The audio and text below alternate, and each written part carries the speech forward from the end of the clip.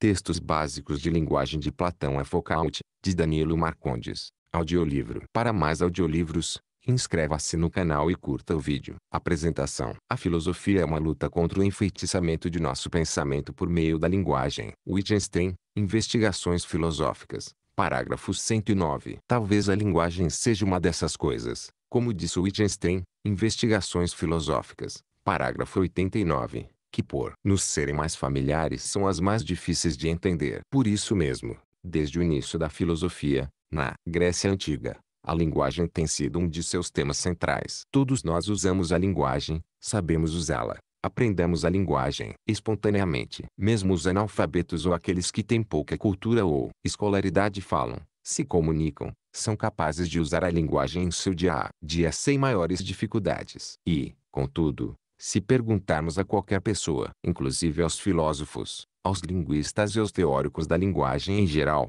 o que é a linguagem, veremos que não há uma resposta simples. Essa capacidade, quase espontânea, ou pode-se dizer natural, de usar a linguagem é o ponto de partida da tese de alguns filósofos e linguistas segundo a qual a linguagem é inata ao ser humano, ou seja, seus elementos essenciais, que se desenvolvem posteriormente, estão presentes em nossa própria natureza. Trata-se do que o psicólogo e teórico da linguagem canadense, hoje professor em Harvard, Steve Pinker chamou de um instinto da linguagem em seu famoso livro de linguagem, Instinct, de 1994. Encontramos essa posição representada contemporaneamente também pelo linguista norte-americano Noam Chomsky, que discutiremos adiante sem dúvida um dos maiores teóricos da linguagem de nossos dias. Há dois grandes conjuntos de problemas em torno dos quais se desenvolve a discussão filosófica e teórica em geral sobre a linguagem. O primeiro diz respeito à relação entre a linguagem e a mente, ou pensamento. A linguagem é sempre uma expressão de um pensamento,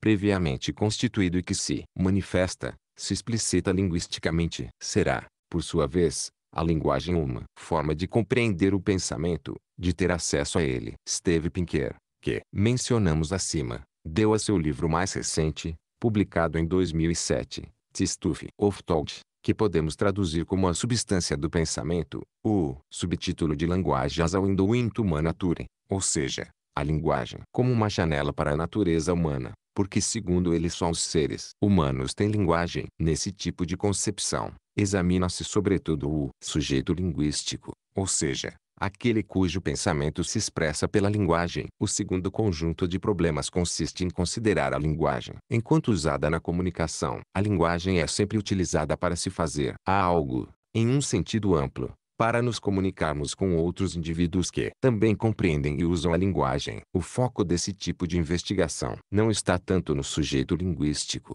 naquele que pensa e usa a linguagem para expressar seus pensamentos, mas na prática da linguagem como comunicação, isto é, na interação entre os seus usuários. A linguagem é assim, segundo o filósofo alemão contemporâneo Jürgen Habermas, intersubjetiva, ou seja, usada como forma de interação humana, Habermas tem um livro importante sobre esse tema intitulado Teoria da Ação Comunicativa, publicado em 1981. Grande parte dos filósofos e teóricos da linguagem que examinaremos a seguir desenvolveu seu pensamento em torno dessas questões. A pergunta de Platão no Crátilus sobre a contribuição do significado das palavras para o conhecimento das coisas que denominam marcou profundamente a tradição. Como Platão responde negativamente à pergunta, uma vez que a palavra, enquanto signo linguístico, é convencional, o estudo da linguagem não teve na tradição antiga uma importância central para a filosofia. Aristóteles, por sua vez, na passagem do Tratado da Interpretação que comentaremos mais adiante, apresenta a relação entre palavra e coisa como intermediada por uma entidade mental, as afecções da alma, como uma forma de superação da arbitrariedade ou convencionalidade do signo apontada por Platão. Embora os signos sejam arbitrários, as afecções da alma que remetem não são, uma vez que derivam do conhecimento das coisas. O significado do signo passa a ser, assim, seu conteúdo mental. A tradição filosófica, quando tratou de questões de significado, procurou elaborar essa solução aristotélica, desenvolvendo teorias sobre a natureza dessas afecções mentais, o que deu origem às noções de conceito, ideia, representação mental e outras. Locke e a escola de Port Royal representam alguns dos mais importantes tratamentos teóricos dessa questão, mas foi sobretudo no período contemporâneo que a filosofia da linguagem adquiriu uma importância central, com a assim chamada virada linguística, ou linguistic turn, uma expressão usada pela primeira vez no início do século XX, pelo filósofo do Círculo de Viena Gustav Bergman. A expressão foi retomada por Richard Rorty, que a consagrou, em uma coletânea intitulada precisamente The Linguistic Tour, de 1967. No pensamento contemporâneo, com a virada linguística de que Rorty trata, temos uma crítica à tradição mentalista, por esta pressupor a noção de mente como um espaço interior e privado. Algumas das principais teorias desenvolvidas nesse contexto buscam uma forma de tratamento da linguagem enquanto estrutura lógica ou sistema de signos com regras internas, independentes do sujeito linguístico, tal como encontramos, por exemplo, embora em perspectivas muito diferentes, tanto em Frege quanto em Saussure. Por outro lado, a visão da linguagem como cultural, e portanto determinada histórica e socialmente, começa também a se desenvolver nesse período como alternativa ao mentalismo e ao subjetivismo. Assim, o historicismo de Humboldt será marcante em pensadores como Edward Sapir e Benjamin Leorf, os autores da assim chamada hipótese Sapir-Whorf, segundo a qual a linguagem é indissociável da cultura do povo que a usa. Temos em seguida uma virada pragmática dentro da virada linguística, e filósofos como Wittgenstein em suas investigações filosóficas e Austin com os atos de fala valorizam sobretudo a linguagem enquanto ação e enquanto constituidora do significado da experiência humana, sem privilegiar o conhecimento como forma por excelência de relação com o real, tal como encontramos em Platão, em uma obra de título provocador, porque a linguagem importa para a filosofia. O filósofo inglês Ian King nos mostra que não há uma, mas várias respostas a essa questão. Algumas das principais serão examinadas nos capítulos que se seguem. DM Platão Platão nasceu em Atenas em 428 a.C. Foi discípulo de Sócrates e após a morte deste deixou Atenas e empreendeu algumas viagens. De volta, fundou em 387 a.C. sua escola filosófica, a Academia, e até sua morte, em 347 a.C., desenvolveu a maior parte de sua obra. Alguns dos pontos centrais do debate de Platão sobre o tema que nos interessa neste livro são a oposição entre linguagem e conhecimento e a visão da linguagem como fonte de erro. Em grande parte devido à sua influência, esse modo de considerar a linguagem se encontrará em quase toda a tradição filosófica e reaparecerá de modo bastante explícito no pensamento moderno, sendo questionado de forma mais direta apenas no período contemporâneo, Após a assim chamada virada linguística, os textos aqui selecionados procuram apresentar diferentes aspectos da discussão de Platão acerca da linguagem,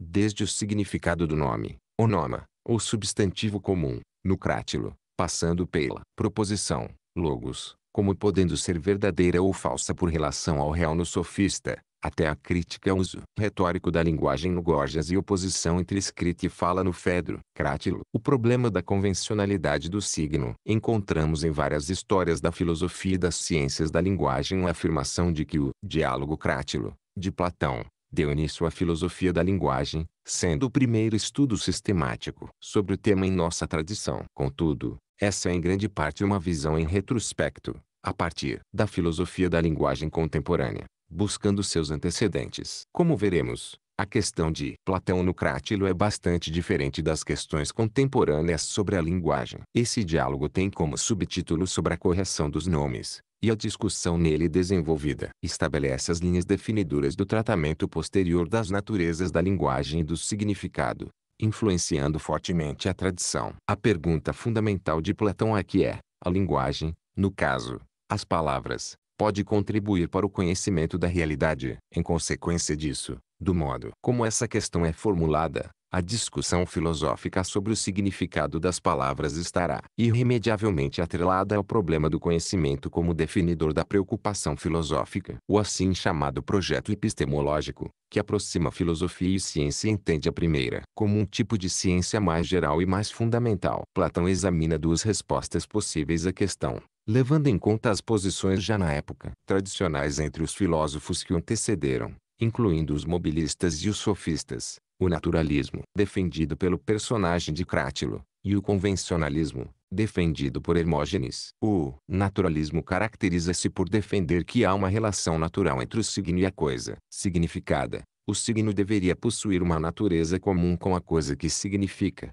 contribuindo assim para o conhecimento desta. O convencionalismo, enquanto alternativa ao naturalismo, consiste em uma tese mais fraca sobre a relação entre palavras e coisas, segundo a qual não há nada em comum entre elas, são apenas convenções estabelecidas em uma determinada sociedade. Em consequência disso, conclui-se que não há contribuição por parte do signo para o conhecimento da realidade a que se refere e, assim sendo, a linguagem torna-se pouco relevante para a filosofia. No confronto entre as duas posições Platão formula alguns argumentos importantes para essa discussão, que se tornaram influentes na tradição. Destacaremos apenas os mais significativos. O problema da variação linguística, isto é, de que em diferentes línguas se usam palavras diferentes para se referir às mesmas coisas, leva a uma tentativa, por parte do naturalismo, de defesa da relação natural entre palavras e coisas não através das línguas comuns, faladas pelos diferentes povos,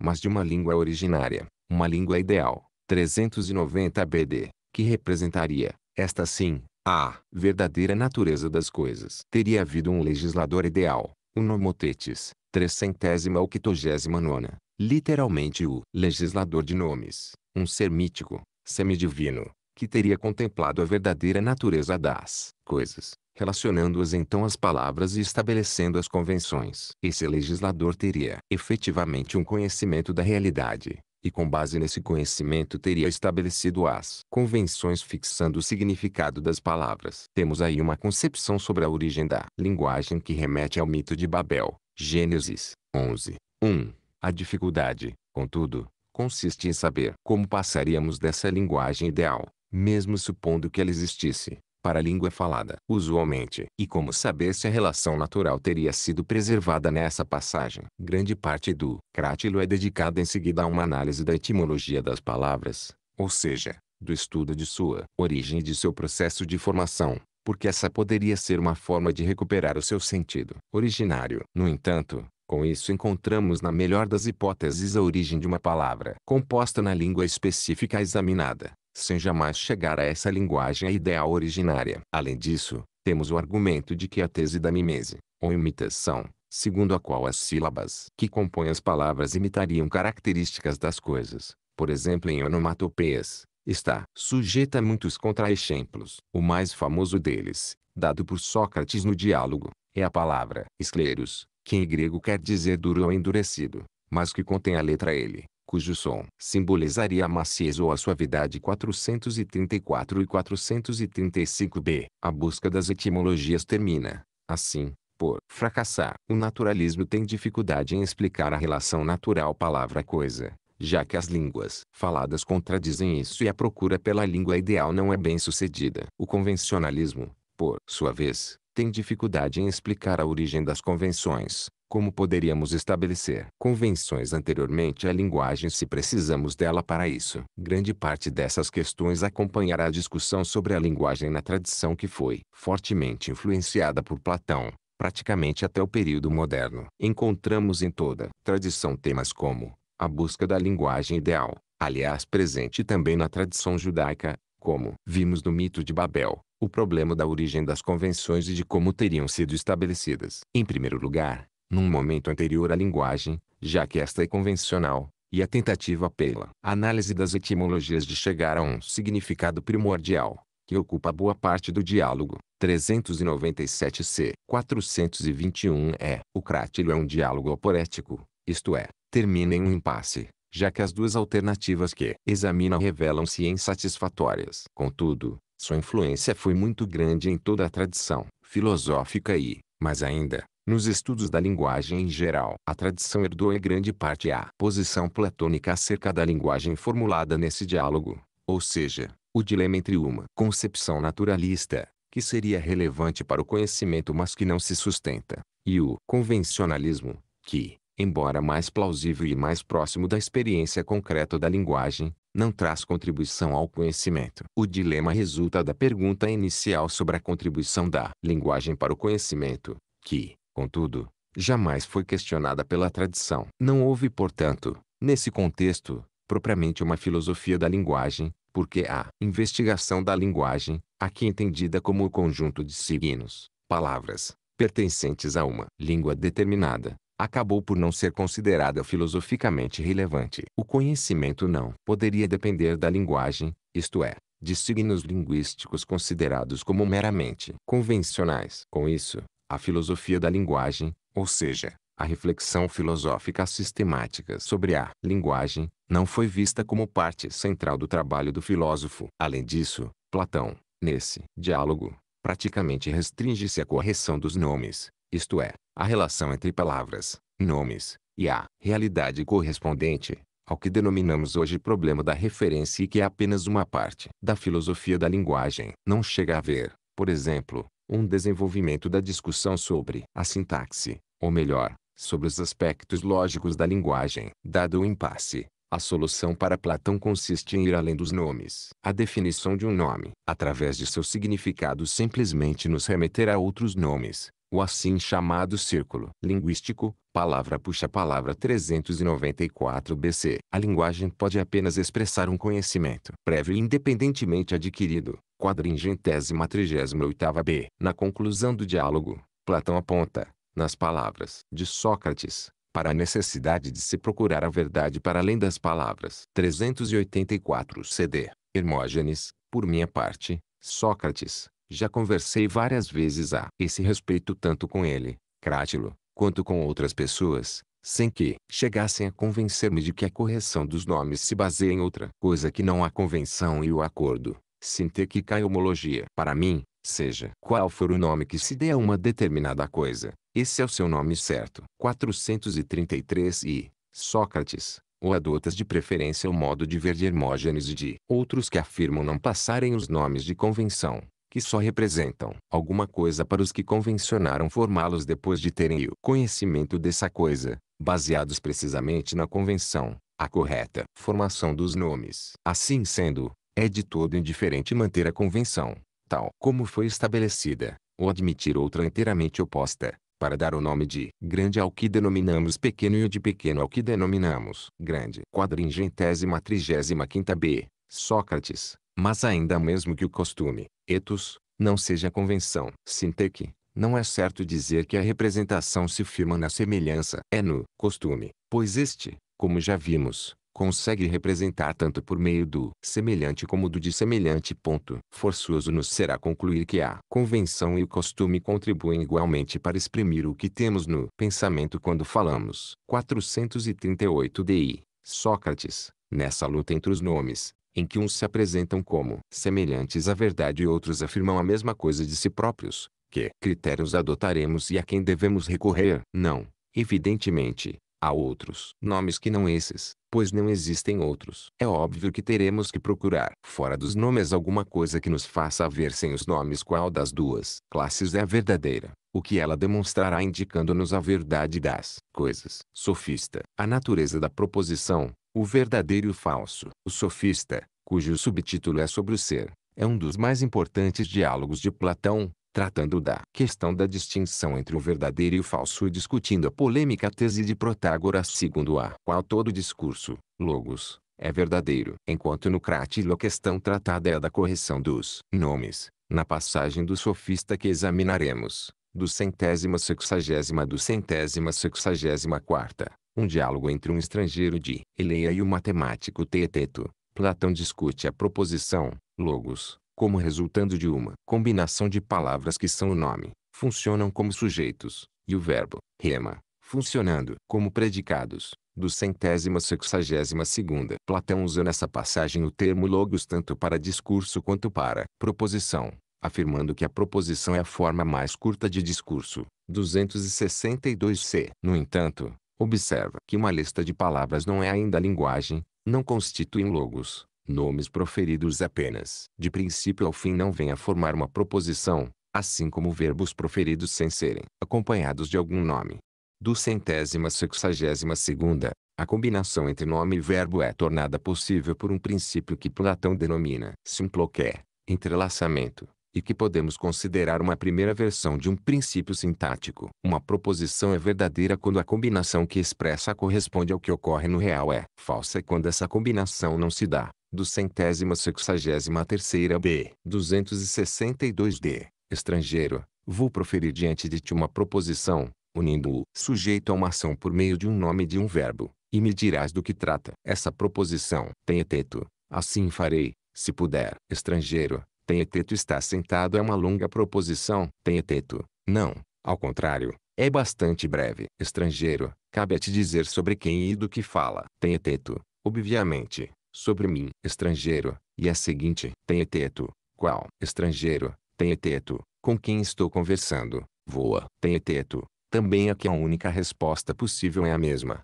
sobre mim. Estrangeiro, mas cada uma dessas proposições deve ter uma característica. Tem eteto, sim. Estrangeiro, e que qualidade devemos atribuir a cada uma dessas proposições? Tem eteto, pode-se dizer que uma é verdadeira e outra, falsa. Estrangeiro, a verdadeira diz a seu respeito o que é. Tem eteto, certo. Estrangeiro, e a falsa diz algo diferente do que é. Tem eteto, sim. Estrangeiro, portanto, diz aquilo que não é. Tem eteto, sim, é o que diz. Estrangeiro, e diz a seu respeito coisas que não se aplicam, que não são como, no real, pois como dissemos a respeito de qualquer coisa há muitas formas de as coisas serem e não serem. Gorgias, crítica e retórica. O Gorgias é o principal diálogo de Platão sobre a retórica, questionando o papel dos sofistas como mestres desta arte e acusando-os de serem praticantes de uma mera técnica, ou seja, de uma habilidade prática, sem nenhum compromisso moral, servindo apenas para persuadir e não para ensinar e levar ao verdadeiro conhecimento. Seu alvo principal é Gorgias, um dos mais famosos sofistas de seu tempo e grande mestre de retórica e de oratória. Os sofistas consideravam a linguagem um instrumento fundamental do discurso político, ou seja, do modo como as decisões eram tomadas nas assembleias, no contexto da democracia ateniense, a crítica de Sócrates aos sofistas nesse diálogo consiste em mostrar que com habilidade pode-se persuadir qualquer pessoa de qualquer coisa, mesmo de algo que não seja verdadeiro ou não seja do interesse dela. A filosofia, ao contrário, se caracteriza pelo compromisso com a verdade. Quadringentésima quinquagésima terceira. Gorgias, por oratória, quero dizer a habilidade de convencer por meio do discurso um júri num tribunal, membros de um conselho, votantes em uma assembleia e qualquer outra reunião de cidadãos. Pelo exercício dessa habilidade, você terá o médico ou o treinador em suas mãos e o homem de negócios ganhará dinheiro não em proveito próprio, mas para outro. Para você que de fato tem essa habilidade de falar e de convencer as massas. 454 de quadringentésima quinquagésima quinta. Sócrates, que forma de convencer sobre o certo e o errado é produzida pela oratória nos tribunais e em outros lugares. Aquela que produz conhecimento ou aquela que produz apenas crenças sem conhecimento. Gorgias, a que produz crenças, obviamente. Sócrates, parece então que o convencer que a oratória produz sobre o certo e o errado é do tipo que resulta da crença, não o que resulta do ensinar. Gorgias, sim. Sócrates, e o orador não ensina ao júri outras comissões sobre o certo e o errado, apenas os persuade, dificilmente poderia ensinar a tantas pessoas então pouco tempo algo de tal importância. Fedro, a origem da escrita. Nesse diálogo há uma passagem, 274b e 277d, em que Platão apresenta o mito de Teut, que narra a invenção da escrita por esse deus egípcio. Teut, ou Tote, apresenta sua invenção ao supremo deus, Amon, como algo que auxiliaria a memória dos homens e os tornaria sábios. A resposta de Amon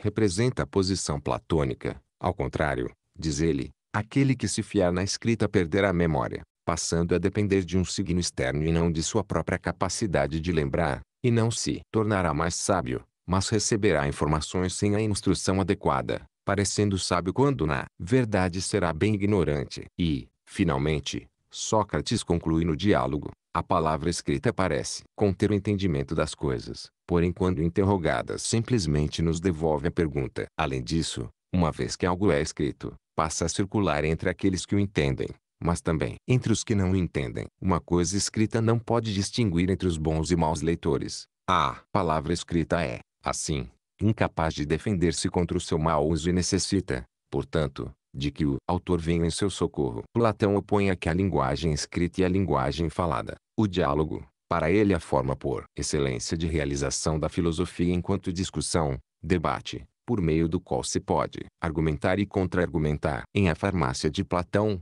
o filósofo francês contemporâneo Jacques Derrida comenta esse mito, que serve de ponto de partida para sua discussão sobre a linguagem e sobre a questão da leitura de textos, no caso de Platão, levando a uma releitura e reelaboração de suas questões. Derrida explora o uso da palavra parmacon remédio, no texto, quando Tote diz que a palavra escrita é um remédio para a memória, enquanto Amon, ou Tamus, inverte a questão dizendo que a palavra escrita poderia ser um veneno. Para os gregos parmacon pode ser remédio ou veneno, no fundo dependendo essencialmente da dosagem, que faria com que os homens se fiassem demais na escrita e perdessem o verdadeiro conhecimento. Sócrates conclui dizendo que é necessário para um discurso verdadeiro, na medida em que isso seria possível. 277 c. Sócrates, toda a nossa discussão anterior mostrou que o discurso, seja o que pretende persuadir, seja o que pretende ensinar, não pode ser construído cientificamente,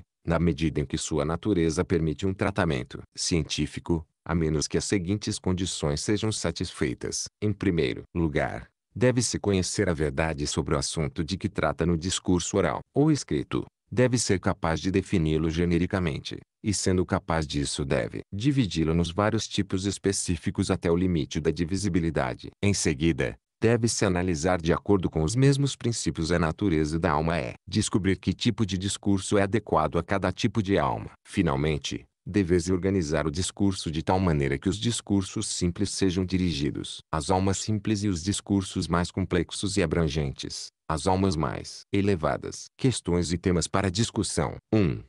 Qual a concepção que Platão tem de linguagem no crátilo? 2. Porque tanto o naturalismo quanto o convencionalismo não apresentam alternativas válidas filosoficamente para a questão do tratamento da correção dos nomes. 3 porque a hipótese do nomotetes não resolve o problema da tentativa de uma articulação entre naturalismo e convencionalismo no crátilo. 4. Porque, segundo Platão no Sofista, uma lista de palavras não forma um logos. 5. Como se pode entender o princípio sintático que Platão formula no Sofista? 6. Como Platão distingue entre a proposição verdadeira e a falsa no Sofista? 7. Qual o argumento de Platão contra o uso retórico da linguagem pelos sofistas no Gorgias? 8. Qual a objeção de Platão à palavra escrita no Fedro? Leituras sugeridas. Derrida, Jacas. A Farmácia de Platão, São Paulo. Iluminuras, 1991. Paviani, Jaime. Escrita e linguagem em Platão, Porto Alegre, Epúcras, 1993. Platão, Crátilo, Sofista, Gorgias, Fedro, em Diálogos, Belém, Universidade Federal do Pará, 1973. Sublinhado.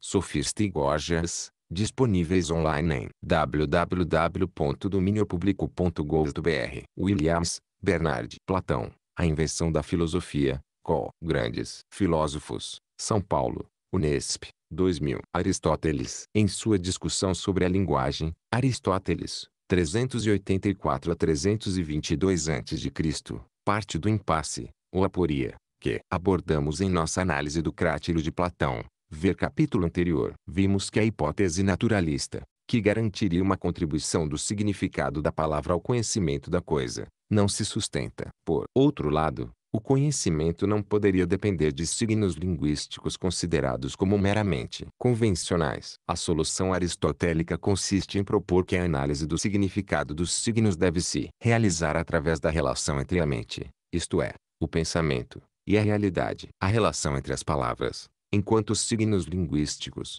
e a realidade depende da mediação da mente. Essa é basicamente a tese de Aristóteles no Tratado da Interpretação e será desenvolvida ao longo da tradição, por exemplo em Santo Agostinho, no Diálogo de Magistro, sobre o Mestre, chegando até a modernidade, como veremos mais adiante, em pensadores como Descartes, os mestres de Port Royal e Locke, ver os respectivos capítulos. Aristóteles é o ponto de partida das duas grandes linhas de desenvolvimento da discussão filosófica sobre a linguagem, 1. Um, a relação entre linguagem e pensamento e 2 a função comunicacional da linguagem. No primeiro caso, ao caracterizar os conceitos como signos mentais das coisas e as palavras como signos dos conceitos, Aristóteles aponta para o caminho da relação entre linguagem e mente que boa parte da tradição seguirá, procurando definir melhor a natureza do conceito e de sua relação com coisas e com palavras. No segundo caso, mostra a importância de se ir além da função descritiva da linguagem,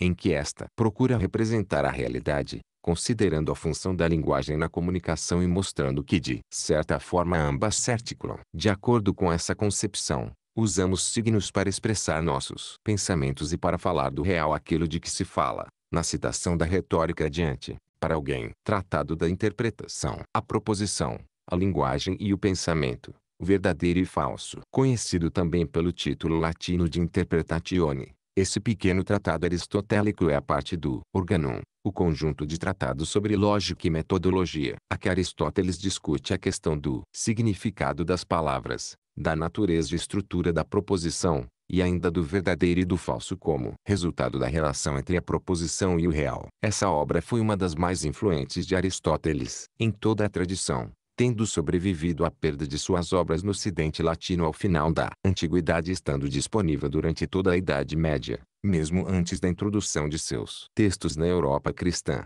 através das versões árabes, por volta do século XII. Houve, por esse motivo, um grande número de comentários a esse tratado, destacando-se o de São Tomás de Aquino, em livros Perihermineias Expositio, 1269 a 1272. O conceito, em Aristóteles literalmente as afecções da alma, é o intermediário entre as palavras e as coisas, e enquanto entidade mental possibilita o acesso à realidade, possuindo assim conteúdo cognitivo. O signo linguístico, para que seja dotado de significado, deve estar sempre associado a um conceito. Sendo o signo convencional, sua relação com a realidade depende dessa associação com o conceito, que não é convencional, e sim resulta da apreensão da realidade por nossa mente. A entidade mental seria assim um sinal natural produzido pelo modo como a realidade natural afeta nossa mente. O conhecimento é da ordem do conceito e não da linguagem. Conceitos são representações mentais,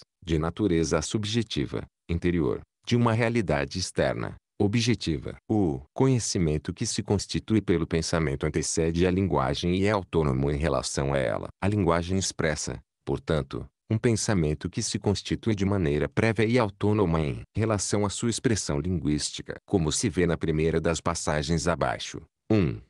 Décimo sexta 3 a 8. Aristóteles supõe uma natureza humana universal. As afecções da alma, enquanto entidades mentais, são as mesmas para todos. A representação linguística, o significado dos signos, depende da representação mental, dos signos com que os conceitos estão relacionados, embora os signos, palavras, possam eles próprios variar culturalmente, como já assinalara Platão, no problema da variação linguística discutido no Crátilo 1.16 3 a 8. As palavras faladas são símbolos das afecções da alma, patemata, psichai, e as palavras escritas, símbolos das palavras faladas. Assim como a escrita não é a mesma para todos os homens, as palavras faladas não são as mesmas, mas as afecções da alma, das quais as palavras faladas são diretamente sinais, semeia, são as mesmas para todos, e as coisas de que as afecções da alma são semelhanças são as mesmas. Assim como há pensamentos, noemata, na alma que não são nem verdadeiros, nem falsos, enquanto outros são necessariamente verdadeiros ou falsos. O mesmo ocorre com os sons. A falsidade e a verdade têm a ver com a separação e a combinação. Um nome, onoma, e um verbo, rema, por si próprios são como pensamentos, por exemplo o homem ou branco, que não são separados, nem combinados, pois não são nem verdadeiros, nem falsos. Tratado da interpretação. A convencionalidade do significado. Aristóteles assume o convencionalismo que para Platão no Crátilo parecia inevitável como explicação da relação entre palavra e realidade, mas inconveniente porque a palavra não contribuiria para o conhecimento da coisa. Contudo, Aristóteles tem uma solução para isso. Como vimos, as palavras se relacionam com as coisas não diretamente, mas através de uma entidade mental. O conceito em terminologia posterior, a verdade e a falsidade são propriedades da sentença, logos, em sua relação com o real, tese que remonta ao sofista de Platão, Ver capítulos sobre Platão. Mas nem toda sentença é verdadeira ou falsa. Apenas as declarativas, que pretendem descrever o real. Para Aristóteles, a linguagem consiste em nomes, em grego, onomata, que se articulam com verbos, remata, ou seja, predicados, para formar sentenças, logoi, que quando são declarativas, descrevem o real e podem ser verdadeiras ou falsas em relação ao real que descrevem. A ciência natural, P.S., que Aristóteles examina no Tratado dos Segundos Analíticos, consiste de sentenças desse tipo, isto é, que descrevem o real. Mas, na passagem abaixo, Aristóteles nos adverte que nem todo uso da linguagem é desse tipo e que nem toda sentença é declarativa. Dá como exemplo orações, ou seja, preces, que não têm um objetivo descritivo da realidade. Veremos trechos dos tratados de retórica e de poética que Aristóteles remete na passagem abaixo para entender melhor esses outros aspectos da linguagem que ele destaca. 2.16 a 19. Um nome, onoma, é um som proferido dotado de significado por convenção, kata sintequem, do qual nenhuma parte tomada isoladamente tem significado. 16 a 26. Digo por convenção porque nenhum nome é nome por natureza. Pisei, mas apenas quando se tornou um símbolo, símbolon. Mesmo sons inarticulados, de animais, por exemplo, podem revelar algo, mas não são nomes. 3.16b6. Um verbo, rema, significa, além disso, o tempo, cronon, sendo que nenhuma de suas partes tem significado isoladamente significa sempre algo dito sobre outra coisa. 4.16b26 Uma sentença, logos, é um som proferido dotado de significado. Semântica é, da qual uma parte pode ser dotada de significado em separado, como uma expressão, pazes, e não como uma afirmação, apopazis, ou negação. Catapazis. 4.16b33 Toda sentença é dotada de significado por convenção, e não como um instrumento por natureza, porém nem toda sentença é declarativa, logos, apopantikos, mas apenas aquelas que são verdadeiras ou falsas. Não há verdade ou falsidade em todas as sentenças. Uma oração é uma sentença, mas não é nem verdadeira nem falsa. Deixemos de lado esses casos, que dizem respeito à retórica e à poesia. Aqui temos como objeto de investigação apenas as sentenças declarativas, apopânticos, retórica. A função comunicacional da linguagem. É importante destacar aqui a função comunicacional da linguagem. Falamos sobre algo para alguém é com um determinado objetivo. É o objetivo que determina os elementos retóricos a serem empregados. Segundo Aristóteles, quando se trata de um júri, queremos convencer os jurados de algo que se passou, por exemplo a inocência ou culpa do réu. Quando se trata de uma assembleia política, queremos fazer com que os eleitores deliberem sobre uma ação futura, e, no caso do discurso cerimonial, a audiência é meramente espectadora e o orador deve causar uma boa impressão. Ao contrário de Platão no Gorgias, ver capítulo anterior, Aristóteles atribui à retórica uma função relevante, pois através dela o falante visa fazer com que o ouvinte veja a realidade de uma determinada maneira. E, 3. Milésima trecentésima quinquagésima oitava. A retórica se divide em três partes, determinadas pelos três tipos de ouvintes dos discursos, uma vez que dentre os três elementos que entram na produção do discurso, o falante, aquilo de que se fale o ouvinte, é este último, o ouvinte, que determina a finalidade do discurso e seu objetivo. O ouvinte deve ser o alguém que julga, e tem uma decisão a tomar acerca de eventos passados ou futuros, ou então um observador. Um membro da Assembleia decide acerca de eventos futuros, um membro de um júri, acerca de eventos passados, enquanto aqueles que apenas decidem sobre a habilidade do orador são observadores. Daí se segue que há três tipos de oratória: a política, a. Forense e a cerimonial. Retórica. A natureza da metáfora. A retórica. Livro 3 capítulo 4. Trata também da metáfora, oferecendo um exemplo mais claro que os da própria poética. Dizer Aquiles é corajoso como um leão é fazer uma comparação usando uma imagem. Dizer Aquiles é um leão é uma metáfora. 1406 c. A imagem é também uma metáfora, sendo pequena a diferença entre ambas. Quando Homero afirma sobre Aquiles, que se lançou contra o inimigo como um leão Ilíada. 20, 164. Trata-se de uma imagem, mas quando afirma este leão lançou-se, trata-se de uma metáfora. Como o leão e o herói são ambos corajosos, Homero caracterizou Aquiles como um leão por uma transposição poética, a linguagem metafórica. Na poética, Aristóteles indica a importância da linguagem ornamentada, ou seja, acompanhada de recursos que garantam o efeito dramático, produzir emoções,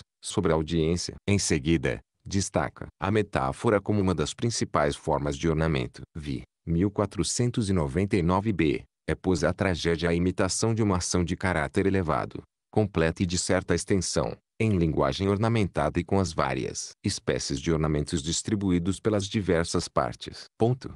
Digo, ornamentada é a linguagem que tem ritmo, harmonia e canto, e o servir-se separadamente de cada uma das espécies de ornamentos significa que algumas partes da tragédia adotam só o verso, outras também o canto. XX 7, 1457 c. A metáfora é a transposição do nome de uma coisa para outra.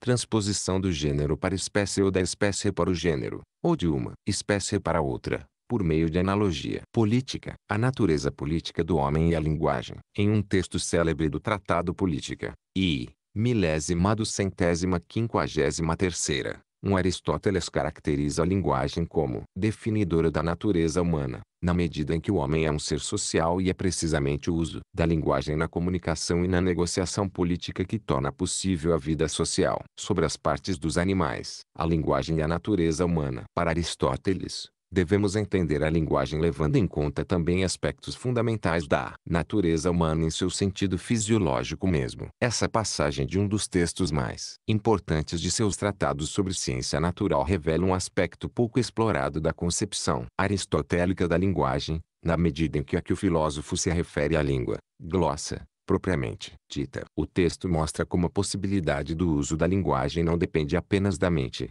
mas da própria fisiologia humana, dos lábios e da língua. O desenvolvimento posterior da fonética classificará os sons exatamente com base nessa relação com os órgãos da fala. 659 B 28 660 14. O uso dos lábios em todos os animais, exceto no homem, consiste em preservar e proteger os dentes, e por isso a forma específica pela qual os lábios são formados é relativa aos graus de beleza e de perfeição da natureza dos dentes. No homem, os lábios são mácios e carnudos, capazes de se separarem. Seu propósito, como nos outros animais, é proteger os dentes, mas também tem o propósito mais elevado de contribuir, juntamente com outras partes, para a faculdade humana da fala. Pois assim como a natureza fez a língua, glossa, humana diferente da dos outros animais, e como costuma ser sua prática, fez com que ela servisse a dois diferentes propósitos, o paladar e a fala. O mesmo se pode dizer em relação aos lábios, fazendo-os servir tanto para a fala quanto para a proteção dos dentes. A fala consiste em uma combinação de letras, e a maioria delas seria impossível de pronunciar se os lábios não fossem úmidos e se a língua não fosse como é, pois algumas letras são formadas pelo fechamento dos lábios e outras pela aplicação da língua. Mas quais as diferenças entre elas e qual a extensão dessas diferenças são questões que devem ser respondidas por aqueles que se dedicam à ciência da métrica. Questões e temas para discussão. 1. Compare e contraste a discussão aristotélica sobre o significado no Tratado da Interpretação com a platônica no Crátilo. 2. Que relação Aristóteles estabelece entre as palavras e as afecções da alma no Tratado da Interpretação? 3. Qual a solução aristotélica para a superação do convencionalismo linguístico? 4. Compare e contraste a concepção aristotélica de linguagem no Tratado da Interpretação e na Retórica. 5. Compare e contraste a discussão aristotélica do papel da retórica com a platônica no Gorgias. 6. Qual a importância da linguagem para a poética? 7. Em que sentido a linguagem é importante de um ponto de vista político? 8. Apresente os diferentes sentidos segundo os quais a linguagem é característica da natureza humana, segundo Aristóteles. Leituras sugeridas. Anjoni, Lucas. Ontologia e Predicação em Aristóteles. Tratado da Interpretação e Vi, Tradução e Comentários, Campinas, Unicamp, 2000. Sublinhado. As Partes dos Animais, Livro 1 Tradução e Comentário, Cadernos de História e Filosofia da Ciência, Série 3, Vol. 9, N.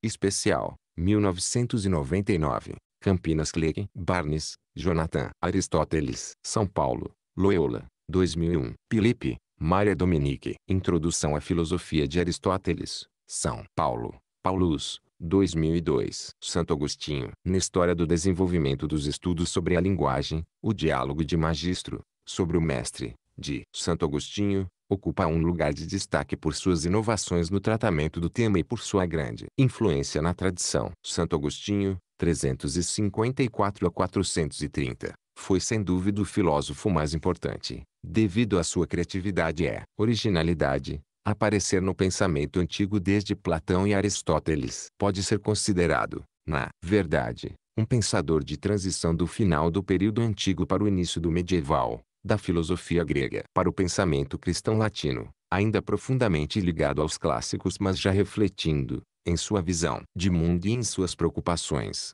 as grandes mudanças em sua época, num prenúncio do papel que o cristianismo terá na formação da cultura ocidental, para o que sua obra contribuiu de forma decisiva. A aproximação que Agostinho elaborou entre a filosofia de Platão, que conhecia através dos intérpretes da Escola de Alexandria e de traduções latinas, e o cristianismo constituiu a primeira grande síntese entre o pensamento cristão e a filosofia grega, o assim chamado platonismo cristão. Seus comentários aos livros do Antigo e do Novo Testamento são os principais pontos de partida da tradição exegética e hermenêutica ocidental, ou seja, dos métodos de interpretação desses textos. Sua relevância filosófica e teológica estendeu-se até o período moderno, sendo que o século XVII chegou a ser conhecido como o século de Agostinho por sua influência sobre filósofos como Descartes, os mestres de Port-Royal e Pascal, que recorrem a noções agostinianas como luz natural e interioridade. Aurélio Agostinho nasceu em Tagaste,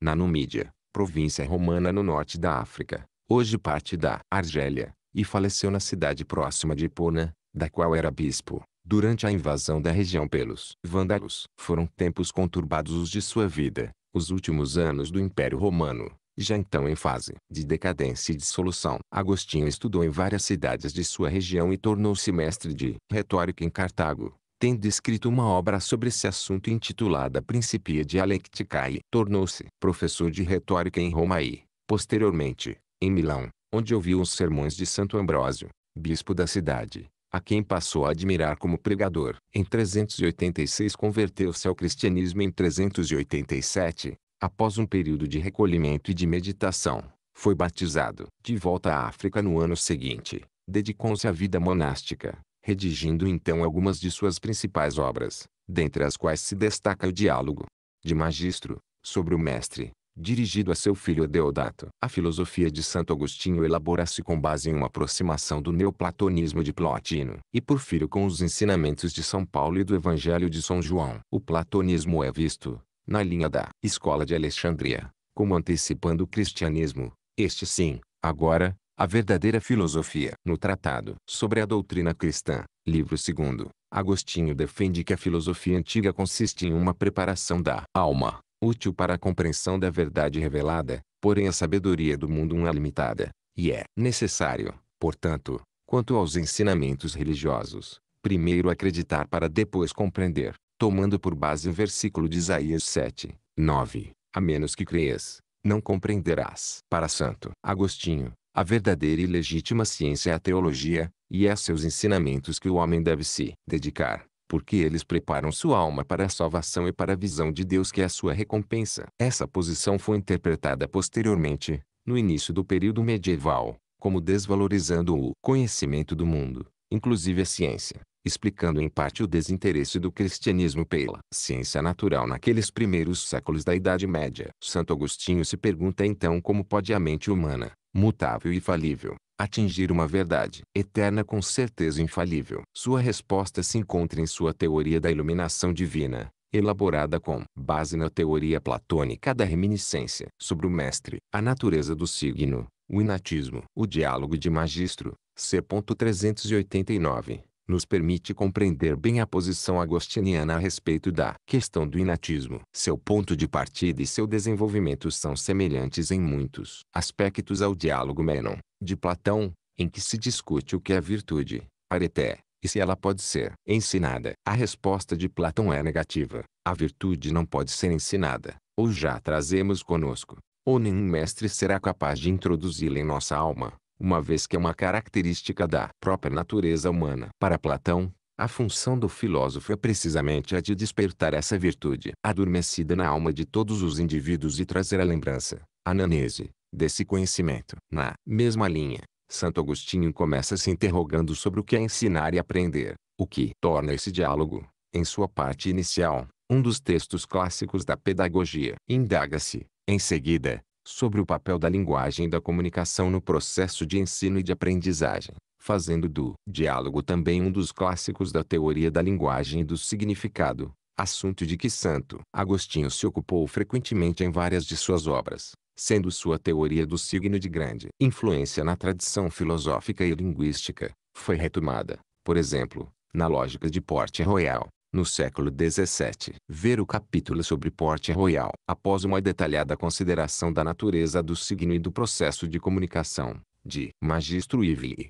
Santo Agostinho conclui, na linha das concepções tradicionais na antiguidade. Platão, Aristóteles, os estoicos, que dada a sua convencionalidade, isto é, as palavras variam de língua para língua e são sinais arbitrários das coisas traço, o signo linguístico não pode ter qualquer valor cognitivo mais profundo. Portanto, não é através das palavras que conhecemos, e assim sendo não podemos transmitir conhecimento pela linguagem. A possibilidade de conhecer supõe algo de prévio, que torna inteligível a própria linguagem, ou seja, a luz interior. Sua posição é, assim, na mesma direção da platônica, inatista, supondo que o conhecimento não pode ser derivado inteiramente da apreensão sensível ou da experiência concreta, mas necessita de um elemento prévio que sirva de ponto de partida para o próprio processo de conhecer. Santo Agostinho apelará então ao mestre interior, Cristo, que representa, Nesse sentido, nossa capacidade inata de conhecer. Esse diálogo forneceu elementos fundamentais para o desenvolvimento da discussão sobre a natureza e o funcionamento da linguagem em toda a tradição, desde sua definição do signo até a sua discussão sobre o caráter reflexivo da linguagem e o papel da metalinguagem.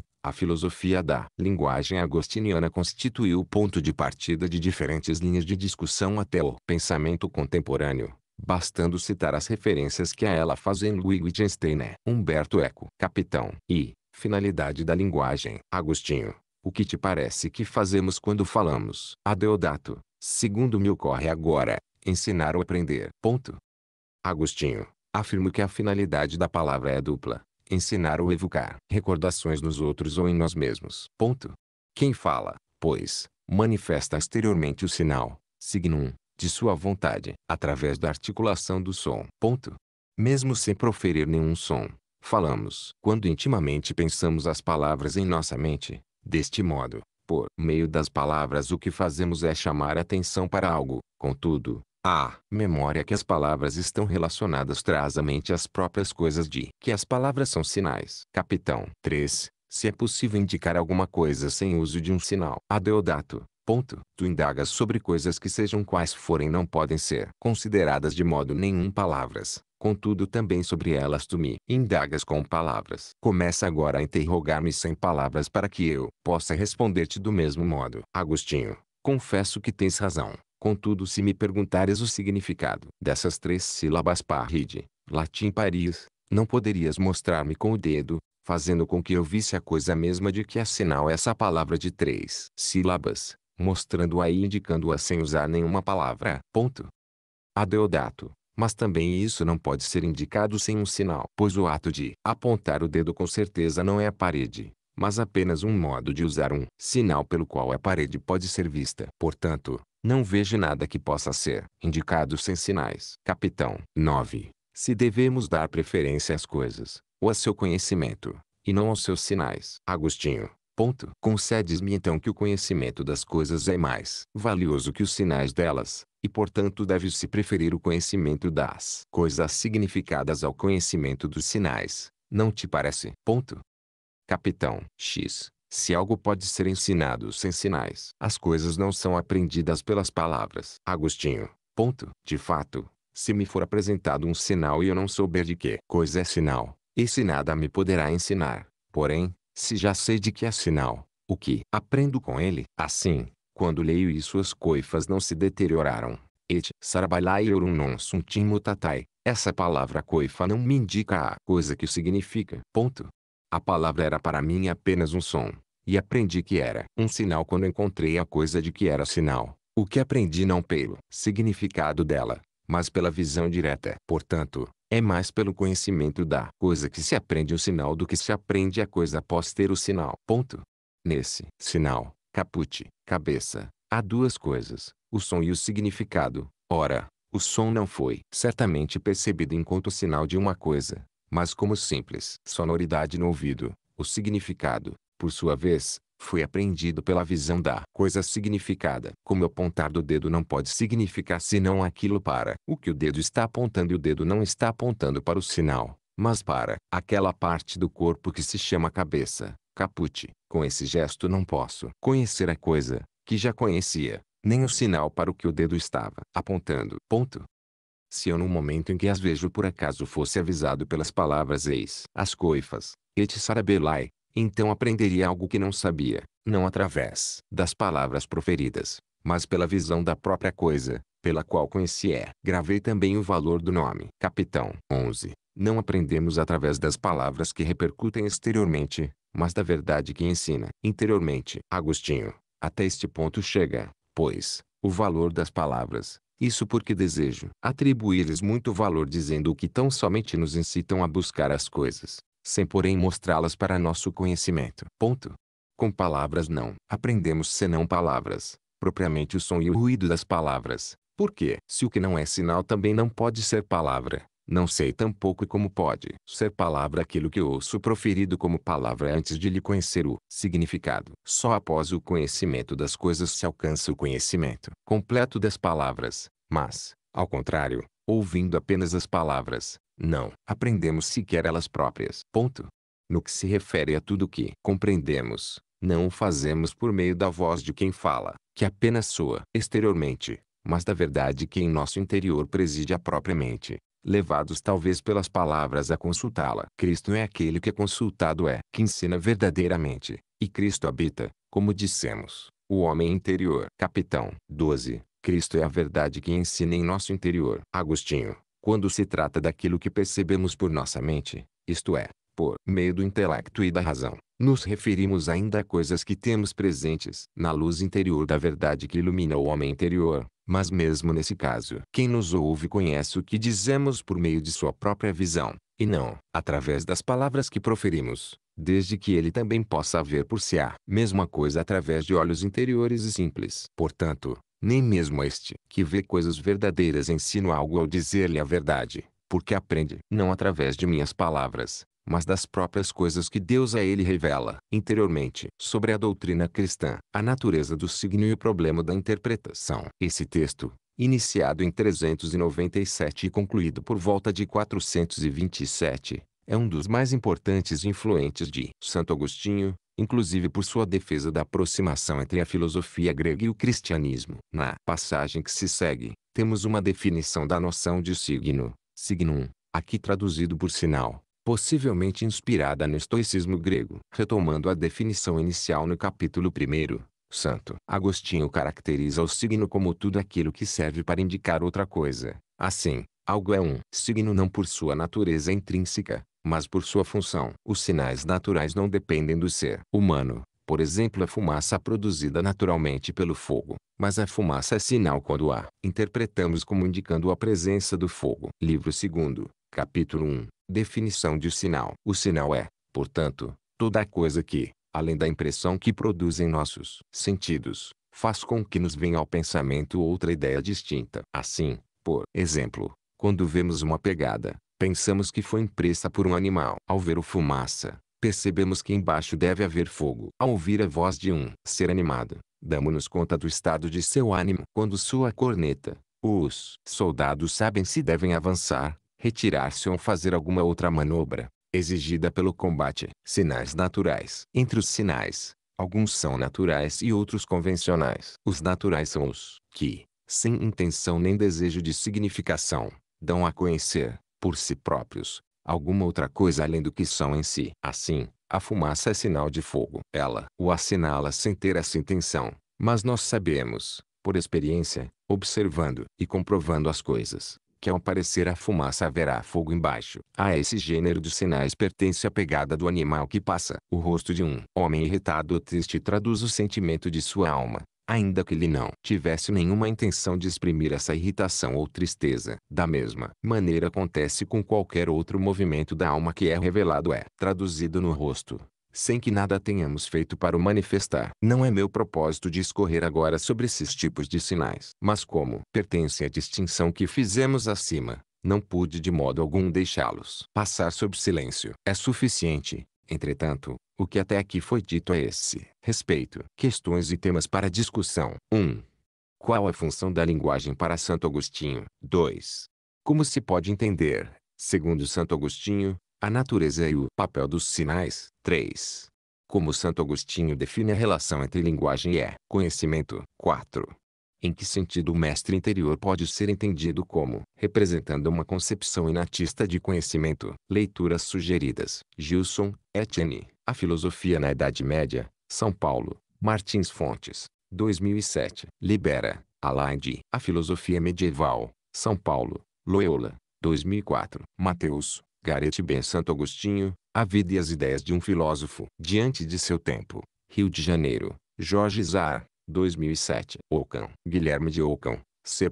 1285 a 1349, cuja obra se encontra já no contexto de crise da escolástica. Foi um dos mais originais pensadores da Idade Média. Nascido em Ockham, pequena cidade próxima de Londres, Ingressou na Ordem dos Franciscanos e estudou na Universidade de Oxford. Sua obra de lógica e de epistemologia influenciou o pensamento moderno, e seus escritos sobre política prenunciam discussões que ocorrerão no Renascimento e no início da modernidade, inclusive no contexto da Reforma Protestante. De um ponto de vista político, Ockham foi um defensor da separação, ou independência, entre o poder temporal dos soberanos e o poder espiritual da Igreja e do Papa contribuindo assim para o desenvolvimento de um pensamento laico. Seu conceitualismo semântico e sua epistemologia que valoriza a experimentação e o conhecimento empírico foram também influentes na modernidade. Ockham pode ser considerado um nominalista quanto à questão dos universais, porque não aceita a existência real, ou autônoma,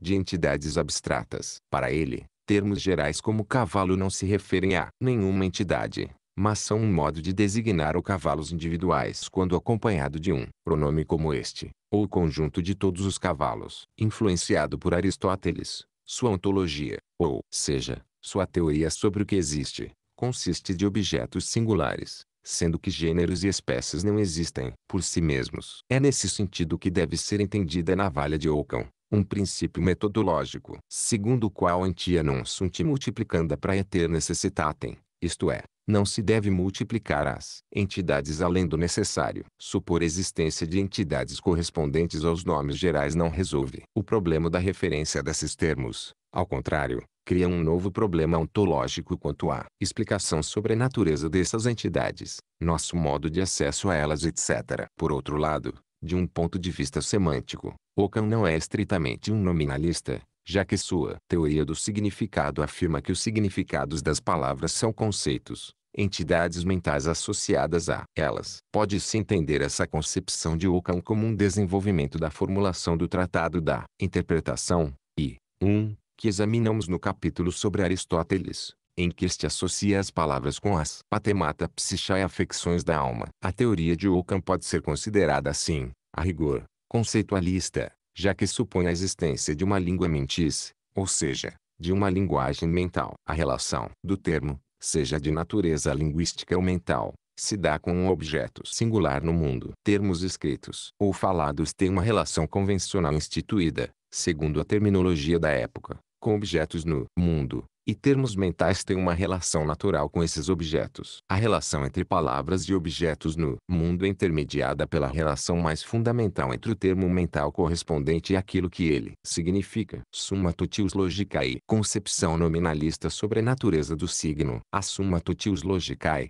composta provavelmente por volta de 1324, foi publicada postumamente em 1488 tornando-se então muito influente. Teve como ponto de partida a lógica antiqua, baseada no comentário e interpretação do Organon de Aristóteles, mas contribuiu decisivamente para o desenvolvimento da assim chamada lógica modernorum, levando em conta as inovações iniciadas pelos comentadores de Aristóteles do século XIII, inclusive importantes formulações no campo da lógica modal. No texto que se segue, parte 1, 1, temos uma discussão sobre a natureza do signo e sua relação com a mente. A tese da intermediação da mente entre as palavras e o real como explicação do significado é um desenvolvimento da concepção de Aristóteles no Tratado da Interpretação e será a base do mentalismo em teoria semântica que encontramos no pensamento moderno tanto em Locke, na vertente empirista, quanto na escola de Port Royal, na vertente racionalista. Todos os autores que tratam de lógica pretendem mostrar que os argumentos são compostos por proposições e as proposições, por termos. Logo, o termo nada mais é que a parte elementar da proposição. Com efeito,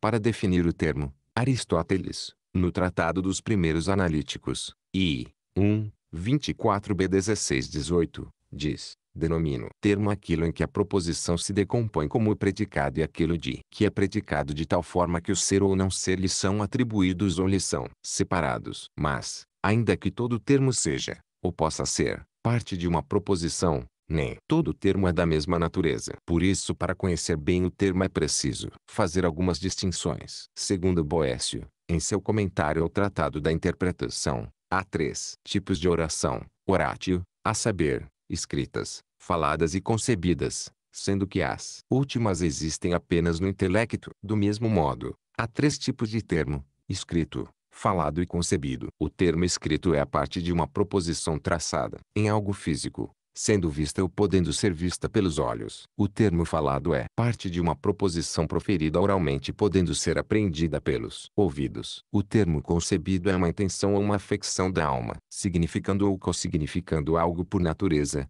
podendo ser parte da proposição mental e podendo por meio dela supor. Esses termos concebidos e as proposições por eles compostas são as palavras mentais de que Santo Agostinho fala no livro 15 do Tratado sobre a Trindade que não pertencem a nenhuma língua porque estão apenas na mente e não podem ser proferidas exteriormente, ainda que os sons vocais, voces, proferidos externamente sejam subordinados a eles. Digo que os sons vocais são signos subordinados aos conceitos ou intenções da alma não no sentido de compreendermos a palavra signo como se esses sons significassem de maneira própria primeiros conceitos na alma, mas porque essas palavras são criadas por imposição para significar as coisas elas próprias, que são significadas pelos conceitos na mente, de modo que primeiro o conceito significa uma coisa de modo natural e em seguida o som vocal significa a mesma coisa, de tal forma que, uma vez que um som vocal foi instituído, convencionado, para significar uma coisa significada por um conceito, se esse conceito mudasse de significado, o som vocal, por isso mesmo, também mudaria se não houvesse outra instituição, convenção. Por isso diz o filósofo, Aristóteles, que os sons vocais são marcas de afecções da alma. Tratado da Interpretação. I. 1. 16 13 4. Boécio entende a mesma coisa quando diz que os sons vocais significam conceitos. E, de modo geral, todos os autores, quando dizem que os sons vocais significam afecções da alma ou são marcas destas, Querem com isso dizer que os sons vocais são signos que significam de modo segundo que as afecções da alma significam em primeiro lugar. Ponto, ponto, ponto. O signo se compreende de duas formas. Primeiro, como tudo aquilo que ruma, vez aprendido nos faz conhecer outra coisa, embora não conduza a mente ao primeiro conhecimento da coisa, mas é um conhecimento atual que se segue ao habitual. Desse modo o som vocal significa algo naturalmente, como um efeito. Qualquer significa ao menos a sua causa ou ainda como um círculo diante de uma taverna significa vinho. Mas não falo aqui de signo em um sentido tão geral. Em segundo lugar, compreende-se o signo como aquilo que traz algo ao conhecimento e é capaz por natureza de supor isto que traz ao conhecimento ou de se associar ao primeiro tipo de signos em uma proposição, como é o caso dos sincategoremáticos, um dos verbos e de partes da oração que não tem uma significação determinada, ou ainda como um composto desses signos como a oração. E, nesse sentido, a palavra signo não é um signo natural de nada. Questões e temas para discussão. 1. Como se pode entender a noção de significado segundo Ockham? 2. O que é a linguagem mental para Ockham? 3. Relacione a discussão do significado em Ockham com a de Aristóteles no Tratado da Interpretação e 1. Ver capítulo sobre Aristóteles. 4. Em que sentido Ockham pode ser considerado um nominalista? 5. Qual a relação entre sons vocais, palavras escritas e conceitos? Leituras sugeridas. Guisalberti, Alessandro. Guilherme de Ockham, Porto Alegre, Edipulcos, 1997. De Buni, Luiz Alberto. Lógica e Linguagem na Idade Média, Porto Alegre, Edipulcos, 1995. Descartes. René Descartes, 1596 a 1650. Nascido em Lae, na Bretanha, pode ser considerado um dos fundadores da filosofia moderna, sobretudo devido à sua defesa da ciência moderna, inaugurada por Copérnico é desenvolvida por pensadores como Kepler e Galileu. Sua crítica à tradição filosófica, principalmente à escolástica medieval, e a ênfase de sua filosofia na subjetividade e na consciência marcaram profundamente o pensamento moderno. A filosofia de Descartes tem como questão central a fundamentação do novo método científico que possa servir de base à ciência moderna,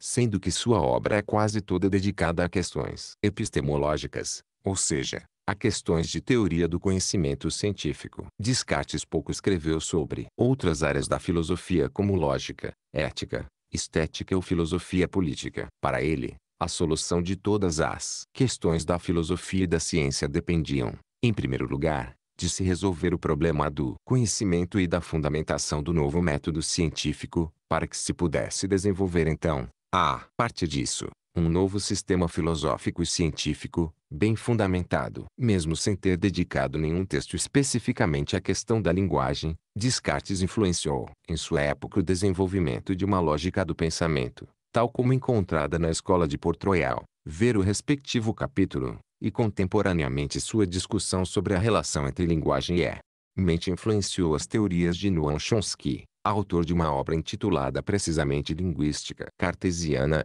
Cartesian Linguistics, publicada em 1966. Para Descartes, a mente, ou o espírito, segundo sua terminologia, é capaz de conhecer o real por meio das ideias, que representam as coisas, e é com base nesse conhecimento que a ciência se constrói. A linguagem é apenas a expressão do pensamento, e mesmo assim uma expressão imperfeita, sem nenhum papel portanto na formação do conhecimento, motivo pelo qual Descartes rejeita inclusive a proposta de uma linguagem universal para a ciência. Os textos aqui selecionados contêm os principais aspectos da concepção cartesiana de linguagem, relacionando-a à natureza humana, discutindo o projeto frequente em sua época de criação de uma linguagem artificial para a ciência e procurando evitar que o hábito de se usar as palavras de modo acrítico é, sem considerar as ideias correspondentes se revele fonte de erros. Discurso do método. A linguagem como sinal da razão. Nesse texto, parte V, Descartes mostra que há uma diferença radical entre a natureza humana e a dos animais, pois mesmo quando estes proferem sons,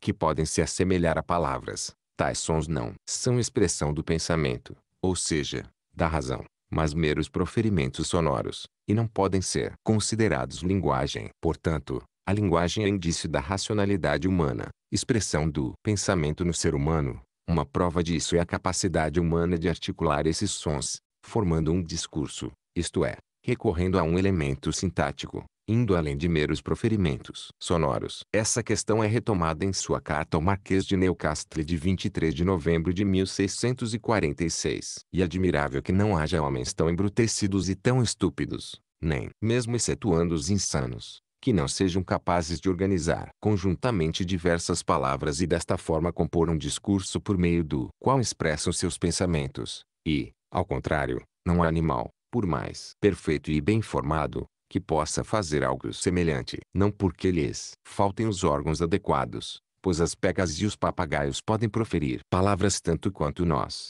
mas apesar disso não podem falar como nós falamos, isto é, manifestando o que pensam o que dizem. Por outro lado, os homens que nasceram surdos ou mudos e são desprovidos dos órgãos que servem aos outros para falar, tanto ou até mais do que os animais, tem o costume de inventar eles próprios signos por meio dos quais se fazem entender por aqueles que tenham se disposto a aprender sua língua. Mas isso não demonstra apenas que os animais possuem menos razão que os homens, mas que não a possuem absolutamente. Vemos que é necessário muito pouco para saber falar. Não se devem confundir as palavras com os movimentos naturais, que dão testemunha das paixões e podem ser imitados pelas máquinas tanto quanto pelos animais. Nem se deve pensar, como os antigos, que os animais falam, apesar de não entendermos sua linguagem, pois, se isso fosse verdade, uma vez que têm tantos órgãos equivalentes aos nossos, poderiam fazer-se compreender por nós, assim como por seus semelhantes. Princípios da filosofia, linguagem e pensamento,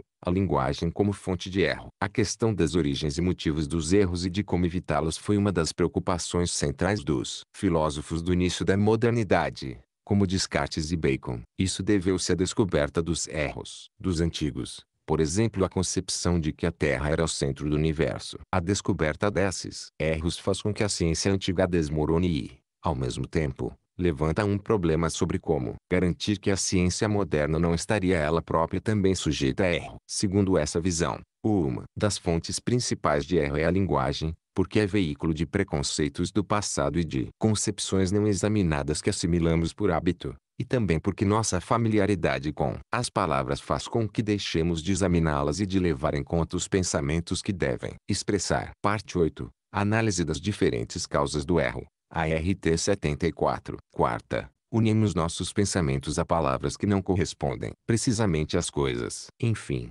unimos todos os nossos conceitos a palavras para os expressarmos oralmente, e os relacionamos a elas na memória. Por nos recordarmos com mais facilidade das palavras que das coisas, seria difícil termos um conceito de algo separadamente das palavras com que se relacionam. Por esse motivo os homens prestam mais atenção às palavras que às coisas. Em consequência, frequentemente dão seu aval a termos que não compreendem e sequer se preocupam muito em compreender, seja porque acreditam já tê-los ouvido, seja porque lhes parece que aqueles que os ensinaram sabiam o que significavam e os teriam aprendido pelo mesmo processo. Carta de Descartes a Mersenne, Amsterdão, 20 de novembro de 1629. O projeto de uma linguagem artificial. O projeto de elaboração de uma língua universal artificial para a ciência foi uma ambição de muitos pensadores do século XVII embora, na verdade, fosse encontrável já na tradição medieval, no catalão Ramon Llull,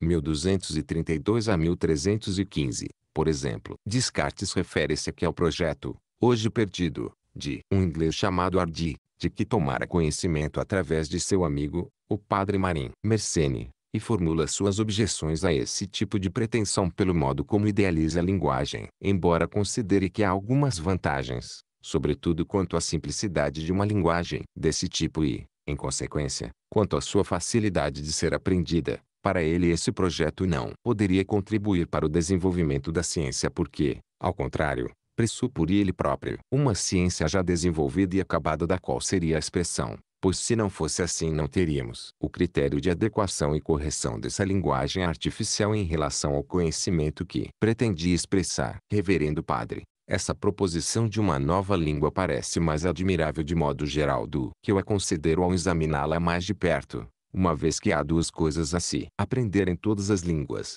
o significado das palavras e a gramática. Quanto à significação das palavras, não promete nada em particular, já que diz na quarta proposição, e não interpretaria este dicionário, o que um homem um pouco versado em línguas pode fazer acerca de todas as línguas comuns. E estou certo de que se dermos a Emiard um bom dicionário de chinês, ou de qualquer outra língua, e um livro escrito nessa língua ele conseguirá extrair o significado das palavras. O que impede que qualquer um faça isso é a dificuldade da gramática. E suponho que esse é o segredo de nosso homem. Mas trata-se de algo bastante interessante, pois elabora uma linguagem em que há apenas uma maneira de conjugar, de declinar e de construir as palavras, na qual não há nem verbos defectivos nem irregulares, que resultam da corrupção do uso. Ponto, ponto, ponto A invenção dessa língua depende da verdadeira filosofia, porque é impossível, de outra forma, determinar todos os pensamentos dos homens e colocá-los em ordem, tampouco distingui-los de sorte que se tornem claros e simples, o que é a meu ver o maior segredo que poderíamos ter para adquirir a boa ciência. E se alguém puder explicar adequadamente quais são as ideias simples que se encontram na imaginação dos homens, por meio das quais se compõe tudo aquilo que pensam e se isso puder ser aprendido por todo mundo, esperaria então uma língua universal bem fácil de ser aprendida, pronunciada e escrita, e o que é o principal, que ajudasse na possibilidade de julgar, representando ou mais distintamente todas as coisas, de modo que seria quase impossível nos enganarmos, enquanto, ao contrário, as palavras que temos são de significação confusa, e com as quais o espírito dos homens está acostumado há muito tempo, fazendo com que não entenda quase nada perfeitamente. Ora, considero que essa língua seja possível e que podemos encontrar a ciência de que ela depende, por meio da qual os camponeses poderiam julgar a verdade sobre as coisas melhor que os filósofos o fazem hoje. Mas não espere jamais vê-lo uso. Isso pressupõe grandes mudanças na ordem das coisas, e seria necessário que o mundo inteiro fosse como um paraíso terrestre, o que só se pode propor num mundo de ficção. Questões e temas para discussão. 1. Por que Descartes deu pouca importância à linguagem em sua obra filosófica? 2. Por que, segundo Descartes, a linguagem é uma fonte de erros. 3. Qual a diferença, segundo Descartes, entre o uso da linguagem pelos seres humanos e os sons que os animais emitem? 4. Porque o projeto de uma linguagem universal não pode ser bem sucedido, segundo Descartes. Leituras sugeridas. Chomsky, Noam. Linguística Cartesiana, Petrópolis. Vozes, 1972. Cotingham, John. Descartes, São Paulo, Unesp, 1999. Sublinhado.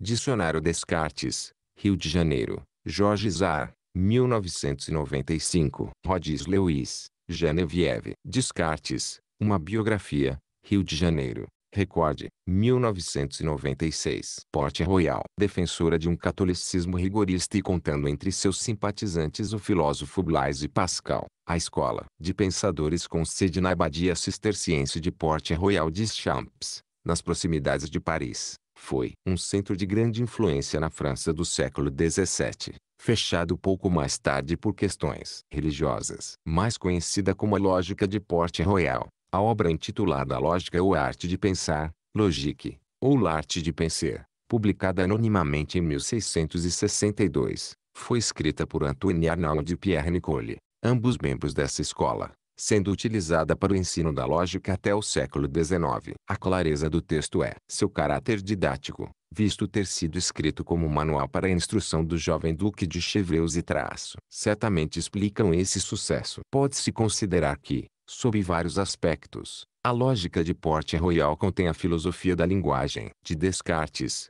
uma vez que este escreveu muito pouco sobre linguagem e praticamente nada sobre lógica mas influenciou fortemente os pensadores de Porte Royal, sobretudo Arnaud, que antes havia escrito um conjunto de objeções às meditações. A lógica de Porte Royal é, assim, psicológica, ou seja, uma lógica que pretende representar o funcionamento do pensamento humano, as operações do intelecto no processo de conhecimento, a maneira pela qual as ideias, termo empregado no sentido cartesiano, representam a realidade como, por sua vez, as palavras expressam as ideias traço, afastando-se com isso do formalismo lógico. Segundo a semântica de Porte Royal, o significado das palavras são as ideias associadas a elas. Isso permitiria superar a arbitrariedade do signo linguístico convencional por meio da relação deste com as ideias, que, estas sim, seriam representações adequadas da realidade. Lógica ou arte de pensar. A convencionalidade do signo,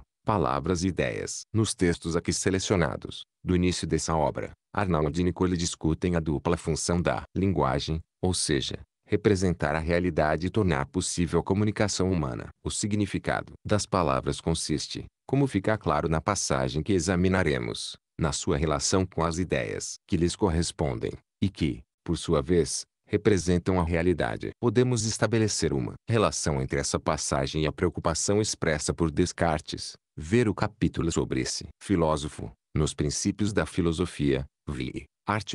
74, de sempre se considerar as palavras em relação às ideias, para se evitar o erro. Vemos também como, na mesma linha da tradição, os mestres de Porte Royal consideram o processo pelo qual associamos palavras e ideias como caminho para a superação do convencionalismo linguístico, pois, se as palavras são arbitrárias, as ideias associadas a elas, ou seja, seus significados, não são. A convenção, por si só, seria insuficiente para tornar o signo inteligível. O texto dá alguns exemplos disso, inclusive em relação à palavra Deus. Na comparação entre os árabes e os franceses, O argumento da variação linguística também é empregado como levando à superação do plano das palavras. Caso contrário, não poderíamos dizer que falam das mesmas coisas. A lógica é a arte pela qual o homem conduz bem a sua razão no conhecimento das coisas, tanto para se auto-instruir quanto para instruir os outros. Essa arte consiste em reflexões que os homens têm feito sobre as quatro principais operações do espírito humano, conceber, julgar, raciocinar e ordenar. Denominamos conceber a simples visão que temos das coisas que se apresentam a nosso espírito, como quando nos representamos um sol, uma terra, uma árvore, um círculo, uma quadrada, o pensamento, o ser, sem formar acerca disso nenhum juízo expressamente. E a forma pela qual nos representamos essas coisas se denomina ideia. Denominamos julgar a ação de nosso espírito pela qual, unindo diversas ideias, afirma acerca de uma que é outra, ou nega acerca de uma que seja outra, como quando tendo a ideia de terra e de redondo, afirma acerca da terra que ela é redonda, ou nego que seja redonda. Denominamos raciocinar a ação de nosso espírito pela qual este forma um juízo a partir de vários outros, como quando, tendo julgado que a verdadeira virtude deve relacionar-se a Deus, e que a virtude dos pagãos não se relacionava a ele, conclui-se que a virtude dos pagãos não era uma verdadeira virtude. Denominamos aqui ordenar a ação de nosso espírito pela qual, tendo sobre um mesmo assunto, como o corpo humano, diversas ideias, diversos juízos é, diversos raciocínios, ele os dispõe da maneira mais adequada para nos dar a conhecer esse assunto. Trata-se do que denominamos também método. Tudo isto é feito naturalmente, e algumas vezes melhor por aqueles que não aprenderam nenhuma regra da lógica do que por aqueles que as aprenderam. Portanto, essa arte não consiste em encontrar a maneira de realizar tais operações, pois a natureza já nos forneceu isto ao nos dar a razão, mas consiste em realizar reflexões sobre o que a natureza nos faz realizar, o que nos serve para três coisas. A primeira consiste em estarmos seguros de que nos utilizamos bem de nossa razão, porque a consideração da regra nos faz dar a isso uma atenção nova. A segunda consiste em descobrir e explicar mais facilmente o erro ou o defeito que se pode encontrar nas operações de nosso espírito, pois ocorre frequentemente que descobrimos apenas pela luz natural que um raciocínio é falso mas não descobrimos, entretanto, a razão pela qual é falso, como aqueles que não entendem de pintura podem ficar chocados com os defeitos de um quadro sem contudo saber explicar qual o defeito que os choca. A terceira consiste em nos fazer conhecer melhor a natureza de nosso espírito, por meio das reflexões que realizamos sobre suas ações. O que é em si o mais excelente quando se examina apenas a especulação, do que o conhecimento de todas as coisas corpóreas que são infinitamente inferiores às espirituais. Se as reflexões que fazemos sobre nossos pensamentos dissessem respeito apenas a nós mesmos, bastaria considerá-las em si próprias, sem as revestir de nenhuma palavra, nem de nenhum outro signo. Mas, uma vez que não podemos fazer compreender nossos pensamentos uns aos outros sem acompanhá-los de signos exteriores, e mesmo porque este costume é tão forte que quando pensamos solitariamente as coisas não se apresentam a nosso espírito senão por meio das palavras com as quais nos acostumamos a revesti-las quando falamos aos outros. É necessário na lógica considerar as ideias juntamente com as palavras,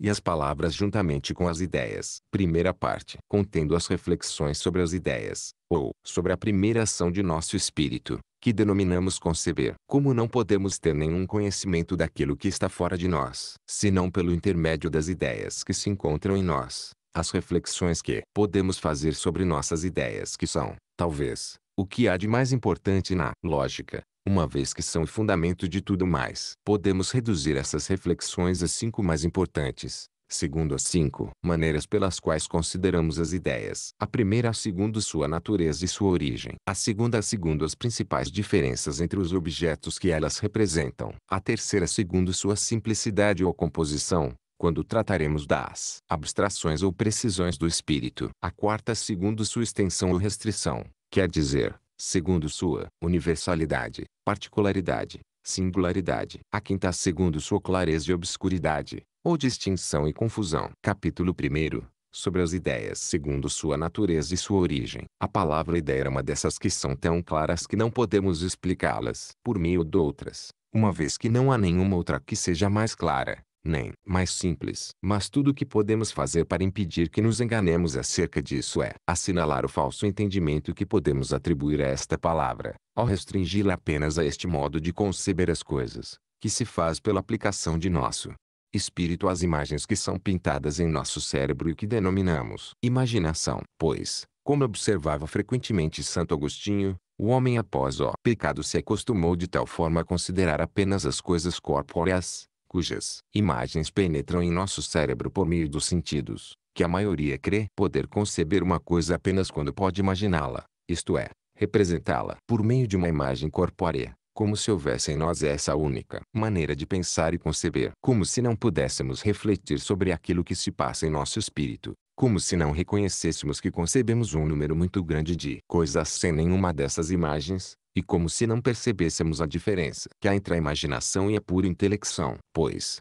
por exemplo, uma vez que imagino um triângulo, não o concebo apenas como uma figura delimitada por três linhas retas. Além disso, considero essas três linhas como presentes pela força e aplicação interior de meu espírito. E é isto propriamente que denominamos imaginar. Pois se desejo pensar em uma figura de mil ângulos, concebo bem na verdade que se trata de uma figura composta de mil lados, tão facilmente quanto concebo que um triângulo é uma figura composta de três lados apenas. Mas não posso imaginar os mil lados dessa figura, nem por assim dizer, vê-los com os olhos de meu espírito. É verdade, contudo, que o costume que temos de nos servir de nossa imaginação assim que pensamos nas coisas corpóreas faz frequentemente com que, ao conceber uma figura de mil lados, nós nos representemos confusamente. Uma figura qualquer, mas é evidente que essa figura que nos representamos agora pela imaginação não é uma figura de mil ângulos, uma vez que em nada difere daquilo que me representaria se pensasse em uma figura de 10 mil ângulos,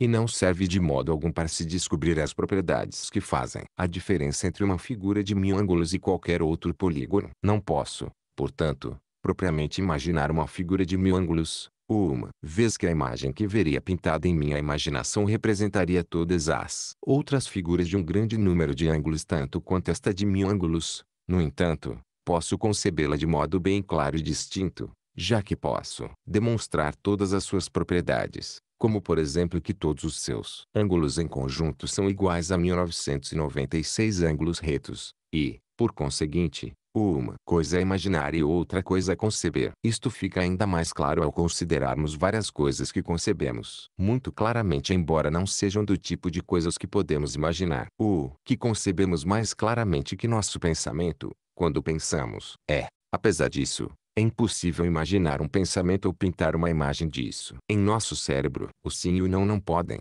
assim, corresponder a nenhuma imagem. Aquele que julga que a Terra é redonda e aquele que julga que ela não é redonda têm ambos as mesmas coisas pintadas em seu cérebro, a saber a Terra é o fato de que é redonda, mas um acrescenta a isso a afirmação que é uma ação de seu espírito, a qual ele concebe sem nenhuma imagem corpórea e o outro uma ação contrária que é a negação, a qual uma imagem pode corresponder menos. Ainda, portanto, quando falamos das ideias, não denominamos por meio desta palavra as imagens que são pintadas pela fantasia, mas sim tudo aquilo que se encontra em nosso espírito, quando podemos dizer verdadeiramente que concebemos algo, qualquer que seja o modo pelo qual a concebemos. Donde se segue que só podemos exprimir algo por meio de nossas palavras. Quando ouvimos o que dizemos, se tivermos com certeza em nós a ideia daquilo que significamos pelas palavras, seja essa ideia clara e distinta ou confusa é obscura, como explicaremos adiante? Pois haveria uma contradição se eu dissesse que sei o que digo quando profiro uma palavra e,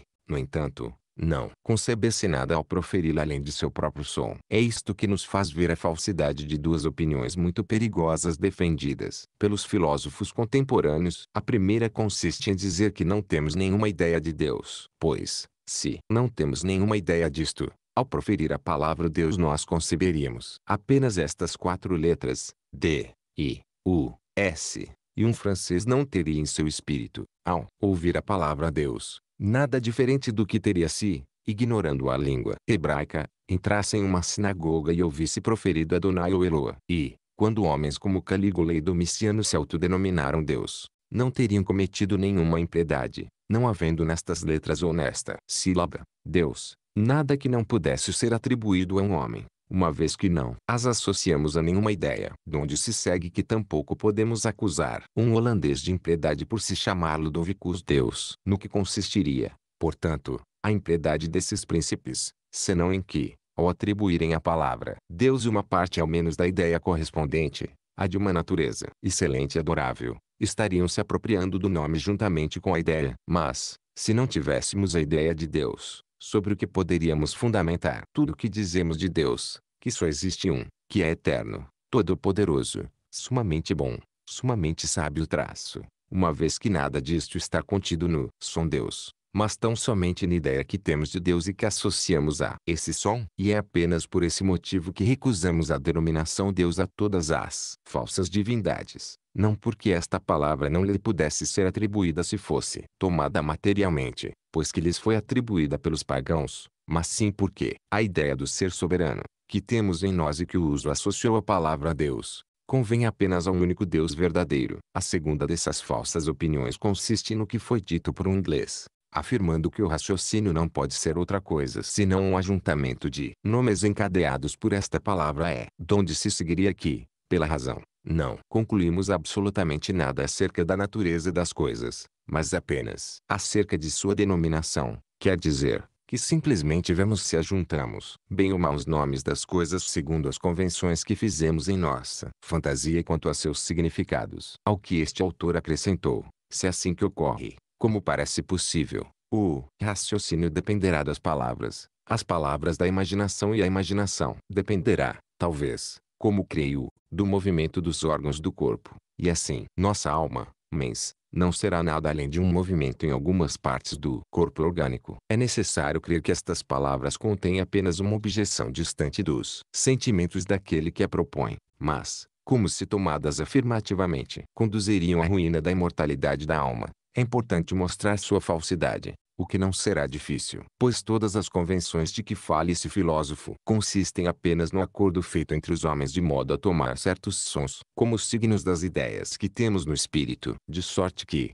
se além dos nomes, não tivéssemos em nós mesmos as ideias das coisas, essa convenção teria sido impossível. Como é impossível por meio de uma convenção fazer um cego entender o que querem dizer as palavras vermelho, verde, azul, já que, não tendo as ideias, não pode juntá-las a nenhum som. Além disso, as diversas nações terem atribuído diferentes nomes às coisas, mesmo as mais claras e mais simples, como aquelas que são objetos da geometria. Isto indica que não teriam os mesmos raciocínios acerca das mesmas verdades se o raciocínio fosse apenas um ajuntamento de nomes por meio da palavra é. E, como parece, considerando-se essas diferentes palavras, que os árabes, por exemplo, não concordaram com os franceses em atribuir os mesmos significados. Aos sons não poderiam tampouco concordar em seus juízos e raciocínios, se seus raciocínios dependessem dessa convenção. Enfim, há um grande equívoco nesta palavra, arbitrário,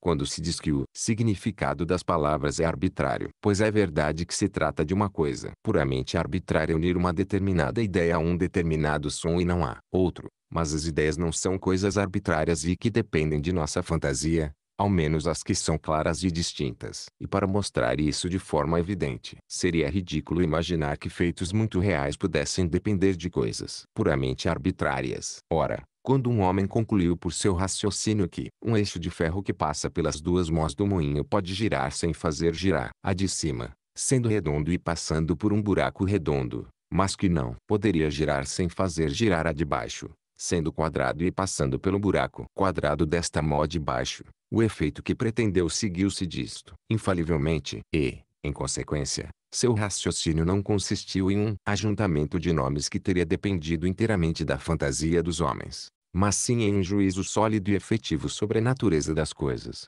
pela consideração das ideias que tinha no espírito, as quais aprove aos homens, marcar por meio de determinados nomes. Vemos bem, assim, o que entendemos pela palavra ideia. Resta apenas dizer uma palavra sobre sua origem, gramática geral e razoada, linguagem e pensamento. A escola de Port Royal produziu também uma gramática de grande importância na época por sua contribuição teórica, a Grammaire Generale et Raisonne, 1660, desta vez uma colaboração entre Antoine Arnaud e Claude Lancelot. Nas passagens que se seguem, vemos que a concepção que será desenvolvida de um ponto de vista da lógica no Tratado de 1662 que acabamos de ler já se encontra presente na gramática. Com efeito, há peso da relação entre a linguagem e o pensamento e da linguagem como representativa da racionalidade humana parece ser diretamente inspirada na parte quinta do discurso do método de Descartes, Ver capítulo sobre Descartes. A gramática é a arte de falar. Falar é explicar seus pensamentos por meio de signos que os homens inventaram. Para isso, considerou-se que os signos mais convenientes eram os sons e as vozes. Como,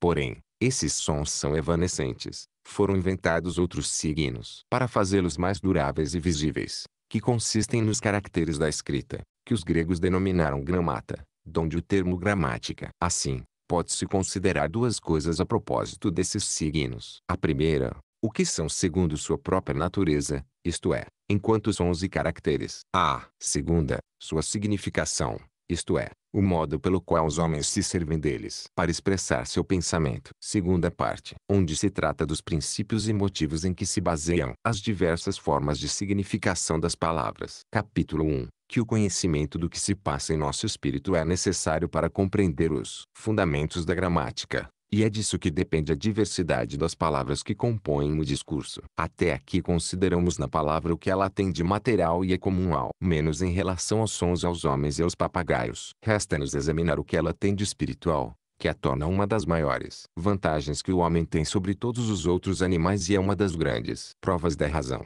O uso que delas fazemos para expressar nossos pensamentos é essa invenção maravilhosa que consiste em compor, com 25 ou 30 sons, essa variedade infinita de palavras que, nada tendo nelas mesmas de semelhante ao que se passa em nosso espírito, não deixam de revelar aos outros todo o seu segredo e de fazer compreender aqueles que nele não podem penetrar tudo o que concebemos e todos os diversos movimentos de nossa alma. Assim se podem definir as palavras, sons distintos e articulados, que os homens transformaram em signos para poder significar seus pensamentos. É por esse motivo que não podemos compreender bem os diversos tipos de significação contidos nas palavras se não tivermos compreendido antes o que se passa em nossos pensamentos pois as palavras foram inventadas exatamente para nos permitir conhecê-los. Questões e temas para discussão. 1. Qual o papel da linguagem, ou seja, das palavras, segundo os textos da lógica e da gramática. 2. Como podemos entender a relação entre ideias e palavras segundo os pensadores de porte royal? 3. Em que sentido, para a lógica de porte royal, o convencionalismo semântico pode ser superado? 4.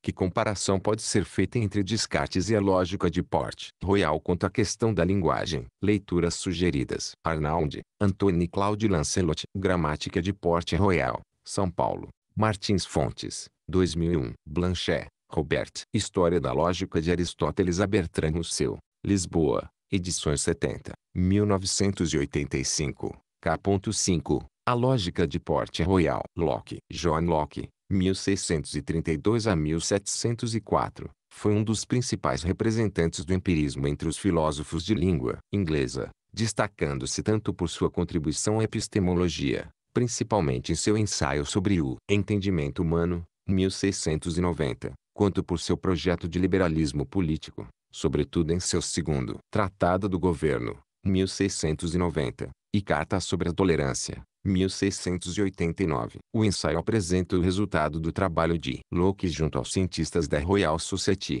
a grande instituição inglesa fundada em 1660 e que reunia pesquisadores e pensadores de várias áreas do conhecimento, dos estudos sobre linguagem à química. Locke foi o primeiro filósofo no período moderno a divergir explicitamente da tendência de considerar a linguagem fundamentalmente como fonte de erros, que encontramos, por exemplo, em Descartes, Ver no capítulo sobre Descartes a passagem dos princípios da filosofia 8, art.74, traço, dando uma importância central ao que ele denominou semiótica, o estudo dos signos e de seu significado. Com isso, inaugurou que podemos considerar uma filosofia da linguagem, ainda que em uma perspectiva mentalista. Esse mentalismo tem sua origem, Em última análise, na solução aristotélica para o convencionalismo, ao relacionar as palavras com as afecções da alma ver capítulos sobre Aristóteles, ainda que Locke concordasse em grande parte com seus contemporâneos quanto ao argumento sobre o abuso das palavras ver abaixo,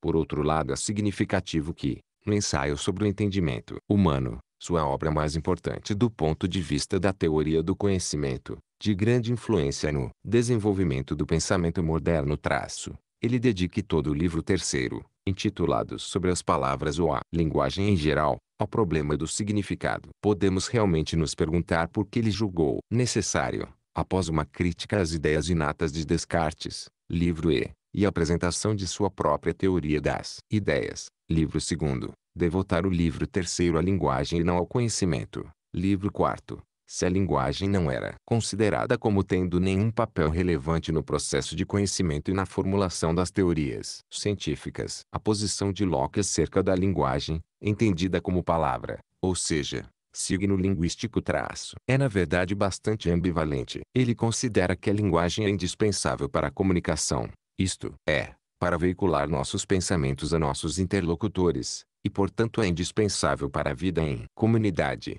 inclusive para a comunidade científica. Ao mesmo tempo, considera a linguagem sujeita ao abuso exatamente no sentido examinado em relação a Descartes, sendo por esse motivo pouco confiável. O argumento da imprecisão e da variação do significado é utilizado explicitamente por Locke, embora os nomes glória e gratidão sejam os mesmos na boca de todos os homens, em todo um país. Contudo a ideia complexa coletiva, que está no pensamento de cada um, o que cada um intenciona por estes nomes, é aparentemente muito diferente em homens usando a mesma língua ensaio. 3. X. 22. É esse argumento que leva à consideração das palavras como sofrendo um abuso. Esse inconveniente do mau uso das palavras os homens sofrem em suas próprias meditações privadas. Porém, muito mais manifestas são as desordens que ocorrem em consequência disso na conversação, no discurso e na argumentação com outros. Pois, a linguagem sendo o veículo por excelência por meio do qual os homens transmitem suas descobertas, raciocínios e conhecimento uns para os outros, aquele que faz mau uso da linguagem, embora não corrompa as fontes de conhecimento, que são as coisas, elas próprias, obstrui ou impede os canais pelos quais esse conhecimento é distribuído para uso público e vantagem da humanidade. Ensaio 3, 11, 15. Essa passagem revela, contudo, a diferença radical entre a posição de Locke e a dos filósofos examinados anteriormente, embora admitindo a imperfeição das palavras e o inconveniente às desordens que isso causa, Locke assinala que a linguagem é o veículo por excelência tigreate conduite da comunicação, sendo de vital importância para a discussão do conhecimento e para sua difusão, o que vem a constituir uma vantagem para a humanidade. Temos, na verdade, o reconhecimento da necessidade da comunicação para a ciência, ou seja, para a discussão entre a comunidade científica e a disseminação de suas teorias e descobertas. Ao mesmo tempo, Locke constata a imperfeição dos canais, PIPs,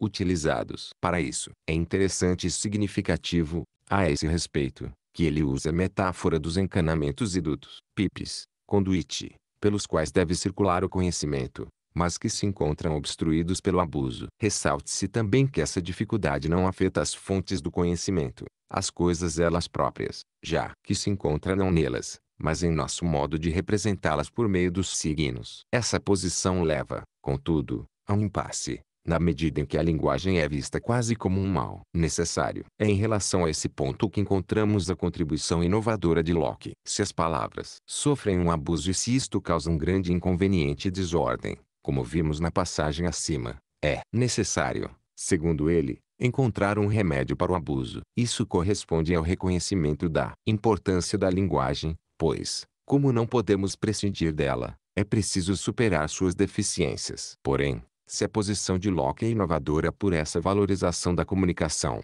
o remédio que ele oferece não difere muito das posições adotadas anteriormente por Descartes e pela escola de Port Royal. Por exemplo, buscar reconstruir o processo pelo qual essa representação se constitui. Locke formula assim um método de análise pelo qual a filosofia, em uma perspectiva epistemológica, deve retraçar esse processo, examinando com base na relação entre palavras e ideias, segundo sua tese semântica básica de que as palavras são signos de ideias assim como as ideias são signos das coisas, que estabelece uma relação entre semântica e epistemologia. A superação dos erros e abusos se dá através da reconstrução, por análise, dessa relação. Para que a linguagem seja adequada ao conhecimento que deve comunicar e difundir, seu vínculo com este conhecimento deve ser explicitado, revelando-se a relação entre as palavras e as ideias. São as ideias que dão conteúdo cognitivo às palavras, que são signos convencionais das coisas. As ideias representam as coisas porque se originam,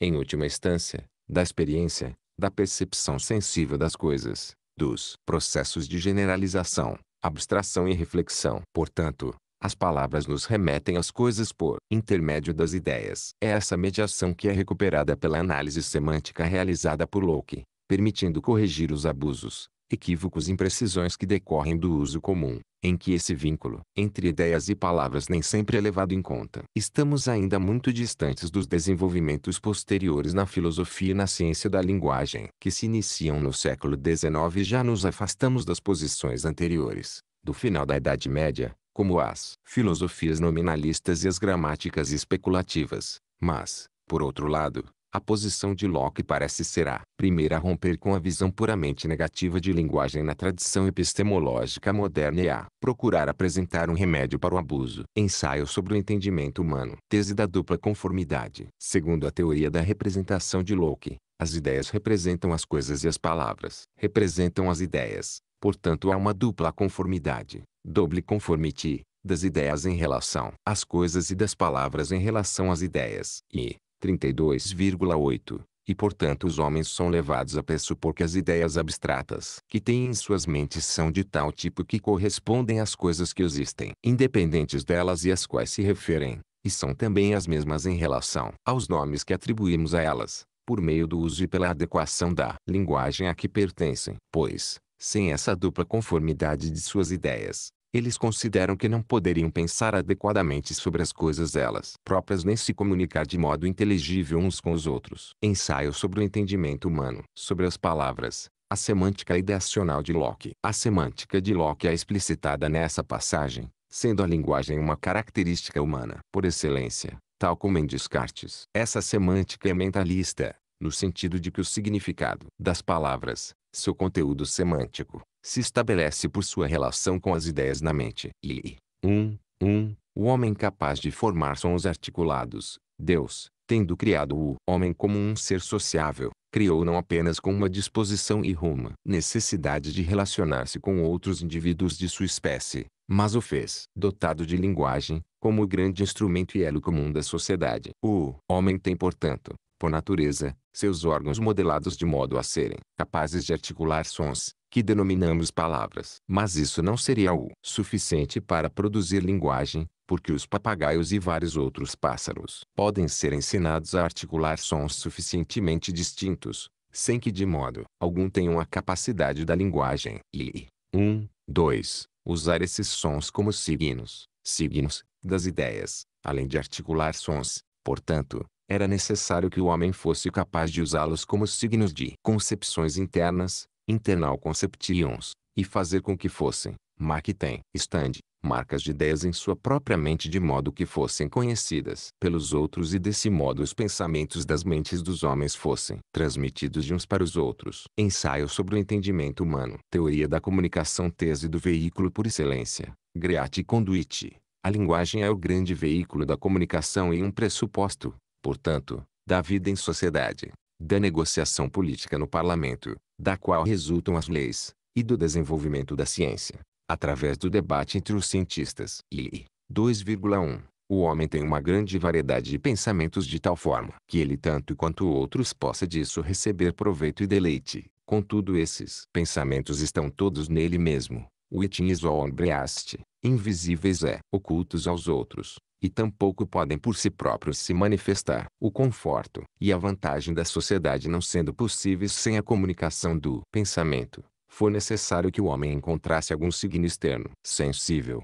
de modo que essas ideias invisíveis, de que seus pensamentos são feitos, se tornassem conhecidas aos outros. Para esses propósitos, Nada era tão adequado, tanto do ponto de vista da abundância quanto da presteza, como esses sons articulados, que com tanta facilidade quanto variedade ele foi capaz de criar. Deste modo, podemos conceber como as palavras, que por natureza eram tão adequadas a estes propósitos, passaram a ser usadas pelos homens como signos de suas ideias. Ensaio sobre o entendimento humano. O fato da comunicação é o fato de que a comunicação efetivamente ocorre, ainda que possa ter falhas e apesar dos abusos é dos mal-entendidos, que permite que o uso da linguagem seja, mesmo assim, bem-sucedido e que as pessoas se entendam, ainda que de modo imperfeito. O entendimento se torna melhor na medida em que podemos passar das palavras as ideias correspondentes a elas. E 11, 25, com efeito, a necessidade da comunicação pela linguagem leva os homens a um acordo quanto ao significado das palavras comuns, dentro de certos limites toleráveis,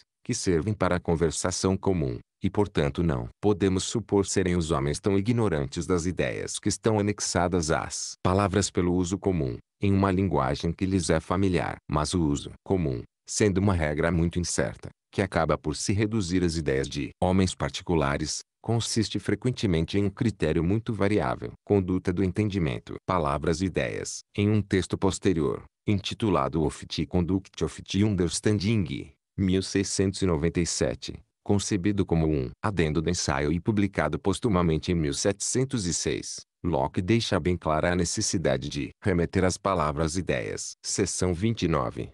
Palavras. Aqueles que pretenderem conduzir o seu entendimento corretamente não devem tomar nenhum termo como correspondendo, standing for, a nada até que tenham uma ideia disso. Uma palavra pode ser usada como se correspondesse a uma coisa real, a real being, Entretanto, se aquele que lê não for capaz de formular nenhuma ideia clara desta coisa, neste caso a palavra será certamente para ele um mero som vazio sem significado. Questões e temas para discussão. 1. Em que sentido Locke pode ser considerado um mentalista em teoria do significado? 2. Qual a solução que Locke apresenta para o abuso das palavras? 3. Por que a linguagem é importante para o conhecimento segundo Locke? 4.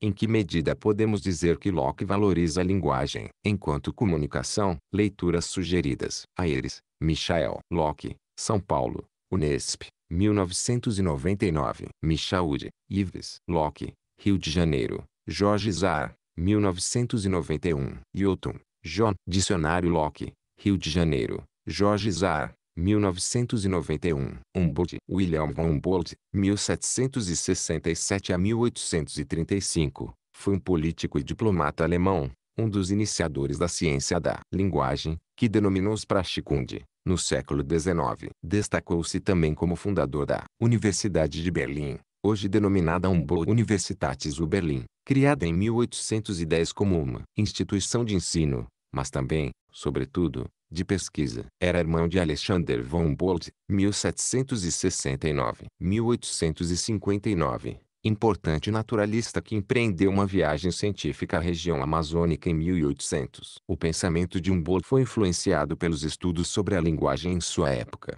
mas, também, de um ponto de vista filosófico, pela obra de Kant, segundo o próprio Humboldt admite em sua correspondência, Aspecto este analisado sobretudo pelo filósofo neocantiano alemão Ernst Cassirer em sua obra Filosofia das Formas Simbólicas, Vol. 1, Linguagem, 1923. É de Kant que Humboldt parece derivar sua concepção de forma linguística interna Inner Sprachform, que pode ser considerado o equivalente, de um ponto de vista linguístico, da estrutura conceitual do pensamento subjetivo. Seu trabalho pioneiro em linguística teve uma influência imensa sobre autores como Franz Boas e Edward Sapir. Ver capítulo sobre Sapir e Orff, que defendem uma interpretação cultural das línguas. É, contemporaneamente, Noam Chomsky. Ver capítulo correspondente, como ele próprio admite, embora na perspectiva de uma gramática universal e da relação entre linguagem e mente. Isso porque os interesses de Humboldt foram bastante amplos, cobrindo todos esses aspectos. Seu pensamento procura exatamente conciliar a diversidade cultural que as diferentes línguas expressam com uma unidade da natureza humana, e corresponderia à estrutura geral dessas línguas e que seria de natureza mental. Humboldt fez um estudo comparativo de enorme erudição entre línguas do Oriente, como o sânscrito e o chinês, e línguas europeias. Em uma carta a Schiller de outubro de 1800, Humboldt escreve que a linguagem é o meio, se não absoluto, ao menos sensível, pelo qual o homem dá forma, Beldete, ao mesmo tempo a si mesmo e ao mundo, ou melhor, torna-se consciente de si mesmo projetando um mundo que lhe é externo. Sobre a diferença de estrutura das línguas humanas. O sistema fônico das línguas distribuição dos sons entre os conceitos. Nessa obra, cujo título integral é o Berdier Verschieden et des Menschlichen Sprachbauesundiren e Influss auf die gestische Entwicklung des Menschengeschlechts, literalmente sobre a diferença das línguas humanas e sua influência no desenvolvimento mental da humanidade publicada postumamente entre 1836 a 1839 por seu irmão Alexander. Humboldt analisou o desenvolvimento interno das línguas levando em conta a influência de fatores externos, dando início ao que se pode considerar o estudo da filologia comparada. Seu ponto de partida foi o estudo da língua Kawi, de Java, que, conforme Humboldt mostrou, pertence a um grupo de línguas de grande parte da Oceania. Esse texto de caráter mais teórico, cuja primeira versão é de 1827 a 29 e a segunda, com título semelhante, de 1830 a 35, é na verdade a introdução ao seu monumental estudo do Cauí. 17. Denominamos palavra o signo correspondente a um conceito. A sílaba forma uma unidade sonora. Só se transforma em palavra quando obtém uma significatividade própria, o que frequentemente requer a união de várias sílabas. Por isso, a palavra apresenta uma unidade dupla a do som e a do conceito. É assim que as palavras se transformam nos verdadeiros elementos da fala, já que as sílabas carentes de significação própria não podem ser realmente consideradas como tais. Se imaginarmos a língua como um segundo mundo, objetivado pelo indivíduo, desde si mesmo a partir das impressões que ele recebe do mundo verdadeiro, as palavras serão os objetos individuais desse mundo e, por isso, podem ser consideradas indivíduos, já que sua forma também deve ser preservada. É verdade que a fala discorre numa continuidade sem cesuras e, sem a intervenção de uma reflexão voltada expressamente para a linguagem, o falante só se concentra no conjunto da ideia que procura expressar. Não é possível imaginar a origem da linguagem começando pela designação de objetos através de palavras e passando disso à integração da expressão. Na realidade, não é a fala que é composta por palavras que a precedem. Ao contrário, são as palavras que nascem do conjunto do discurso. Entretanto, elas são percebidas mesmo sem o intermédio de uma verdadeira reflexão. Isso ocorre inclusive nas línguas mais rudes e incultas, pois a formação de palavras é uma necessidade essencial da comunicação. A palavra é o limite até o qual a língua exerce espontaneamente seu trabalho criador. A palavra simples é a flor perfeita que dela brota. Na palavra, o produto concluído pertence à própria língua. Por outro lado, em relação à frase ao discurso, a língua se limita a prescrever uma forma reguladora. A configuração individual fica ao arbítrio do falante. É certo que, frequentemente, as palavras também aparecem isoladas dentro do discurso, mas sua real elucidação a partir do continuum é obra da argúcia de um senso linguístico consideravelmente desenvolvido. E este é justamente um desses pontos nos quais as vantagens e os inconvenientes das diversas línguas se manifestam com particular clareza. Visto que as palavras correspondem a conceitos,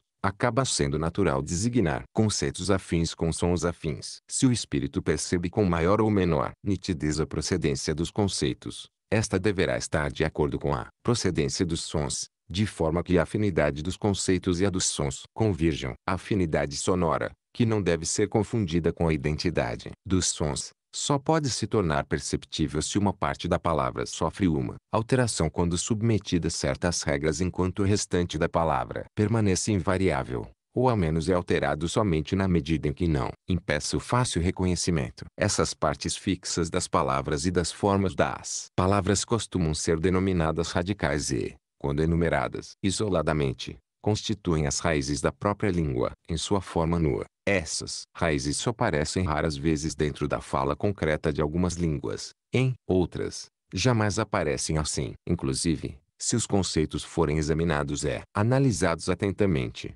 a última situação será a regra, pois, em consonância com sua maneira de aparecer no discurso, também na ideia elas adotam uma categoria que corresponde às conexões nas quais aparecem, de modo que já não contém o conceito radical nu e sem forma. Contudo, Também não é conveniente considerar a raiz em todas as línguas como mero fruto de reflexão e como resultado último da análise das palavras. Em suma, como tarefa do gramático, nas línguas que possuem determinadas leis de derivação associadas a uma grande profusão de sons e expressões, na fantasia do falante os sons radicais devem ser facilmente destacados como os responsáveis originais e autênticos da designação e, devido à sua recorrência constante em tantas gradações e matizes dos conceitos, como os responsáveis pela designação geral. Se, nesta condição, chegam a ser profundamente impressos no espírito, o discurso trabalhado também os introduzirá com facilidade sem muitas alterações, e assim pertenceram à língua verdadeiramente. Também na forma de palavras. Mas é igualmente possível que,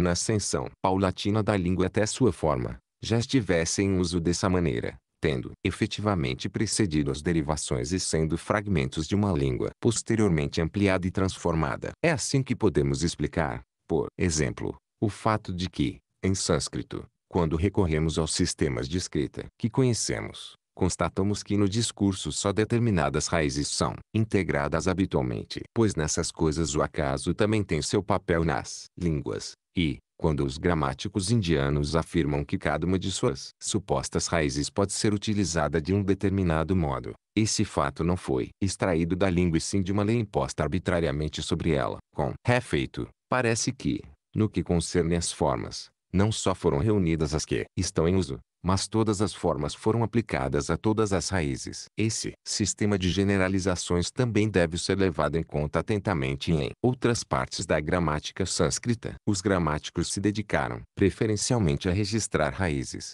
e a coleção completa das mesmas é seu mérito indiscutível. 1 Porém, também existem línguas que realmente carecem de raízes no sentido entendido aqui pois não tem leis de derivação e de transformação dos sons a partir de conjuntos sonoros mais simples. Em casos como esses, raízes e palavras vêm a ser o mesmo, como no chinês, visto que as palavras não se deixam analisar em formas nem serem por elas expandidas. A língua só possui raízes. Poder-se-ia pensar que a partir de tais línguas tenham nascido outras novas, adicionando-se às palavras essas transformações fonéticas, de modo que as raízes expostas encontradas nestas últimas constituiriam o vocabulário de uma língua anterior, total ou parcialmente desaparecida no discurso. Contudo, apresento este quadro apenas como uma possibilidade. Se realmente ocorreu ou não em alguma língua é algo que deverá ser demonstrado historicamente. Atendo-nos ao mais simples, distinguimos aqui as palavras das raízes. Porém, descendo novamente rumo ao mais complexo,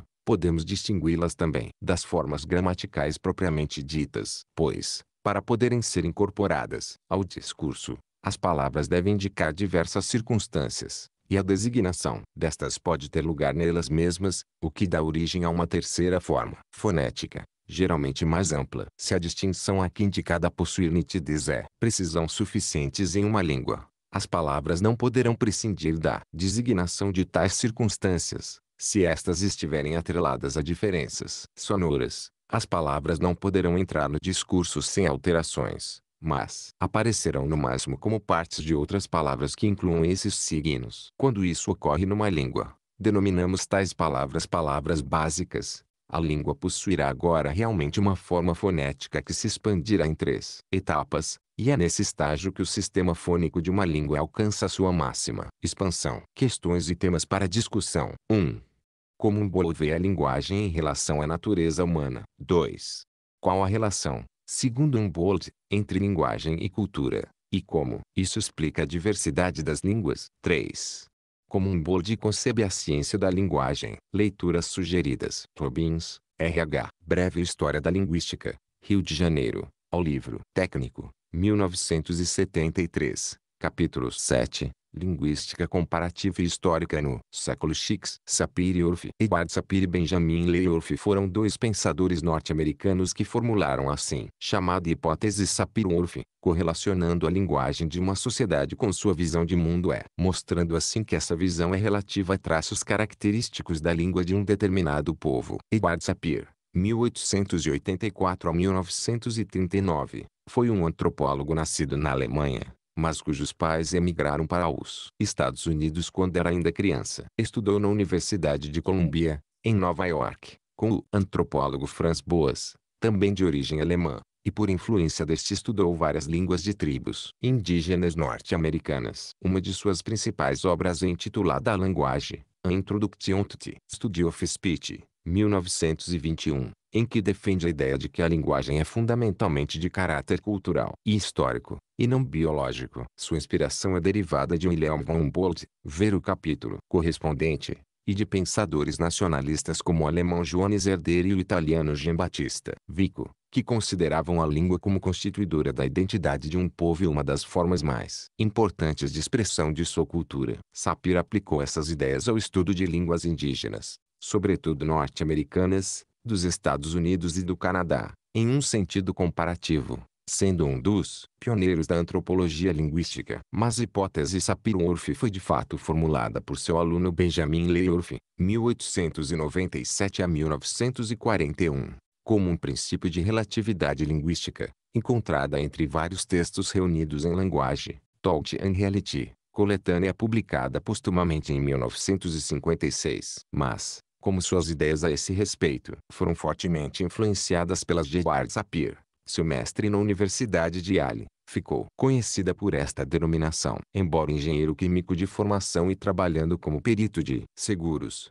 Worf estudou e trabalhou com Sapir na Universidade de Yale. Tinha interesse por línguas indígenas das Américas do Norte e Central, e desenvolveu um estudo pioneiro e de grande influência sobre a língua dos Hopi, tribo do sudoeste dos Estados Unidos hoje localizada principalmente em reservas no estado de Arizona. Worf concluiu pelo estudo da língua dos Hopi que sua concepção de tempo era inteiramente distinta da encontrada nas línguas originárias da Europa Ocidental. Worf estudou também a escrita hieroglífica dos maias da América Central. A hipótese Sapir-Whorf, linguagem e cultura. Segundo a hipótese Sapir-Whorf, a língua de uma determinada comunidade organiza sua cultura, sua visão de mundo, pois uma comunidade vê e compreende a realidade que a cerca através das categorias gramaticais e semânticas de sua língua. Há portanto uma interdependência entre linguagem e cultura. Um povo vê a realidade através das categorias de sua língua, mas sua língua se constitui com base em sua forma de vida. Não há propriamente um único texto que resuma e sintetize essas ideias, ou que seja a formulação canônica da hipótese.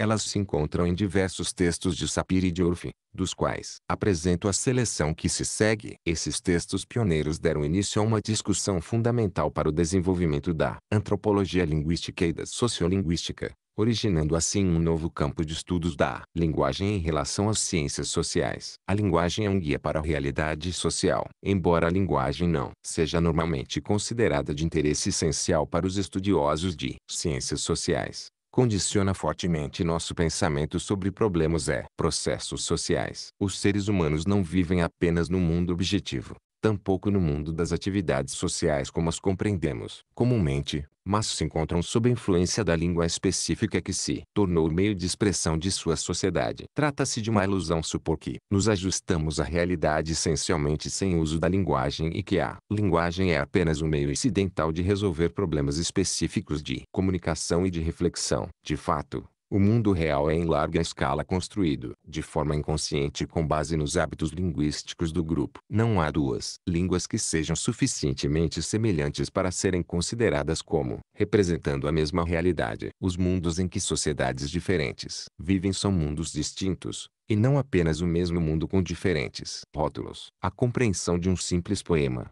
por exemplo, envolve não apenas a compreensão de cada palavra tomada individualmente em seu significado comum, mas uma compreensão mais completa da vida da comunidade tal como se reflete nas palavras, ou tal como é sugerida pelas suas tonalidades. Mesmo comparativamente simples experiências de percepção estão muito mais sob a influência dos padrões sociais que chamamos de palavras do que parece. Se desenhamos, por exemplo, uma dúzia de linhas de diferentes formatos, nós as percebemos como divisíveis em categorias tais como reta, curva, sinuosa, devido ao caráter sugestivo da categorização feita pelos próprios termos linguísticos. Vemos, ouvimos e temos vários tipos de experiência em grande parte devido ao modo como os hábitos linguísticos de nossa comunidade nos predispõem a certos tipos de interpretação. Sapir, The Status of Linguistics as a Science, 1929. A linguagem é uma grande força de socialização, provavelmente a maior que existe. Com isso não queremos dizer apenas o fato mais ou menos óbvio de que a interação social dotada de significado é praticamente impossível sem a linguagem,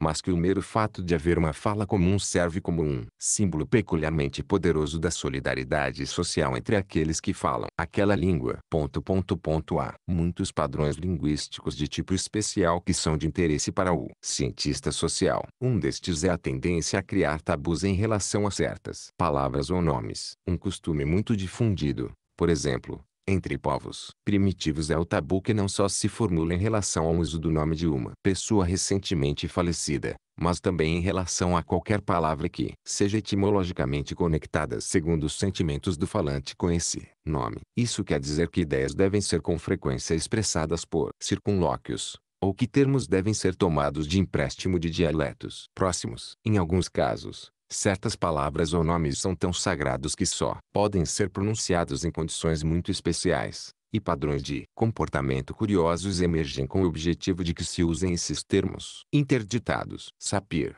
Linguagem, 1921. Como surgiu historicamente essa rede de linguagem, cultura e comportamento? O que veio em primeiro lugar? Os padrões linguísticos ou as normas culturais, de modo geral, devem ter se desenvolvido juntos, constantemente influenciando um ao outro. Mas, nessa relação, a natureza da linguagem é o fator que limita a plasticidade e torna mais rígidos os canais de desenvolvimento de um modo mais autocrático. Isso ocorre porque a linguagem é um sistema, e não apenas um conjunto de normas. Grandes formações sistemáticas só mudam dando origem a algo realmente novo de forma muito lenta, enquanto outras inovações culturais são comparativamente muito mais rápidas. A linguagem, portanto, representa o pensamento da massa, é afetada por invenções e inovações, mas de modo lento é aos poucos. Ponto, ponto, ponto, sintetizando, nossa questão inicial pode ser respondida da seguinte maneira. Conceitos como tempo e matéria não são formulados substancialmente da mesma maneira pela experiência de todos os homens,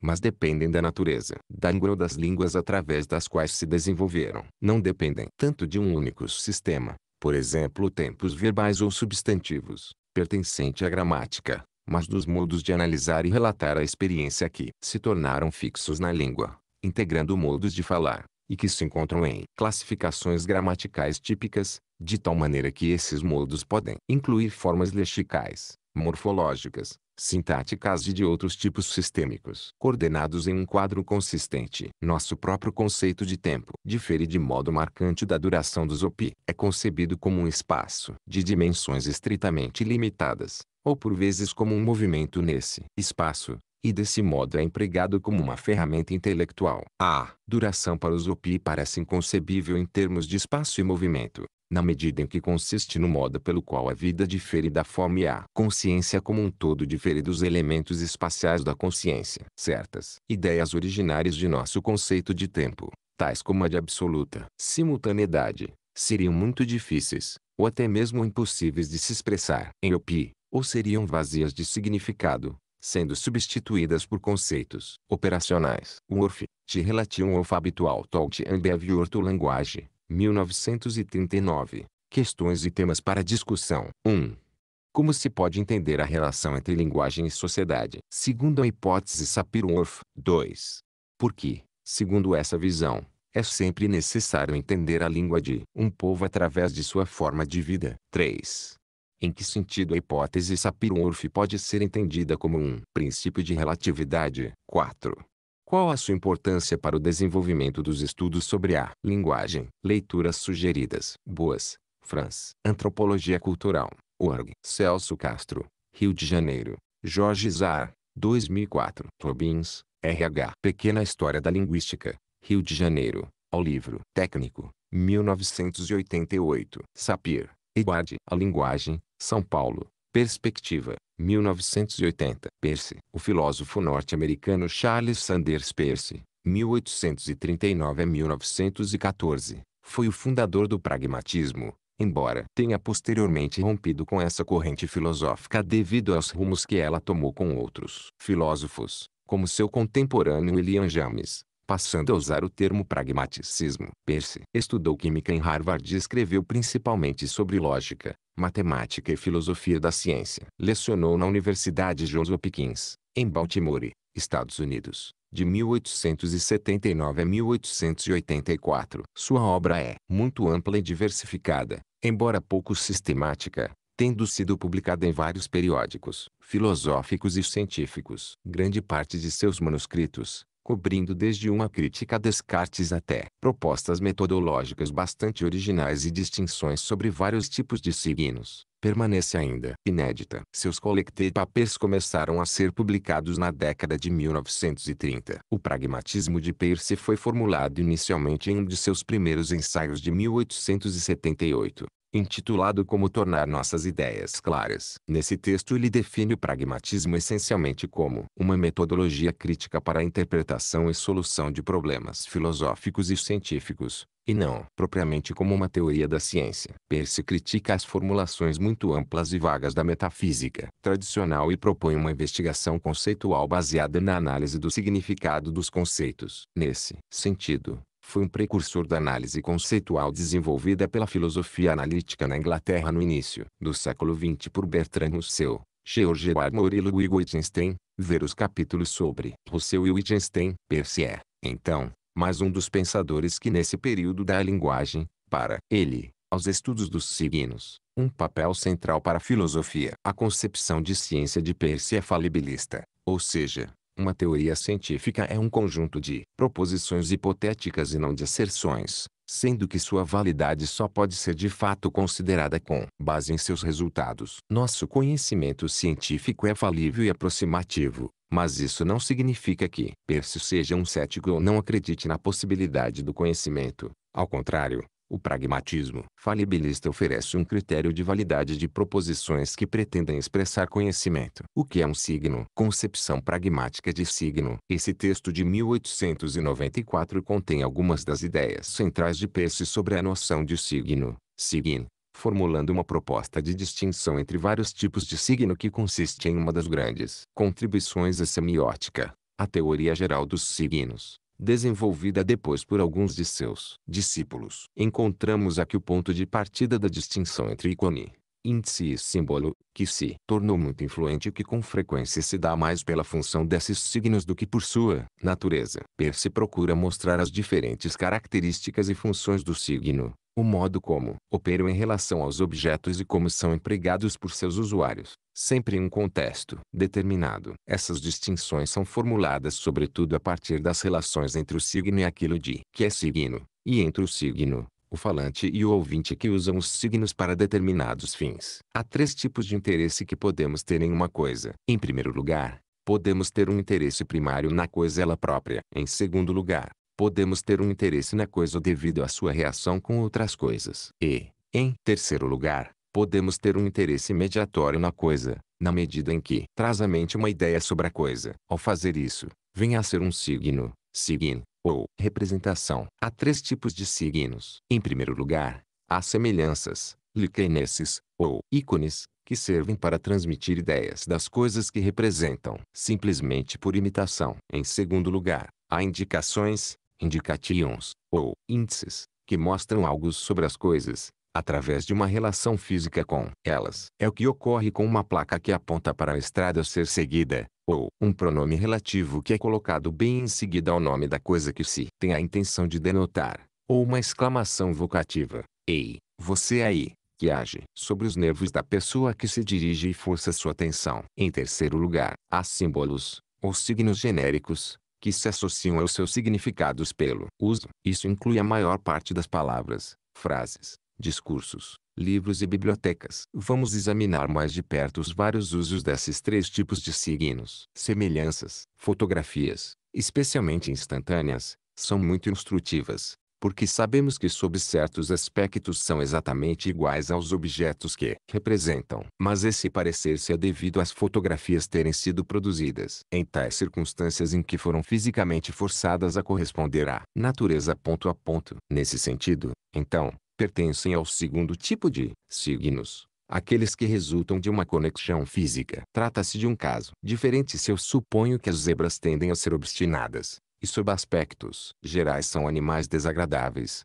porque se parecem em geral com burros é. Burros são teimosos. Aqui burros servem precisamente como uma provável semelhança da zebra. É verdade que supomos que a semelhança tem uma causa física na hereditariedade, mas essa afinidade hereditária é ela própria apenas resultado de uma inferência a partir da semelhança entre os dois animais, e não temos, como no caso da fotografia, nenhum conhecimento independente das circunstâncias da produção das duas espécies. Outro exemplo de semelhança é o desenho que um artista faz de uma estátua, de uma composição pictórica, de uma elevação arquitetônica ou peça de decoração, que ao contemplarmos podemos afirmar se será belo ou satisfatório o que ele propõe. A pergunta formulada é, então respondida quase que com certeza, porque está relacionada como o artista ele próprio será afetado. Ponto.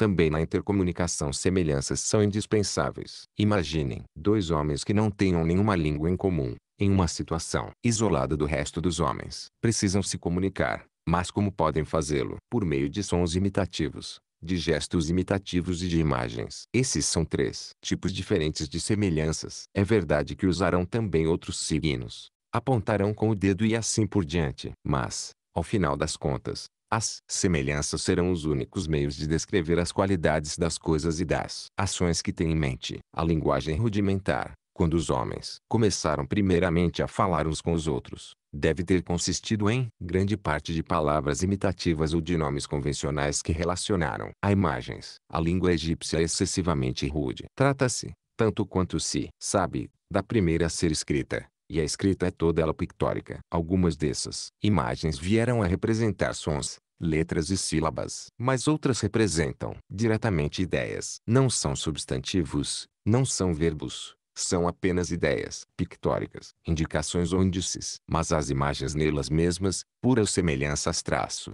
jamais podem fornecer a menor informação. Por exemplo, a figura, ao lado, sugere uma roda, mas deixa o espectador incerto se é uma cópia de algo realmente existente ou uma mera fantasia. O mesmo é verdadeiro em relação à linguagem geral e a todos os símbolos. Nenhuma combinação de palavras, excluindo nomes próprios e na ausência de gestos e os outros indicadores concomitantes da fala, pode jamais fornecer a menor informação. Isso pode parecer paradoxal, mas o breve diálogo imaginário que se segue nos mostrará como é verdadeiro. Dois homens, A e B, se encontram em uma estrada do interior. Quando então se dá a seguinte conversa. B. O dono daquela casa é o homem mais rico da região. A. Que casa? B. Ora, você não está vendo uma casa à sua direita a cerca de 7 quilômetros de distância em uma colina? A. Sim, acho que consigo vê-la. B. Muito bem, é aquela casa. Desse modo, obteve uma informação. Mas se ele caminha até um vilarejo distante e diz o dono daquela casa é o homem mais rico da região, essa observação não vai se referir a nada, a menos que ele explique a seu interlocutor como proceder a partir de onde ele se encontra para chegar até a região e a casa em questão. Sem isso, ele não estará indicando do que está falando. Para identificar um objeto, geralmente declaramos qual seu lugar em um determinado momento, e em todo caso deve se mostrar como uma experiência disso pode ser conectada com a experiência prévia do ouvinte. Portanto, nenhum lugar pode ser descrito, exceto relativamente a algum lugar conhecido, e a unidade de distância usada deve ser definida por referência a uma barra ou outro objeto que as pessoas possam utilizar direta ou indiretamente para medir. É verdade que um mapa é muito útil para designar um lugar, e um mapa é uma espécie de imagem. Mas, a menos que o mapa tenha uma marca de uma localidade conhecida, ou uma escala e os pontos cardeais, servirá tanto para mostrar o lugar quanto o mapa das viagens de Gulliver serve para localizar a terra de Brobdingnag. É verdade que, se uma nova ilha for encontrada, por exemplo, no Oceano Ártico, sua localização pode ser indicada aproximadamente em um mapa que não teria letras, meridianos ou paralelos, pois os contornos familiares da Islândia, Nova Zembla, Groenlândia etc. serviriam para indicar a posição. Nesse caso, devemos recorrer a nosso conhecimento de que não há nenhum outro lugar na face da Terra cujo mapa tenha o mesmo contorno que o da costa do Ártico. Essa experiência do mundo em que vivemos faz com que o mapa seja mais que um mero ícone traço. Confere-lhe as características adicionais de um índice. Assim, é verdade que um mesmo signo pode ser ao mesmo tempo uma semelhança e uma indicação. Contudo, O funcionamento desses tipos de signos é completamente diferente. Pode-se objetar que semelhanças tanto quanto índices se fundamentam na experiência, que portanto uma imagem de vermelho é sem sentido para uma pessoa que não enxerga cores, assim como a da paixão erótico é para uma criança. Mas essas são objeções que realmente ajudam a distinção, pois não se trata da experiência, mas da capacidade de se ter a experiência, que é um requisito da semelhança, e esse requisito não é necessário para a interpretação da semelhança, mas para que esteja presente aos sentidos. Muito diferente disso são os casos de uma pessoa experiente e de outra inexperiente que se encontram com o mesmo indivíduo e notam as mesmas peculiaridades, que para o experiente indicam toda uma história e para o inexperiente não revelam nada. Símbolos. A palavra símbolo tem tantos significados que seria um maltrato à língua acrescentar-lhe um novo. Não creio que o significado que lhe quero atribuir, o de um signo convencional, ou que depende de um hábito, adquirido ou inato, seja um significado novo, mas sim uma volta ao significado original. Etimologicamente, deveria significar uma coisa lançada junto, assim como embolon é uma coisa lançada em outra, um raio, e parabolon uma coisa lançada ao lado, uma segurança colateral, e hipobolon, uma coisa lançada embaixo, um presente pré-nupcial. Geralmente se diz que na palavra símbolo lançar junto deve ser entendido no sentido de uma conjectura, um significado que se busca em vão na literatura. Mas os gregos usavam lançar junto simbalém, muito frequentemente para significar fazer um contrato ou convenção. Aristóteles diz que um substantivo é um símbolo, isto é, um signo convencional. Em grego, uma fogueira de acampamento é um símbolo, isto é, um sinal sobre o qual concordamos. Um estandarte ou flâmula é um símbolo, uma palavra de ordem é um símbolo, uma plaqueta de identificação é um símbolo, um credo religioso é um símbolo porque pode servir como uma identificação ou um lema. Uma entrada de teatro é chamada de símbolo, qualquer ticket ou cheque, dando a alguém o direito de receber algo é um símbolo. Além do mais, Qualquer expressão de sentimento chamava-se um símbolo. Tais eram os principais significados da palavra em sua língua original. O leitor avaliará se isso basta para justificar minha afirmação de que não estou seriamente distorcendo a palavra ao utilizá-la como pretendo. Qualquer palavra comum, como dar, pássaro, casamento, é exemplo de um símbolo e aplicável a qualquer coisa que se possa encontrar que realiza a ideia conectada à palavra. Em si mesma não identifica essas coisas, não nos mostra um pássaro nem concretiza diante de nossos olhos um ato de dar nenhum casamento. Mas supõe que somos capazes de imaginar essas coisas e que associamos a palavra a elas. Uma progressão regular de 1, 2, 3 pode ser observada nas três ordens de signos, semelhança, índice, símbolo. A semelhança não tem nenhuma conexão dinâmica com o objeto que representa. Simplesmente ocorre que suas qualidades assemelham-se do objeto e despertam sensações análogas na mente daqueles para quem são semelhanças. Mas, na verdade, não tem conexão com elas. O índice tem uma relação física com seu objeto, forma um par orgânico. Mas a mente que interpreta nada tem a ver com essa relação, exceto quando se dá conta dela. Uma vez estabelecida, o símbolo está conectado a seu objeto em virtude da ideia na mente que usa símbolos, sem a qual tal conexão não existiria. Ponto. Um símbolo, como vimos, não podia indicar nenhuma coisa em particular, mas denota um tipo de coisa. Não apenas isso, mas é ele próprio um tipo e não uma coisa singular. Alguém pode escrever a palavra estrela, mas isso não faz dele o criador da palavra nem tampouco ao apagá-lo isso faz de quem apaga seu destruidor. A palavra vive na mente daqueles que a utilizam. Mesmo se estiverem todos dormindo, existe em sua memória. Portanto, podemos admitir, se houver razão para isso, que termos gerais são apenas palavras, sem com isso dizer, como Ockham supôs, que seriam realmente indivíduos. Símbolos crescem, ganham sua existência desenvolvendo-se a partir de outros signos particularmente de semelhanças ou de signos mistos combinando a natureza das semelhanças e dos símbolos. Pensamos apenas por meio de signos. Esses signos mentais são sempre de natureza mista, e sua parte que consiste em símbolos é chamada de conceitos. Se alguém produz um símbolo novo, isso se dá através de pensamentos que envolvem conceitos. Portanto, é apenas a partir de símbolos que um novo símbolo pode surgir. Omnissímbolo um símbolo. Ponto 1. Um símbolo, uma vez existindo, difunde-se pelos povos. Através do uso e da experiência, seu significado cresce. Palavras como força, lei, riqueza, casamento tem para nós significados muito distintos do que tinham para nossos bárbaros ancestrais. Ponto. Em todo raciocínio, temos que empregar uma mistura de semelhanças, indicações e símbolos. Não podemos dispensar nenhum deles. O todo complexo pode denominar-se símbolo, pois seu caráter simbólico e vivo é o que prevalece. Uma metáfora não deve ser desprezada, embora um homem possa ser considerado como composto de tecidos vivos, partes de suas unhas, dentes, cabelo e ossos, que são tão necessárias para ele, cessaram de passar pelo processo metabólico que constitui a vida, e há líquidos em seu corpo que não estão vivos. Ora, podemos relacionar os índices que usamos em nosso raciocínio às partes mais sólidas do corpo, e as semelhanças ao sangue, um nos firma em relação à realidade, o outro, com suas mudanças rápidas, traz nutrientes para o corpo de pensamentos. Questões e temas para discussão. 1. Qual a importância dos signos para Peirce? 2. Como se relacionam semelhanças e índices? 3. Qual a característica central dos símbolos? 4. Relacione a noção de signo convencional em Peirce com as de Platão e de Aristóteles. Ver capítulos correspondentes. 5.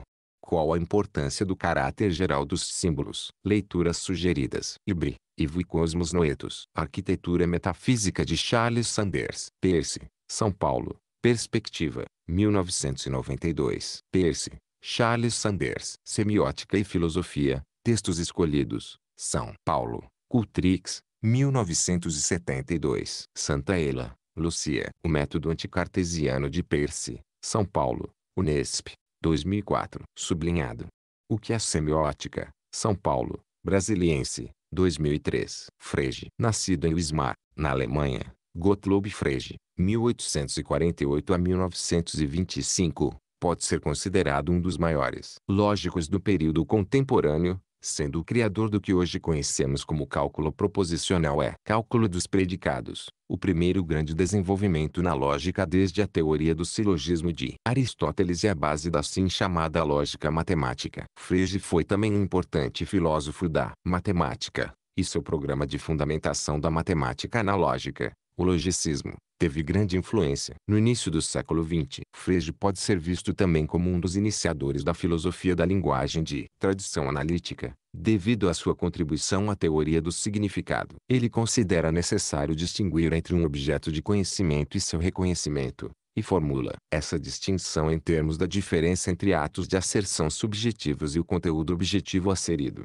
Este, sim, objeto de investigação do lógico, e que corresponderia à distinção tradicional entre a ideia ou representação, Vorstellung, que tem uma natureza mental, e seu conteúdo, Inhout, devendo se distinguir entre 1. Um, estados mentais subjetivos, 2. A realidade atual, e 3. Ideias objetivamente válidas, Richter. Inhout, o domínio dos conteúdos, como conceitos, que pertenceriam ao domínio da lógica. A tarefa filosófica seria caracterizada então pela investigação do pensamento, Gedanke, no sentido próprio de Frege, como algo de objetivo e atemporal, e não como algo de psicológico e subjetivo. O pensamento seria algo de impessoal, isto é, para entender a sentença matemática 2 mais 3 igual 5 basta reconhecer o pensamento que ela expressa, não é necessário saber quem a seriu e em que circunstâncias. Temos agora como princípio da investigação filosófica a análise conceitual de definições,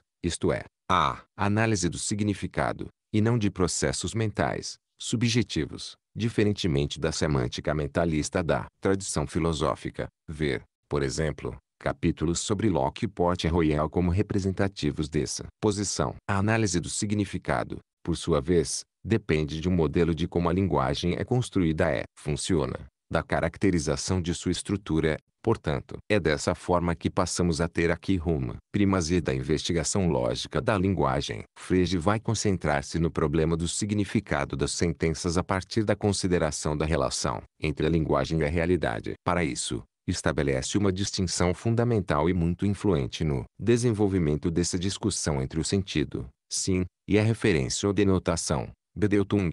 De acordo com essa distinção, temos que a referência é o objeto designado ele próprio, enquanto o sentido é um modo de designar o objeto, ou seja, de determinar a referência, portanto o modo pelo qual o objeto se apresenta. Assim, Vênus, a estrela da manhã e a estrela da tarde têm o mesmo referente, porém diferentes sentidos. O sentido de uma expressão é a maneira pela qual sua referência é determinada. É o que sabemos quando entendemos uma expressão. Uma expressão pode ter sentido e não ter referência. Por exemplo o corpo celeste mais distante da Terra, o maior número primo. Para Frege, o sentido não é uma ideia subjetiva, mas tem valor objetivo. Podemos fazer, seguindo Frege, uma comparação com o telescópio, no qual teríamos um, o objeto, por exemplo a Lua, referência. 2. A percepção subjetiva do objeto por nosso órgão visual, a ideia ou representação.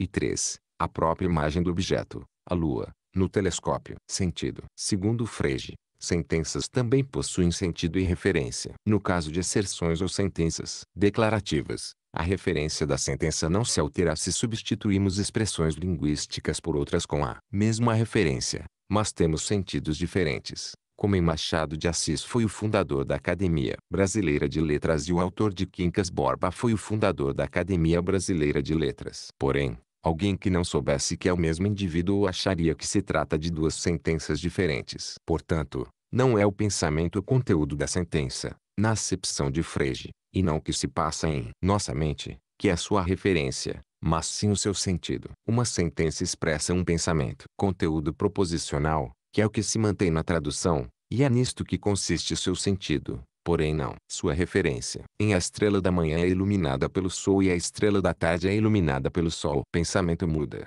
mas a referência é a mesma. Trata-se do mesmo astro no céu. Para Frege, a referência das sentenças consiste no verdadeiro e no falso, isto é, em sua conexão com a realidade, as circunstâncias em que são verdadeiras ou falsas. Essa é uma das teses de Frege mais discutidas por seus críticos, que dirão que, se a referência de uma sentença é o verdadeiro ou o falso, todas as sentenças verdadeiras teriam a mesma referência, o que de certa forma se dá, já que se referem à realidade. Frege enfatiza ainda a necessidade de fazermos algumas distinções entre conceito e objeto relevantes para a consideração do significado de sentenças. Por exemplo, a sentença A estrela da manhã é Vênus não é realmente predicativa, diferentemente de A estrela da manhã é um planeta, mas deve ser parafraseada da seguinte maneira. As expressões a estrela da manhã e Vênus referem-se ao mesmo objeto. O mesmo ocorre com todos os mamíferos têm sangue quente, em que mamíferos é um predicado tanto quanto sangue quente. A paráfrase dessa sentença nos daria o seguinte resultado.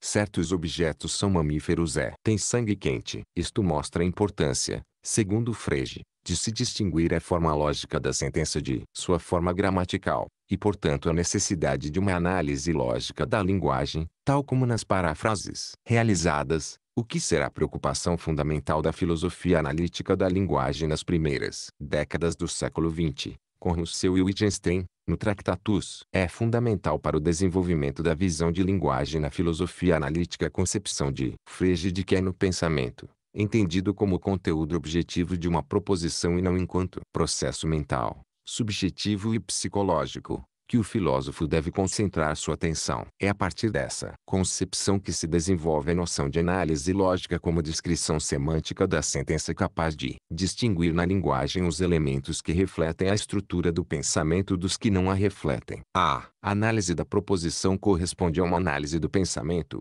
a uma decomposição da proposição em uma parte que corresponde ao nome próprio, cuja função é referir os objetos, e em outra que caracteriza o predicado ou conceito. Não temos, contudo, segundo Frege, um conhecimento direto de um objeto. Quando sabemos algo sobre um objeto, o que sabemos é uma proposição sobre ele. É por isso que, nessa concepção, o juízo, que se expressa proposicionalmente, tem precedência sobre o conceito. Frege rompe assim com a lógica tradicional que via a proposição ou juízo como resultado da cópula, união, entre conceitos com sentidos previamente determinados, que constituíam o sujeito e o predicado. Encontramos também nos seus escritos póstumos, publicados na Alemanha em 1969, não parto dos conceitos, unindo-os então para formar um pensamento ou juízo. Chego às partes de um pensamento. Analisando esse pensamento, a análise é vista então como um recurso lógico que decompõe a unidade originária do juízo, para examinar a contribuição das partes que o compõem à determinação de seu significado. Mas,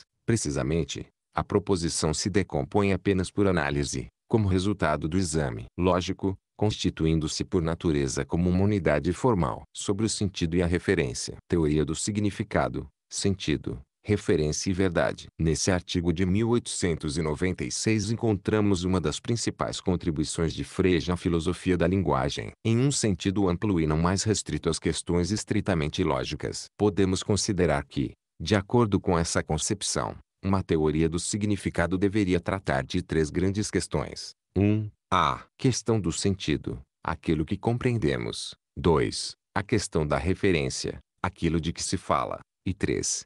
A questão da verdade, se aquilo que se fala é verdadeiro ou falso, em relação ao real. Podemos estabelecer inicialmente as seguintes distinções. A referência, Bedeutung, de um signo é o seu referente, aquilo a que se refere. O sentido, sim, de um signo é o seu modo de apresentação. Por exemplo, o vencedor de Iena é. O vencido de Waterloo tem diferentes sentidos, mas o mesmo referente, Napoleão Bonaparte. Diferentes tipos de signo envolvem diferentes tipos de referência. A referência de um nome próprio é o objeto designado. A referência de uma expressão predicativa é o conceito. A referência de uma sentença é o valor de verdade. A sentença é um tipo especial de nome próprio, a igualdade um desafio à reflexão dando origem a questões que não são muito fáceis de responder. Ela é uma relação, uma relação entre objetos ou entre nomes ou sinais de objetos. Em minha Begriffsschrift 2 assumi a última alternativa. As razões que parecem apoiar esta concepção são as seguintes.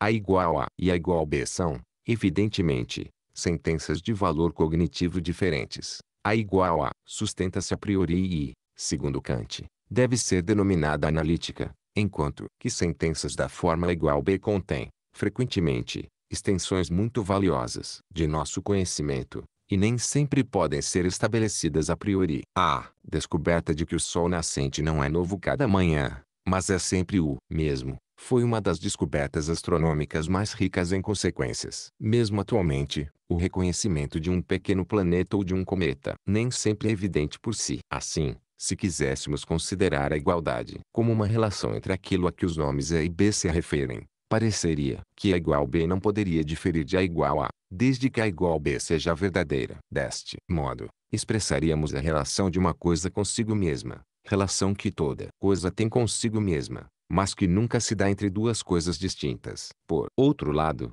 parece que por A igual B quer se dizer que os sinais ou os nomes A e B referem-se à mesma coisa, e neste caso a discussão versaria sobre estes sinais. Uma relação entre eles seria serida. Mas esta relação se manteria entre os nomes ou os sinais apenas na medida em que denominassem ou designassem alguma coisa. Ela seria mediada pela conexão de cada um dos dois sinais com a mesma coisa designada. Esta conexão, porém, é arbitrária. Ninguém pode ser impedido de empregar qualquer evento ou objeto arbitrariamente produzidos como um sinal para qualquer coisa. Com isto, a sentença igual B não mais se referiria a uma coisa, mas apenas a maneira pela qual a designamos. Não expressaríamos por seu intermédio, propriamente, nenhum conhecimento. Mas é justamente isso que queremos em muitos casos. Se admitimos que o sinal A se distingue do sinal B, apenas enquanto objeto, aqui, por sua configuração, não enquanto sinal, isto é, não pela maneira como designa alguma coisa a traço,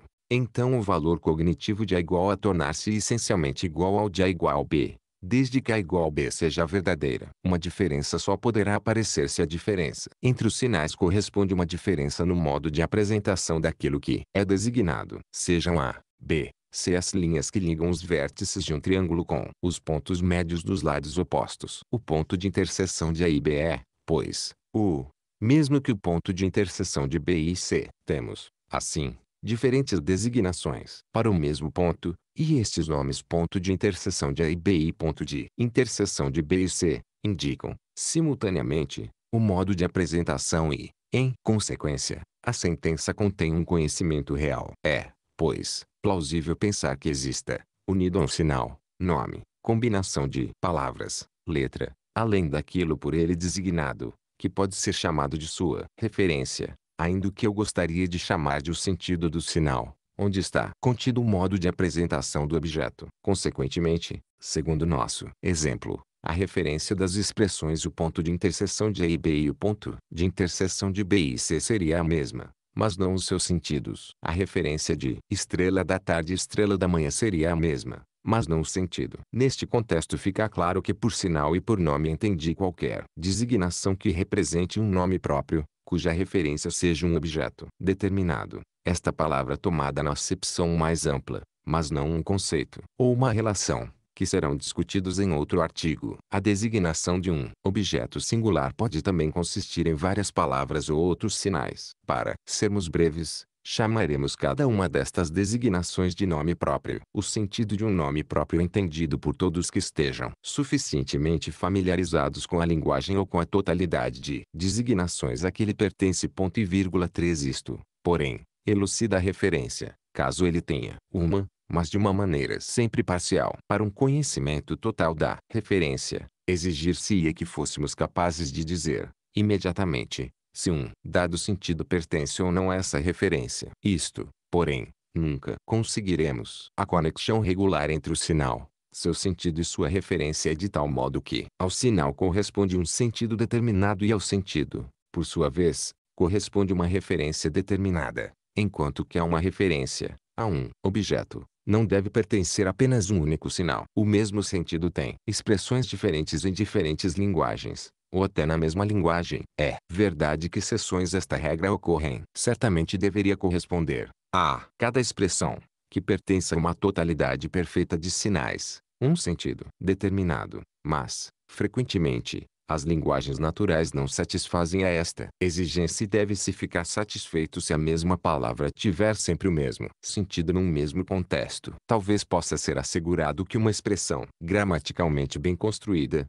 e que desempenhe o papel de um nome próprio, sempre tem um sentido. Mas com isto não se quer dizer que ao sentido corresponda sempre uma referência. As palavras o corpo celeste mais distante da Terra têm um sentido, mas é muito duvidoso que também tenham uma referência. A expressão a série que converge menos rapidamente tem um sentido, mas provadamente não tem referência, já que para cada série convergente dada, uma outra série que converge menos rapidamente pode sempre ser encontrada. Portanto, entender-se um sentido nunca assegura sua referência. Se as palavras são usadas de modo corrente, o que se pretende falar é de sua referência. Também pode acontecer, entretanto, que se deseje falar sobre as próprias palavras ou sobre o seu sentido. O primeiro caso se dá, por exemplo, quando as palavras de outrem são citadas em discurso direto. As palavras de quem cita referem-se, imediatamente, às palavras de quem é citado, e somente estas últimas têm sua referência usual.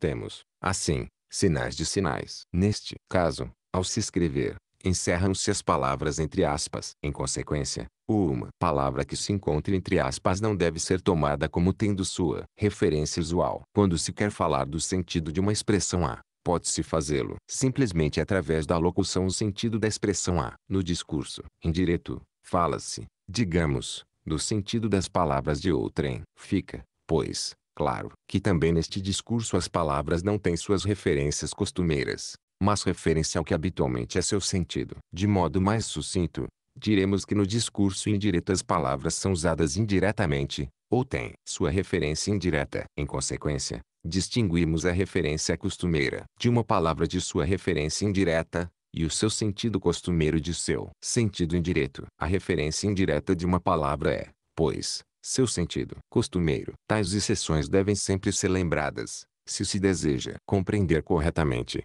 para cada caso particular, o modo de conexão entre sinal, sentido e referência. A referência e o sentido de um sinal devem ser distinguidos da representação associada a este sinal. Se a referência de um sinal é um objeto sensorialmente perceptível, minha representação é uma imagem interna, imersa das lembranças, de impressões sensíveis passadas e das atividades, internas e externas, que realizei. 4 Esta imagem interna está frequentemente saturada de emoções, a claridade de suas diversas partes varia e oscila, até no mesmo homem. Nem sempre a mesma representação está associada ao mesmo sentido. A representação é subjetiva. A representação de um homem não é a mesma de outro. Disto resulta uma variedade de diferenças nas representações associadas ao mesmo sentido. Um pintor, um cavaleiro e um zoólogo provavelmente associarão representações muito diferentes ao nome Bucepalus. A representação, por tal razão, difere essencialmente do sentido de um sinal, o qual pode ser a propriedade comum de muitos, e portanto não é uma parte ou modo da mente individual, pois dificilmente se poderá negar que a humanidade possui um tesouro comum de pensamentos, que é transmitido de uma geração para outra.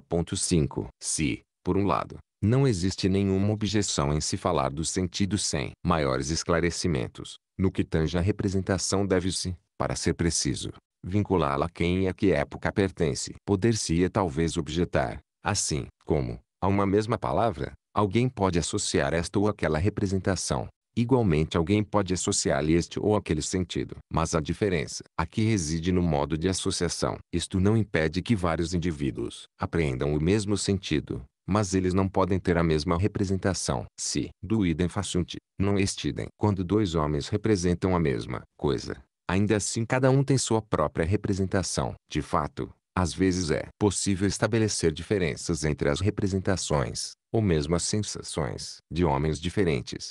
Mas uma comparação precisa não é possível. Por que não? Podemos ter ambas as representações juntas na mesma consciência. A referência de um nome próprio ao próprio objeto que por seu intermédio designamos, a representação que dele temos é inteiramente subjetiva. Entre uma e outra está o sentido que, na verdade, não é tão subjetivo quanto a representação, mas que também não é o próprio objeto. A comparação seguinte poderá, talvez, esclarecer estas relações. Alguém observa a Lua através de um telescópio. Comparo a própria Lua é referência. Ela é objeto da observação, proporcionado pela imagem real projetada pela lente no interior do telescópio. É, pela imagem retiniana do observador. A primeira, comparo ao sentido. A segunda, a representação ou intuição. A imagem no telescópio é, na verdade, unilateral. Ela depende do ponto de vista da observação. Não obstante, ela é objetiva, na medida em que pode servir a vários observadores. Ela poderia ser disposta de tal forma que vários observadores poderiam utilizá-la simultaneamente, mas cada um teria sua própria imagem retiniana, devido à diversidade da configuração dos olhos. Mesmo uma congruência geométrica entre estas imagens dificilmente poderia ser obtida,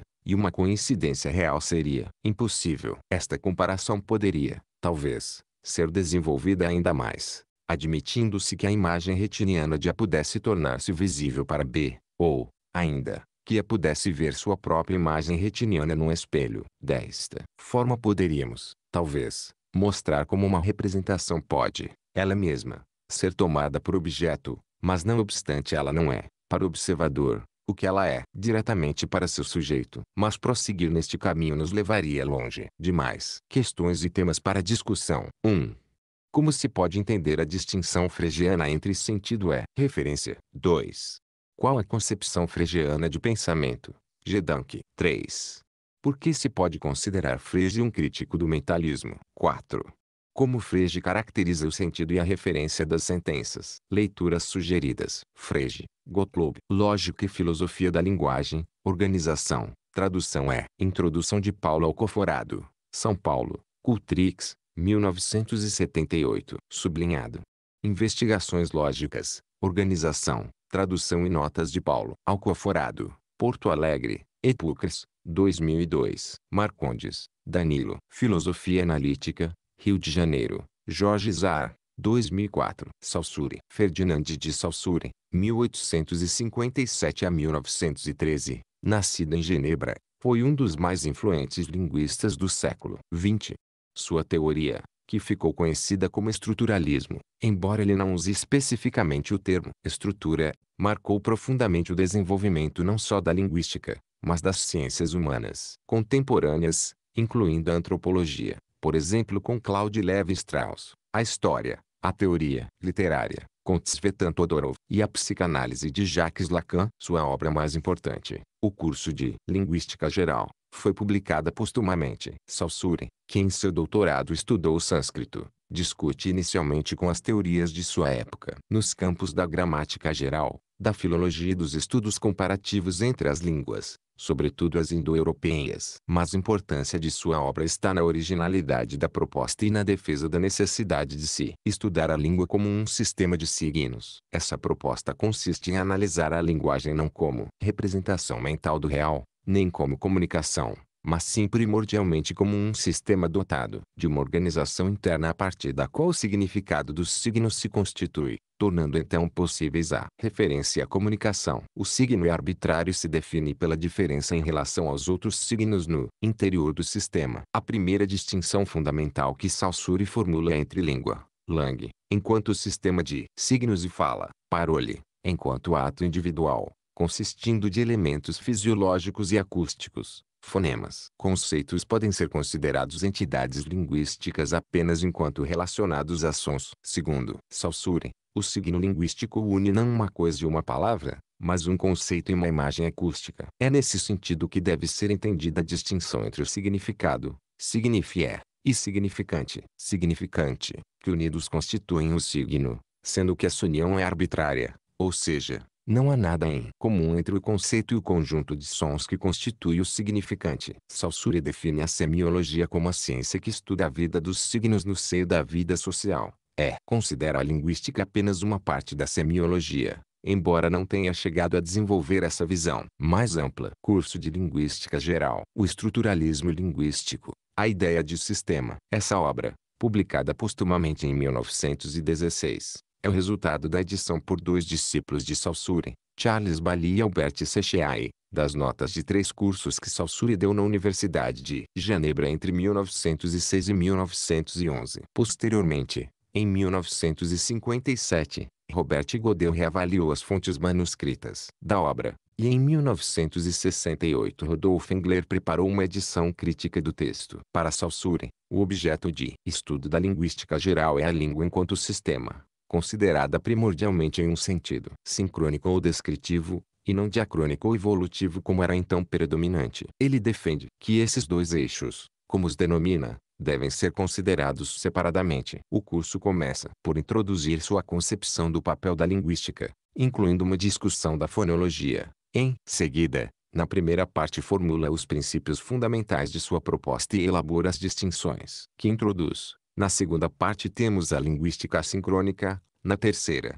a diacrônica, e na quarta parte o que ele denomina linguística geográfica, incluindo uma análise do surgimento dos dialetos. A quinta parte é dedicada a questões filológicas e históricas. Publicações recentes de notas manuscritas de Saussure, por exemplo os Écrits de Linguistique Generale por Simon Bouquet e Rudolf Engler, 2001, tem levado a uma reavaliação das teorias do curso. Capítulo 3. Objeto da linguística. Parágrafo 1. A língua. Sua definição. Qual é o objeto, ao mesmo tempo integral e concreto, da linguística? A questão é particularmente difícil. Veremos mais tarde por que. Limitemo-nos, aqui, a esclarecer a dificuldade. Outras ciências trabalham com objetos dados previamente que se podem considerar, em seguida, de vários pontos de vista. Em nosso campo, nada de semelhante ocorre. Alguém pronuncia a palavra nu. Um observador superficial será tentado a ver nela um objeto linguístico concreto. Um exame mais atento,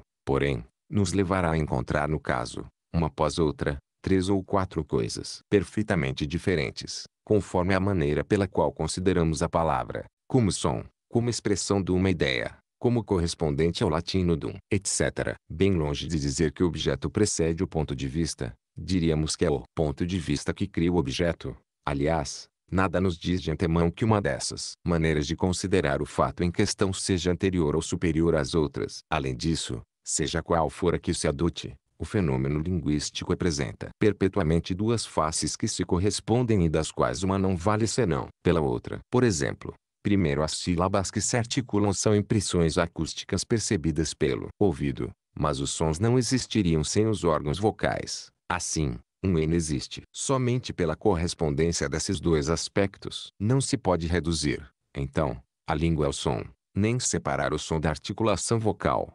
Reciprocamente, não se podem definir os movimentos dos órgãos vocais se se fizer abstração da impressão acústica. Segundo mas admitamos que o som seja uma coisa simples. É ele quem faz a linguagem. Não, não passa de instrumento do pensamento e não existe por si mesmo. Surge daí uma nova e temível correspondência. O som, unidade complexa acústico-vocal, forma por sua vez, com a ideia, uma unidade complexa, fisiológica e mental. E ainda mais, terceiro a linguagem tem um lado individual e um lado social, sendo impossível conceber um sem o outro. Finalmente, Quarto a cada instante. A linguagem implica ao mesmo tempo um sistema estabelecido e uma evolução, a cada instante. Ela é uma instituição atual e um produto do passado. Parece fácil, à primeira vista, distinguir entre esses sistemas e sua história, entre aquilo que ele é e o que foi. Na realidade, a relação que une ambas as coisas é tão íntima que se faz difícil separá-las. Seria a questão mais simples se se considerasse o fenômeno linguístico em suas origens. Se,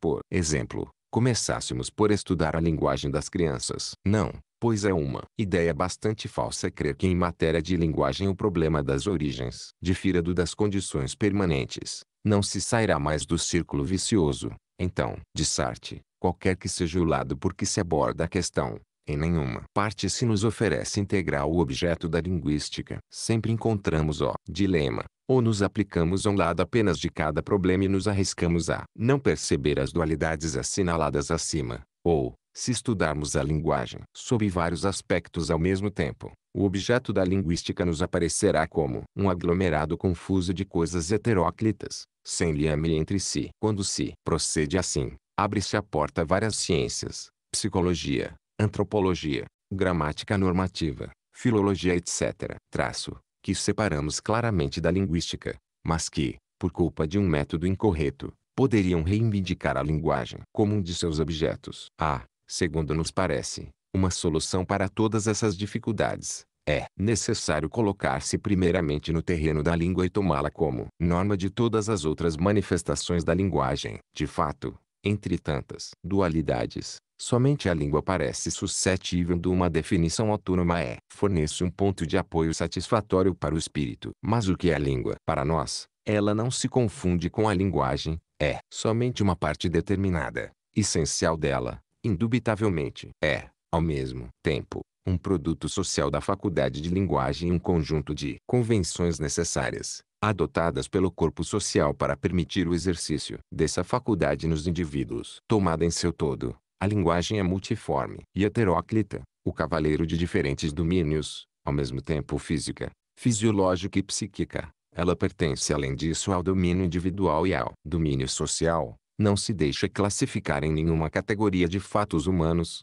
pois não se sabe como inferir sua unidade. A língua, ao contrário, é um todo por si um princípio de classificação. Desde que lhe demos o primeiro lugar entre os fatos da linguagem, introduzimos uma ordem natural num conjunto que não se presta a nenhuma outra classificação. A esse princípio de classificação poder-se objetar que o exercício da linguagem repousa numa faculdade que nos é dada pela natureza, ao passo que a língua constitui algo adquirido e convencional, que deveria subordinar-se ao instinto natural em vez de adiantar-se a ele. Eis o que pode-se responder. Inicialmente, não está provado que a função da linguagem, tal como ela se manifesta quando falamos, seja inteiramente natural, isto é, que nosso aparelho vocal tenha sido feito para falar, assim como nossas pernas para andar. Os linguistas estão longe de concordar nesse ponto. Assim, para o Whitney, que considera a língua uma instituição social da mesma espécie que todas as outras, é por acaso e por simples razões de comodidade que nos servimos do aparelho vocal como instrumento da língua.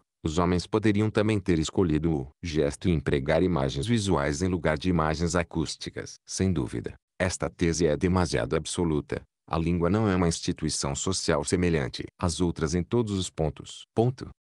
Primeira parte. Princípios gerais. Capítulo I. Natureza do signo linguístico. Parágrafo 1 Signo. Significado significante. Para certas pessoas, a língua, reduzida a seu princípio essencial, é uma nomenclatura, vale dizer, uma lista de termos que correspondem a outras tantas coisas. Por exemplo, tal concepção é criticável em numerosos aspectos. Supõe ideias completamente feitas, preexistentes às palavras. Ela não nos diz se a palavra é de natureza vocal ou psíquica, pois arbor pode ser considerada sob um ou outro aspecto. Por fim, ela faz supor que o vínculo que une um nome a uma coisa constitui uma operação muito simples, o que está bem longe da verdade. Entretanto, esta visão simplista pode aproximar-nos da verdade, mostrando-nos que a unidade linguística é uma coisa dupla, constituída da união de dois termos. Vimos ponto, a propósito do circuito da fala, que os termos implicados no signo linguístico são ambos psíquicos e estão unidos,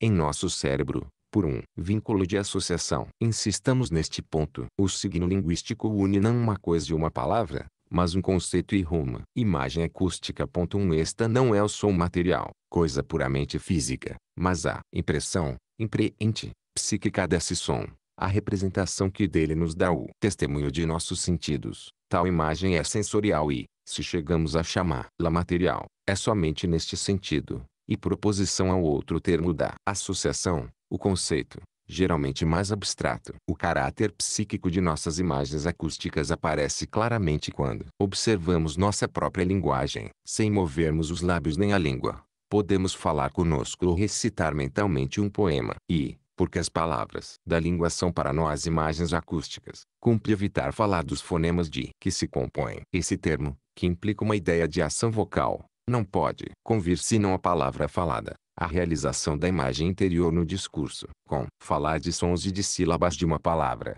evita-se o mal-entendido, desde que nos recordemos tratar-se de imagem acústica. O signo linguístico é, pois, uma entidade psíquica de duas faces, que pode ser representada pela figura. Esses dois elementos estão intimamente unidos e um reclame o outro. Quer busquemos o sentido da palavra latina arbor ou palavra com que o latim designa o conceito árvore, Está claro que somente as vinculações consagradas pela língua nos parecem conformes à realidade, e abandonamos toda e qualquer outra que se possa imaginar. Esta definição suscita uma importante questão de terminologia. Chamamos signo a combinação do conceito e da imagem acústica, mas, no uso corrente, esse termo designa geralmente a imagem acústica apenas, por exemplo uma palavra, arbor etc. Esquece-se que, se chamamos arbor signo, é somente porque exprime o conceito árvore, de tal maneira que a ideia da parte sensorial implica a do total. A ambiguidade desapareceria se designássemos as três noções aqui presentes por nomes que se relacionem entre si,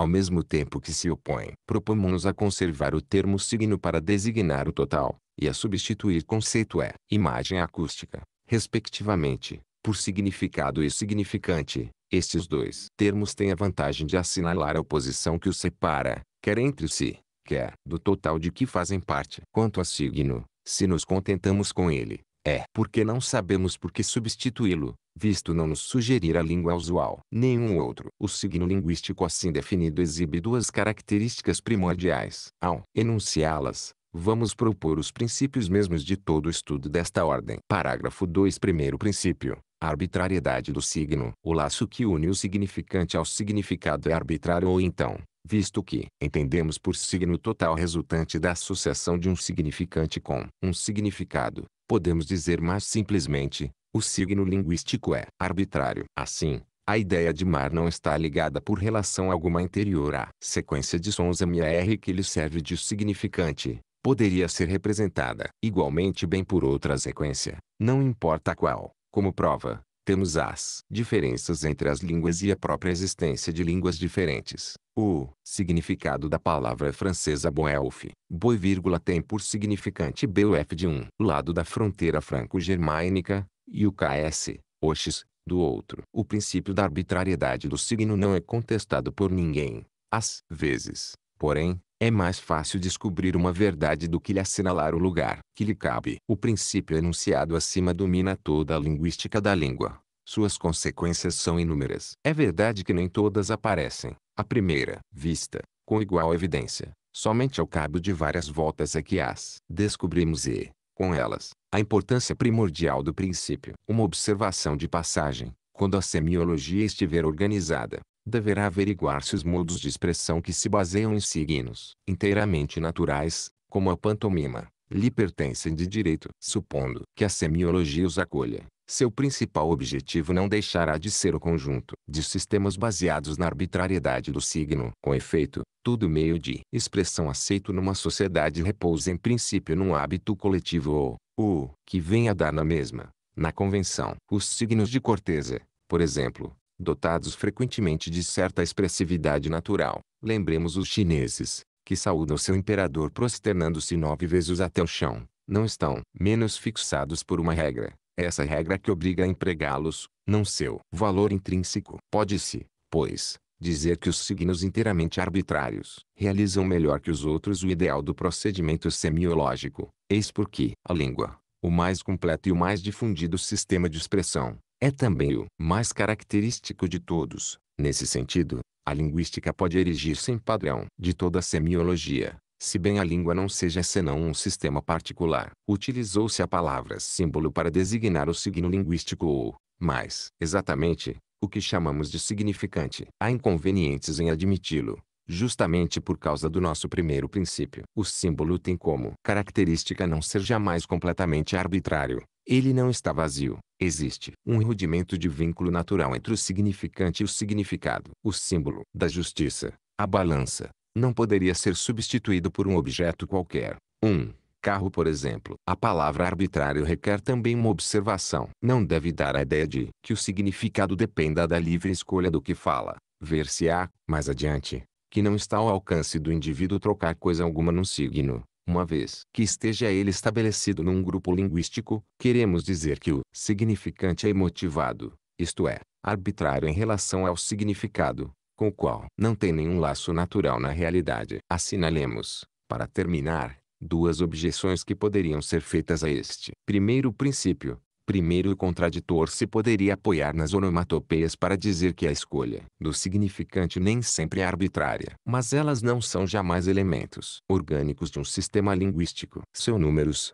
além disso, é bem menor do que se crê. Palavras francesas como fouette, chicote ou glace, dobre de sinos vírgula, podem impressionar certos ouvidos por sua sonoridade sugestiva, mas para ver que não tem tal caráter desde a origem, Basta remontar às suas formas latinas. Foete derivado de fagus, faia, glass igual clássico 1. A qualidade de seus sons atuais, ou melhor, aquela que se lhes atribui, é um resultado fortuito de evolução fonética. Quanto às onomatopeias autênticas, aquelas do tipo glu-glu, tic-tac etc., não apenas são pouco numerosas, mas sua escolha é já, em certa medida, arbitrária pois que não passam de imitação aproximativa já meio convencional de certos ruídos. Compare-se o francês ou ao e o alemão ou ao. Além disso, uma vez introduzidas na língua, elas se engrenam mais ou menos na evolução fonética, morfológica etc. Que sofrem as outras palavras, cf. Pigeon, do latim vulgar pipio, derivado também de uma onomatopeia, prova evidente de que perderam algo de seu caráter primeiro para adquirir o do signo linguístico em geral que é imotivado. Segundo as exclamações, bastante próximas das onomatopeias, dão lugar a observações análogas e não constituem maior ameaça para nossa tese. S. Tentado a ver nelas expressões espontâneas da realidade, como que ditadas pela natureza. Mas, para a maior parte delas, pode-se negar que haja um vínculo necessário entre o significado e o significante. Ponto. Questões e temas para discussão. 1. Qual a definição de signo para Saussure? 2. Em que sentido pode-se dizer que a língua é um sistema de signos? 3. Qual a importância da distinção entre língua, langue, e fala, parole? 4. Como se distinguem significado e significante? 5. Como Saussure define a relação entre conceito e imagem acústica no signo? Leituras sugeridas. Boquete, Simon. Introdução à leitura de Saussure, São Paulo, Cultrix, 2000. Carvalho, Castelardi. Para compreender Saussure, Petrópolis, Vozes, décima. Edição 2000. Coller, Jonathan. As ideias de Saussure, São Paulo, Cultrix, 1979. Saussure, Ferdinand de Curso de Linguística Geral, São Paulo, Cultrix, 1969. Rousseau, Bertrand Rousseau, 1872 a 1970. Foi um dos filósofos mais prolíficos do pensamento contemporâneo. Sua obra teve várias fases, desde uma importante contribuição à lógica e à filosofia da matemática, passando pela filosofia da linguagem e a questão da ciência, até seus escritos políticos, pedagógicos e sua militância pelo pacifismo, sobretudo após a Segunda Guerra Mundial. Nascido no país de Gales, Rousseau pertencia à aristocracia inglesa. Foi professor na Universidade de Cambridge e ganhou em 1950 o Prêmio Nobel de Literatura. Uma de suas mais importantes e influentes contribuições à filosofia da linguagem e à semântica consistiu na teoria das descrições, que formulou em seu artigo da denotação Onderoting, 1905 e que veio a ser considerada um dos paradigmas de análise na tradição da filosofia analítica. A teoria das descrições parte da concepção de que a forma gramatical das sentenças não representa a sua forma lógica, a qual deve ser revelada ou explicitada submetendo-se as sentenças a uma análise lógica. Descrições definidas são expressões que, apesar de se assemelharem a nomes próprios, designando indivíduos, não são realmente nomes próprios. Através do método de análise, sentenças que contêm descrições definidas podem ser reduzidas a sentenças em que essas descrições não mais ocorrem. Porém, por que seria necessário supor a eliminação das descrições definidas? O problema surge quando consideramos expressões que não possuem uma referência ou denotação. As sentenças que contêm essas expressões aparentemente violam o princípio lógico do terceiro excluído, que estabelece que uma sentença só pode ser verdadeira ou falsa, não havendo uma terceira possibilidade. Ora, essas sentenças, por não se referirem a nenhum objeto existente, não seriam nem verdadeiras, nem falsas. O exemplo clássico é a análise a que Rousseau submete a sentença é se o atual rei da França é careca. Uma vez que não existe um rei da França, a sentença não pode ser considerada verdadeira. Porém, tampouco é falsa, pois não podemos dizer que o atual rei da França não é careca. Também não podemos considerá-la sem sentido, uma vez que pode perfeitamente ser compreendida. A análise lógica virá então para resolver esse impasse e o problema ontológico de existência de entidades correspondentes às descrições definidas. Se submetermos essa sentença à análise, temos como conclusão que na verdade S engloba três outras sentenças, a saber, S1, existe um objeto X tal que X tem a propriedade P, ser o atual rei da França. S2, não existe um objeto y igual x tal que y tenha propriedade p. S3. x tem a propriedade q. Ser careca. A eliminação da expressão descritiva se dá ao se traduzir a sentença no qual ela ocorre em uma sentença declarativa existencial. S1, em que algo tem a propriedade contida na descrição. Ora, vemos assim imediatamente onde se encontra o problema. A sentença S1 é falsa. Consequentemente S3 também o será já que S3 supõe S1. Uma das consequências do método de análise encontrado na teoria das descrições é que apenas objetos existentes podem ter propriedades. A existência não é, por sua vez, um predicado, uma propriedade, mas um operador lógico. Portanto, os predicados supõem a existência de um objeto do qual possam ser predicados. Só posso afirmar uma qualidade de algo que existe. E a existência não é ela própria uma qualidade, mas um pressuposto para que algo tenha qualidades. O método de análise resolve, assim, o problema da aparente transgressão do princípio do terceiro. Excluído todas as três sentenças em que S se decompõe têm valores de verdade determinados. Portanto, Através da análise lógica da linguagem podem-se encontrar os elementos que constituem as situações expressas na linguagem. A função da análise lógica da linguagem é determinar os componentes últimos que constituem um fato na realidade. Logo, ela supõe um isomorfismo entre a lógica e a realidade. A sentença é o fato, através da correspondência entre os elementos de um e de outro. Esse é o seu pressuposto ontológico básico. A concepção de análise formulada por Rousseau é, portanto, a de um método de decomposição da sentença através do qual os elementos que a compõem são identificados, estabelecendo-se a relação desses com os elementos correspondentes em um fato no real, descrito pela sentença. A análise revela, assim, a verdadeira forma lógica da sentença, indicando como suas partes se articulam. No caso das sentenças S1, S2 e S3, para formar o todo, a sentença é S. Isso significa que o método de análise é também um procedimento de tradução de uma linguagem menos perfeita, a linguagem comum, em que a forma gramatical oculta a forma lógica, a estrutura comum à sentença e ao fato, para a linguagem lógica, que exibe a forma lógica de modo direto e explícito, dissipando possíveis dúvidas e mal-entendidos. Esse método supõe a existência de uma linguagem lógica em que a relação com a realidade possa ser expressa de maneira mais clara é correta, evitando equívocos e confusões. Inclui-se também no projeto fundacionalista, na medida em que a análise lógica fornece critérios para a justificação da determinação da relação verdadeira, correta, entre a linguagem e a realidade, contribuindo, assim, para a fundamentação da ciência e para a eliminação de problemas típicos da metafísica especulativa, como a existência do não ser ou do nada. Com efeito, Rousseau mantém essa concepção do papel da análise mesmo em obras posteriores. Por exemplo, em nosso conhecimento do mundo externo, Our Knowledge of the External World, 1914, diz, todo problema filosófico, quando submetido à análise e justificação necessárias, revela-se ou não ser realmente um problema filosófico, ou ser, no sentido em que usamos a palavra, lógico, significado e verdade. O que é uma palavra? Nesse texto, o primeiro capítulo de sua obra Significado e Verdade, Ankiriinto Meaningand Trut, publicada em 1940 e resultado de uma revisão do texto das conferências William James por ele feitas na Universidade de Harvard naquele mesmo ano. Russell introduz algumas distinções entre as várias acepções segundo as quais uma palavra é dotada de significado, retomando sua concepção de denotação. Examina também os aspectos contextuais do significado e do uso de uma palavra pelo falante em relação a seu ouvinte,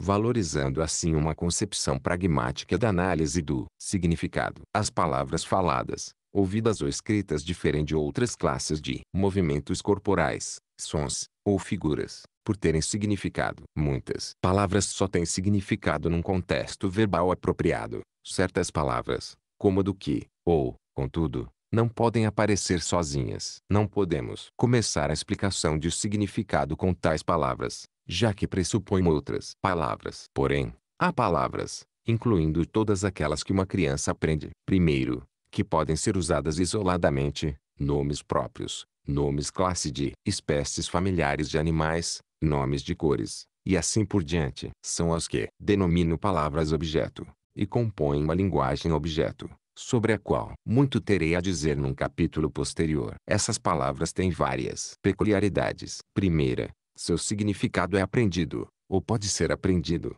por confronto com os objetos que são que elas significam, ou instâncias do que significam. Segunda, não pressupõem outras palavras. Terceira, cada uma, por si mesma, pode expressar uma proposição completa, você pode exclamar fogo, mas seria sem sentido exclamar do que, obviamente, é com tais palavras que qualquer explicação de significado deve começar, pois significado, como verdade e falsidade, tem uma hierarquia de significados, correspondente à hierarquia de linguagens. As palavras são usadas de muitas formas, na narrativa, na petição, no comando, na ficção imaginativa, e assim por diante. Porém, o uso mais elementar das palavras objeto é o uso demonstrativo, tal como a exclamação raposa quando uma raposa é visível. Quase igualmente primitivo é vocativo, uso de um nome próprio para indicar desejo de presença da pessoa nomeada. Mas isso não é totalmente primitivo, visto que o significado de uma palavra objeto deve ser aprendido na presença do objeto. Excluam as palavras aprendidas através de definições verbais, já que pressupõem uma linguagem já existente. É óbvio que conhecer uma linguagem consiste em usar as palavras apropriadamente e agir convenientemente quando ouvidas. Não é necessário ser capaz de dizer o que uma palavra significa da mesma forma que um jogador de cricket não precisa conhecer a teoria matemática do impacto e dos projéteis. Realmente, no caso de muitas palavras objeto, deve ser estritamente impossível dizer o que significam, exceto por uma tautologia, pois é com elas que a linguagem começa. Só podemos explicar, digamos, a palavra vermelho, mostrando alguma coisa vermelha. Uma criança entende a palavra ouvida vermelho quando tiver sido estabelecida uma associação entre a palavra ouvida e a cor vermelha. Ela terá dominado a palavra falada vermelho quando, caso observe algo vermelho, seja capaz de dizer vermelho e tenha um impulso para fazê-lo. A aprendizagem original das palavras objeto é uma coisa. O uso da fala, quando o instrumento tiver sido dominado, é outra. Na vida adulta, toda fala, como dizer um nome, está, ainda que menos obviamente, em intenção, no imperativo. Quando parece ser um mero enunciado, deve ser prefaciado pelas palavras sabe que. Sabemos muitas coisas, e asseveramos apenas algumas. As que asseveramos são as que desejamos que nossos ouvintes saibam. Quando vemos uma estrela cadente dizemos simplesmente olhem, Esperamos que esta única palavra faça com que quem esteja por perto a veja também. Se você recebe um visitante importuno, pode expulsá-lo à força, ou dizer saia. Uma vez que a segunda opção envolve menos esforço muscular, é preferível, se for igualmente eficaz. Segue-se que, quando você, na vida adulta, usa uma palavra, você o faz, em geral, não apenas porque o que a palavra denota está presente aos sentidos ou à imaginação, mas porque você quer que seu ouvinte faça algo com ela. Esse não é o caso de uma criança aprendendo a falar, nem é sempre o caso nos anos posteriores, porque o uso de palavras em ocasiões interessantes torna-se um hábito automático. Se você visse de repente um amigo, ao qual tinha dado falsamente como morto, provavelmente proferiria seu nome mesmo que nem ele ou outro qualquer pudesse ouvi-lo. Mas tais situações são excepcionais. No significado de uma sentença, há três elementos psicológicos, as causas ambientais para proferi-la, os efeitos de ouvi-la e, como parte das causas de proferimento, os efeitos que o locutor espera que ela cause no ouvinte. Em geral, podemos dizer que a fala consiste, com algumas exceções, de sons feitos por pessoas com a intenção de causar ações desejadas por outras pessoas. Contudo, suas faculdades indicativas e assertivas permanecem fundamentais, já que é devido a elas que, quando ouvimos um discurso, ele pode induzir-nos a agir de um modo apropriado a algum aspecto do ambiente percebido pelo locutor, mas não pelo ouvinte, ou que o locutor lembra de percepções passadas. Ao acompanhar à noite um visitante até a porta de sua casa, você pode dizer, aqui há dois degraus, o que o induz a agir como se ele visse os degraus. Contudo, isso implica certo grau de benevolência para com seu visitante. O propósito do discurso não é sempre, de modo algum, enunciar um fato. É também possível falar-se com a intenção de enganar. A linguagem nos foi dada para habilitar-nos a ocultar nossos pensamentos.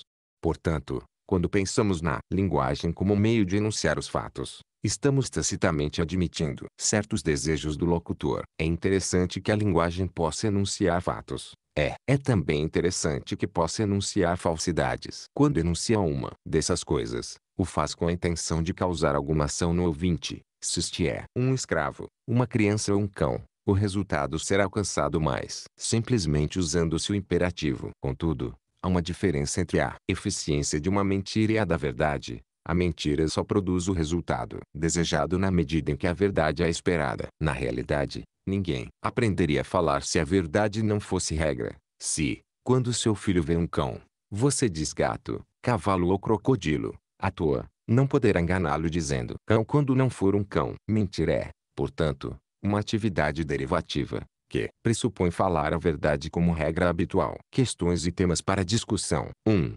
Qual a importância da noção de denotação para a teoria do significado de Rousseau? 2. Qual a relação entre a teoria das descrições e o método de análise proposto por Rousseau? 3. Como Rousseau caracteriza as palavras no texto reproduzido neste capítulo? 4. Como se pode entender, segundo esse texto, a noção de palavra-objeto? 5. Qual a importância da verdade para o uso da linguagem? Leituras sugeridas. Ayer, Alfred J. As Ideias de Bertrand Russell, São Paulo, Cultrix, 1974. Marcondes, Danilo. Filosofia Analítica, Rio de Janeiro, Jorge Zar, 2004. Rousseau, Bertrand. Significado e Verdade, Rio de Janeiro, Zar, 1978. Wittgenstein, Ludwig Wittgenstein, 1889 a 1951. Um dos filósofos mais marcantes do pensamento contemporâneo, Nasceu em Viena, mas desenvolveu grande parte de sua vida acadêmica na Inglaterra, tendo sido professor do Trinity College da Universidade de Cambridge. Por sua natureza fragmentária, a sistemática, provisória, por suas idas e vindas, constantemente retomado e refeito, seu pensamento exige que o leitor nele se engaje, pense junto com o filósofo, compartilhe suas perplexidades, aceite seus desafios, discuta suas conclusões, sendo assim indissociável do próprio estilo em que foi elaborado, que se apresenta como um filosofar em processo. No prefácio ao Tractatus, de Wittgenstein, este livro talvez seja entendido apenas por quem já tenha alguma vez pensado por si próprio o que nele vem expresso, ou, pelo menos, algo semelhante. Ponto. Teria alcançado seu fim se desse prazer alguém que o lesse e entendesse. E, 27 anos mais tarde, no prefácio às Investigações Filosóficas, ele escreve: Com meu escrito não pretendo poupar aos outros o pensar, e sim, se for possível, incitar alguém aos próprios pensamentos. Tradicionalmente seu pensamento se divide em duas fases. A primeira é representada pelo Tractatus. A segunda, radicalmente diferente, tem como obra principal as investigações filosóficas. Como há uma diferença fundamental na concepção de linguagem entre esses dois livros, optei por uma apresentação de cada um em separado. No intervalo entre eles há uma fase que se convencionou chamar de intermediária, representada por obras publicadas postumamente como as Observações Filosóficas, 1929 a 30, A Gramática Filosófica, 1932, 34, O Livro Azul, 1933 a 34, e o Livro Marrom, 1934 a 35. Essa,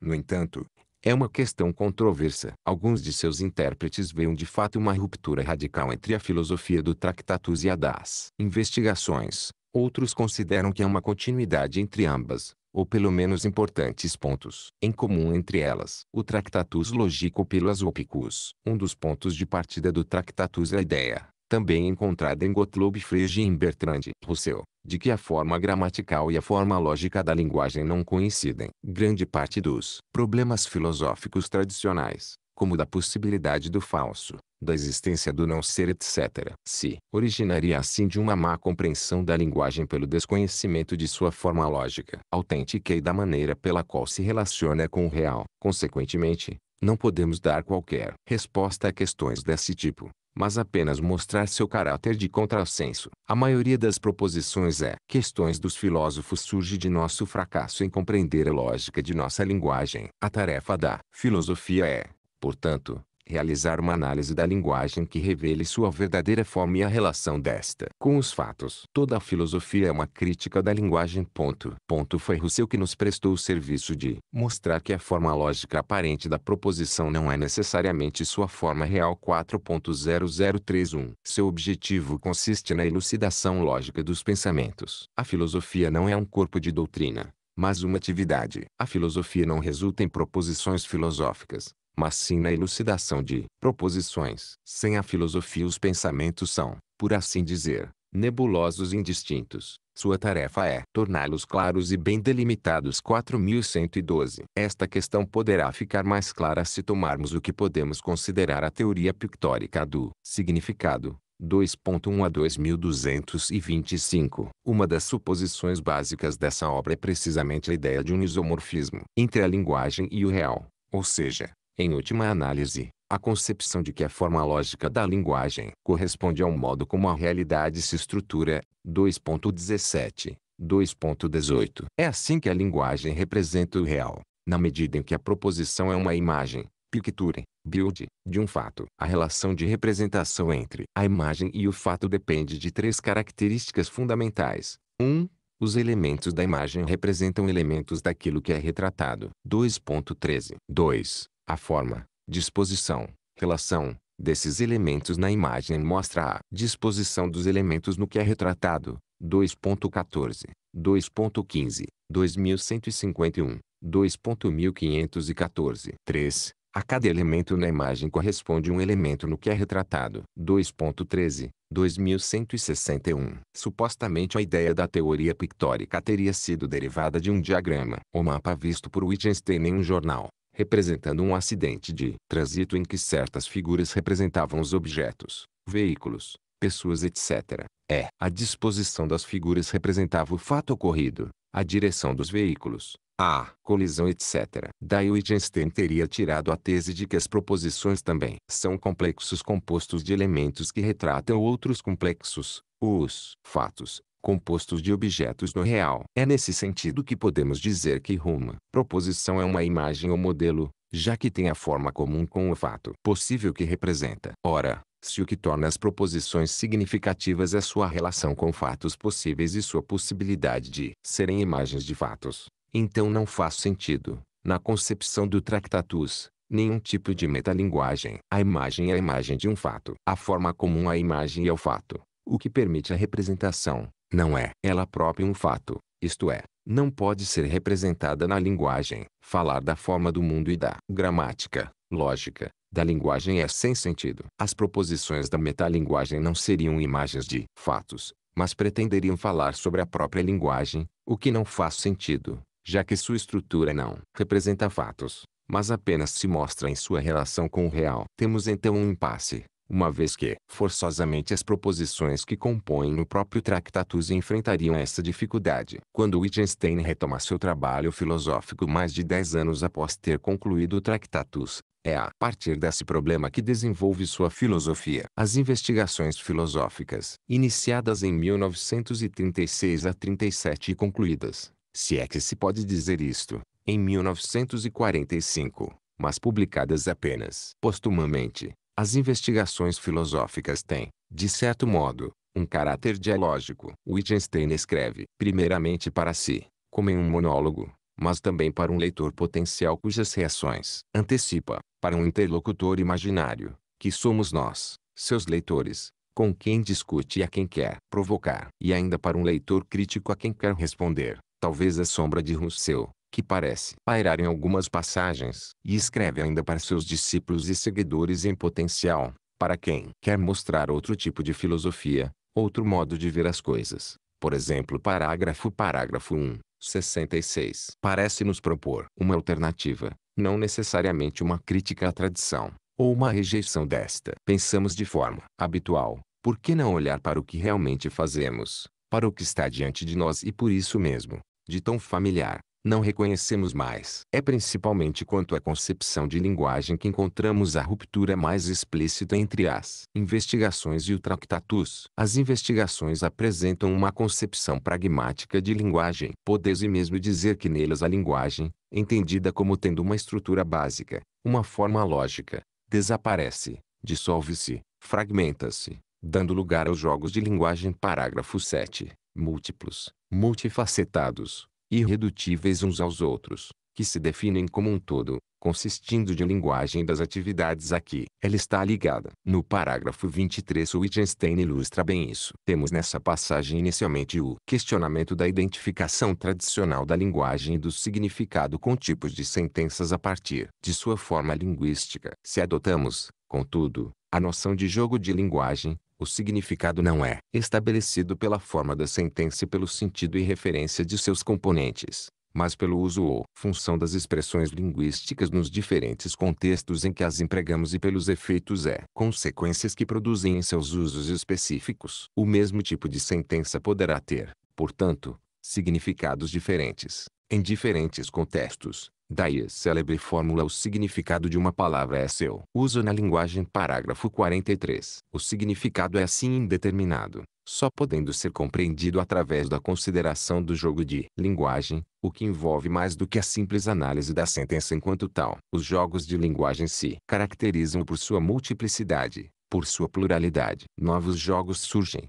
outros desaparecem. A linguagem é dinâmica e só pode ser entendida a partir das formas de vida, das atividades de que é parte. O uso da linguagem é uma prática social concreta. Por isso é importante imaginar os casos possíveis, examinar os contextos, considerar os exemplos dados, deliberadamente diversificados, colocados todos no mesmo plano. Não há nenhum privilégio do calcular sobre o cantar cantigas de roda. É importante notar, na conclusão desse parágrafo, o contraste entre essa nova proposta de como ver a linguagem e a maneira como os lógicos a veem tradicionalmente, do ponto de vista de sua estrutura formal apenas, incluindo-se aí o próprio autor do Tractatus parágrafo 23. Não se encontra mais agora a ideia de um isomorfismo entre a linguagem e o real. Uma das teses centrais do Tractatus, como vimos anteriormente, a linguagem não se define mais por sua relação com a realidade, nem a verdade é mais entendida como correspondência entre linguagem e realidade. A tarefa da filosofia é um processo de clarificação do sentido de nossa experiência através do exame do uso da linguagem,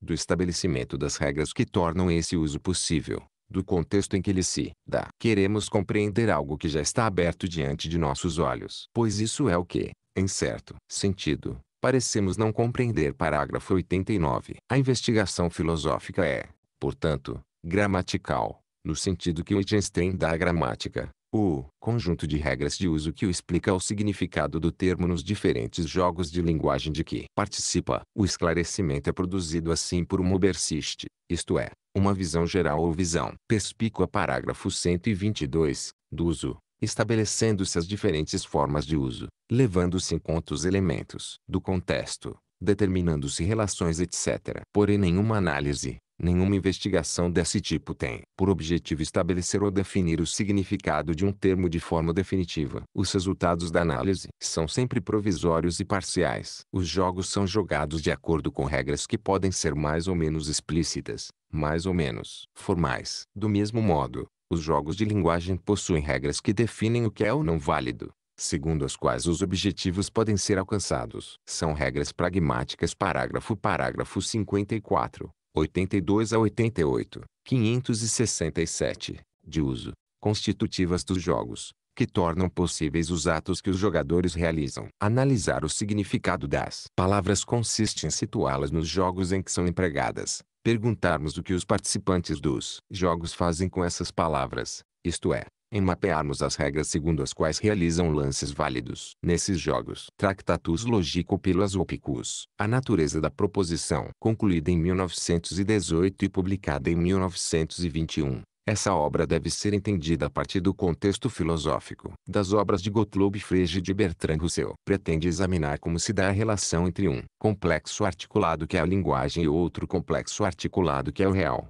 através da determinação das categorias lógicas, mais gerais da linguagem das categorias ontológicas, mais gerais da realidade. Em especial, é necessário para isto se determinar a forma lógica da linguagem. 3323. Na linguagem corrente, acontece com muita frequência que uma mesma palavra design de maneiras diferentes, pertença, pois, a símbolos diferentes, ou que duas palavras que designam de maneiras diferentes sejam empregadas, na proposição, superficialmente do mesmo modo. Assim, a palavra aparece como cópula, como sinal de igualdade e como expressão de existência, existir, como verbo intransitivo, tanto quanto ir, idêntico, como adjetivo, falamos de algo, mas também de acontecer algo. Na proposição rosa é rosa, onde a primeira palavra é um nome de pessoa, a última é um adjetivo. Essas palavras não têm simplesmente significados diferentes, mas são símbolos diferentes.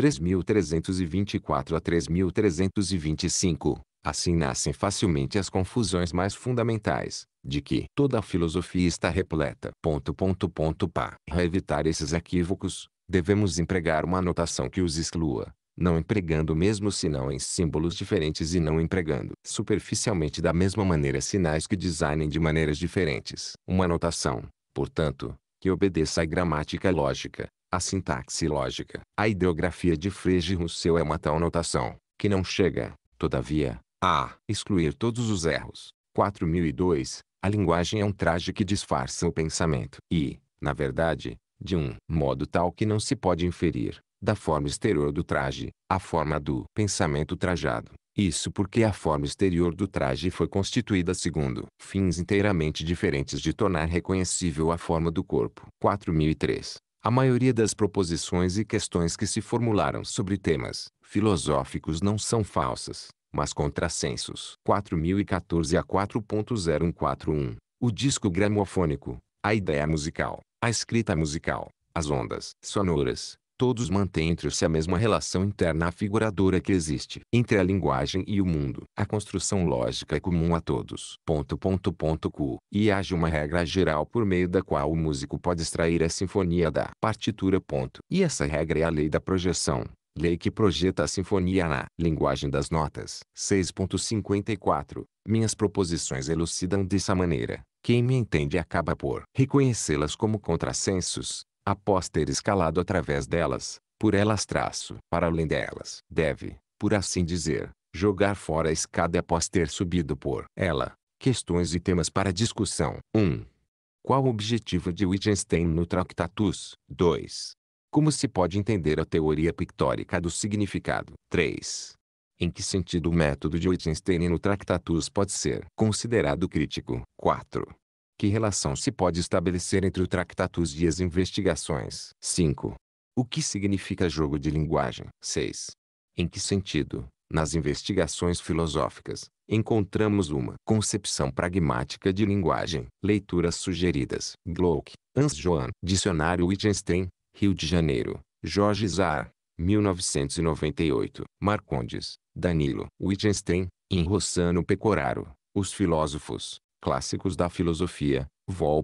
2, Petrópolis, Rio de Janeiro, Vozes, PUC Rio, 2008. Marques, Edgar. Wittgenstein e o Tractatus, Rio de Janeiro. Jorge Zá, editor. 2005. Monk, Rai. Wittgenstein, O Dever do Gênio. São Paulo. Companhia das Letras, 1995. Moreno, Arlen Ramos. Wittgenstein, Os Labirintos da Linguagem, Campinas, Unicamp, 2000. Pinto, Paulo Margutti. Iniciação ao Silêncio. Análise do Tractatus de Wittgenstein, São Paulo, Loyola, 1998. Wittgenstein, Ludwig. Investigações Filosóficas, Petrópolis, Vozes, Sexta ed. 2009 Os Pensadores, São Paulo, abril 1975. Sublinhado.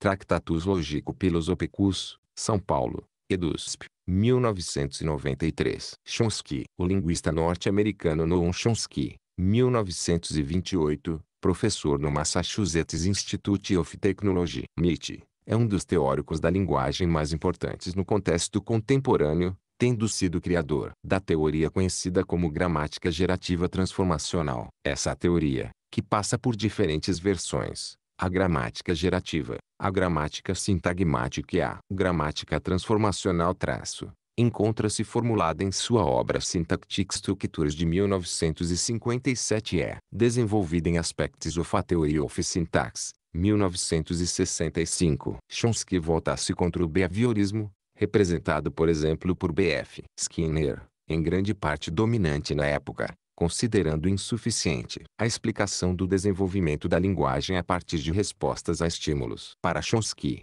essa visão não dá conta de uma das características do modo como a linguagem se desenvolve no ser humano, a criatividade, isto é, a capacidade humana de produzir ou gerar novas sentenças a partir de uma base finita de conhecimentos. Encontramos na proposta de Chomsky duas distinções fundamentais, entre estrutura superficial, surface, structure, e estrutura profunda, deep structure, e entre competência, competência, e desempenho, performance. A estrutura superficial corresponde à gramática de uma língua empírica, enquanto a estrutura profunda consiste na base da gramática, em sua estrutura universal, comum a todas as línguas. A tarefa da gramática transformacional consiste em mapear as regras de transformação que permitem a passagem de estrutura profunda para superficial, embora o próprio Chomsky considere que esse trabalho ainda se encontra em aberto. Além disso, a grande complexidade das regras gramaticais indica, segundo ele, que o behaviorismo é insuficiente para explicá-la. A capacidade de operar com essas regras, ou seja,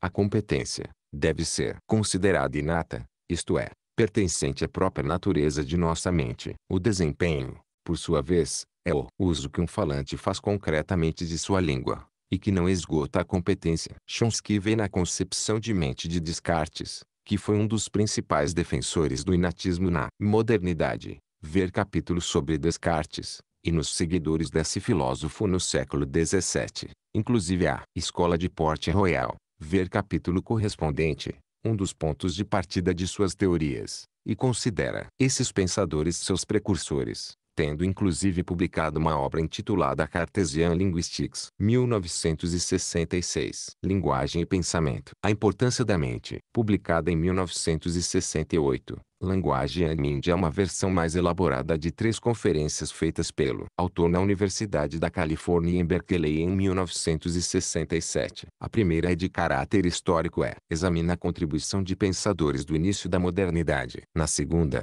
Chomsky discute a linguística contemporânea do ponto de vista da relação entre linguagem e pensamento e na terceira, aponta algumas questões para o desenvolvimento futuro dessa discussão. É importante compreender quais as propriedades da linguagem que mais impressionavam Descartes e seus adeptos. A discussão daquilo que tenho chamado o aspecto criador do uso da linguagem gira em torno de três importantes observações. A primeira é que o uso normal da linguagem é inovador, no sentido de que muito daquilo que dizemos no curso do uso normal da linguagem é inteiramente novo. Não é a repetição de nada que tenhamos ouvido antes nem mesmo semelhante quanto à forma, em qualquer sentido útil, dos termos semelhante e forma, as sentenças ou discursos que ouvimos no passado. Isto é um truísmo, mas um truísmo importante, sendo muitas vezes passado por alto e não infrequentemente negado no período comportamentista da linguística que antes me referi, quando era quase universalmente proclamado que o conhecimento da linguagem que uma pessoa tinha é representável como um conjunto armazenado de formas aprendidas pela constante repetição e pelo treinamento detalhado, sendo a inovação no máximo uma questão de analogia. No entanto,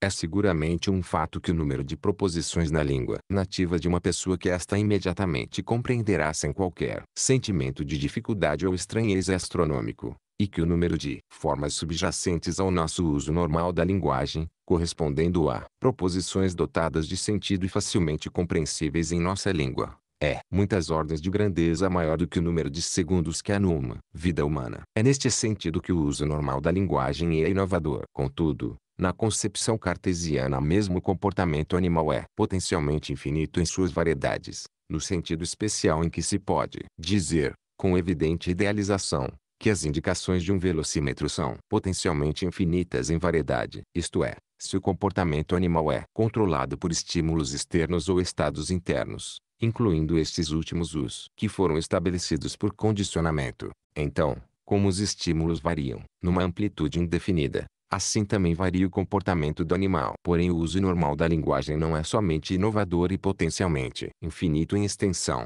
mas é também livre do controle de estímulos perceptíveis, quer externos, quer internos. Por causa dessa ausência de controle pelos estímulos é que a linguagem pode servir como instrumento do pensamento e da autoexpressão, como acontece não somente com os indivíduos excepcionalmente dotados e talentosos, mas também, de fato, com qualquer ser humano normal. Ponto, ponto, ponto aí. Ainda mais, é errôneo pensar no uso humano da linguagem como caracteristicamente informativo, de fato ou de intenção. A linguagem humana pode ser usada para informar ou desorientar, para clarificar os pensamentos de uma pessoa ou para exibir sua habilidade, ou simplesmente por brincadeira. Se falo sem nenhum interesse em modificar o comportamento ou os pensamentos do interlocutor, não estou usando menos a linguagem do que se dissesse exatamente as mesmas coisas com esta intenção. Se esperarmos entender a linguagem humana e as faculdades psicológicas sobre as quais repousa, devemos, em primeiro lugar, perguntar o que ela é, não como, ou para que fins é usada. Quando perguntamos o que a linguagem humana é, não encontramos nenhuma semelhança notável com os sistemas de comunicação animal. Não há nada de útil para ser dito a respeito do comportamento ou do pensamento no nível de abstração em que a comunicação animal e humana coincidem. Os exemplos de comunicação animal que até agora foram examinados participam de muitas das propriedades dos sistemas de gestos humanos, e seria razoável explorar a possibilidade de conexão direta neste caso. Mas a linguagem humana, parece, é baseada em princípios inteiramente diferentes. Isto, penso eu, é um ponto importante, em geral passado por alto por aqueles que apreciam a linguagem humana como fenômeno natural, biológico, em particular, parece um tanto sem sentido. Por essas razões, especular sobre a evolução da linguagem humana a partir de sistemas mais simples, talvez tão absurdo como seria especular sobre a evolução dos átomos partindo das nuvens de partículas elementares. Tanto quanto sabemos, a posse da linguagem humana está ligada a um tipo específico de organização mental, não simplesmente a um grau superior de inteligência. Não parece ter substância a opinião segundo a qual a linguagem humana é simplesmente um caso mais complexo de algo que pode ser achado em qualquer outra parte do mundo animal. Isto suscita um problema para o biologista, pois, se é verdadeiro, é um exemplo de verdadeira emergência o aparecimento de um fenômeno qualitativamente diferente em uma fase específica da complexidade da organização. O reconhecimento desse fato, embora formulado em termos inteiramente diferentes, é o que motivou grande parte do estudo clássico da linguagem por aqueles cuja preocupação primordial era a natureza do pensamento. E parece-me hoje não existir melhor ou mais promissora maneira de explorar as faculdades essenciais e distintivas da inteligência humana do que a pesquisa detalhada da estrutura deste bem humano, de caráter único. Portanto, é razoável supor que, se podem ser construídas gramáticas generativas empiricamente adequadas e determinados os princípios universais que governam sua estrutura e organização, isto será uma importante contribuição para a psicologia humana, por meios que abordarei detalhadamente. Adiante. Ponto, ponto, ponto A crença de que a linguística antropológica demoliu as suposições da gramática universal parece-me de todo falsa em dois importantes aspectos. Primeiro, interpreta erroneamente as concepções da gramática racionalista clássica, que admitia que as línguas são semelhantes somente no nível mais profundo, no nível em que as relações gramaticais são expressas e em que os processos que proporcionam o aspecto criador do uso da língua são encontrados. Segundo, esta crença desvirtua seriamente as descobertas da linguística antropológica, que, de fato, se restringiu quase completamente aos aspectos muito superficiais da estrutura da linguagem. Dizer isso não é criticar a linguística antropológica, campo que enfrenta urgentes problemas próprios, em particular o problema de obter ao menos algum registro das línguas do mundo primitivo que estão rapidamente desaparecendo. Contudo, é importante ter em mente esta limitação fundamental sobre suas realizações, ao considerar a luz que pode lançar sobre as teses da gramática universal. Os estudos antropológicos, como os estudos linguísticos estruturais, em geral, não tentam revelar o núcleo subjacente dos processos gerativos na linguagem, isto é, os processos que determinam os níveis mais profundos de estrutura e constituem os meios sistemáticos para criar tipos de sentenças sempre novos. Portanto, obviamente não podem ter qualquer influência real sobre a suposição clássica de que esses processos gerativos subjacentes variam só ligeiramente de língua para língua. De fato, os dados até agora disponíveis sugerem que se a gramática universal tem sérios defeitos, como de fato tem, do ponto de vista moderno, esses defeitos consistem na incapacidade de reconhecer a natureza abstrata da estrutura linguística e impor condições suficientemente fortes e restritivas à forma de qualquer língua humana. E um aspecto característico do trabalho atual em linguística é sua preocupação por universais linguísticos de um tipo que só pode ser descoberto por uma detalhada pesquisa de línguas particulares, universais que governam propriedades da língua que simplesmente não são acessíveis à pesquisa dentro da moldura restrita adotada, muitas vezes por motivos muito bons, pela linguística antropológica. Questões e temas para discussão. 1. Qual a importância, para Chomsky, da criatividade no desenvolvimento da linguagem humana? 2. Por que, para Chomsky, os filósofos do início da modernidade, sobretudo os cartesianos, podem ser considerados seus precursores. 3. Como se pode entender a distinção entre estrutura superficial e estrutura profunda? 4. Como Chomsky relaciona a sua posição com as teses da linguística antropológica? Ver capítulo sobre Sapir-Whorf. Leituras sugeridas. Chomsky, Noam. Novos horizontes no estudo da linguagem e da mente. São Paulo, Unesp, 2005. Sublinhado. Arquitetura da linguagem, Florianópolis, Edusk, 2008. Sublinhado. Linguagem e Pensamento, Petrópolis, Vozes, 1977. Lyons, John. As Ideias de Chomsky, São Paulo, Cultrix, 1970. Austin. A grande contribuição do filósofo inglês de Oxford John Langshaw Austin, 1911 a 1960. A filosofia da linguagem contemporânea foi sua concepção de ato de fala, que formulou em seu Quando Dizer é Fazer, Outro do Ting Sweet Words, publicado postumamente em 1962, e em alguns outros artigos que escreveu sobre esse tema. Sua teoria pode ser vista como uma tentativa de dar conta de modo sistemático dos fenômenos pragmáticos, isto é, do uso da linguagem em contextos específicos para a realização de atos com objetivos determinados. A concepção básica desta teoria sustenta que os constituintes elementares do uso e da compreensão da linguagem natural são atos de fala, tendo condições de sucesso e de felicidade para sua realização,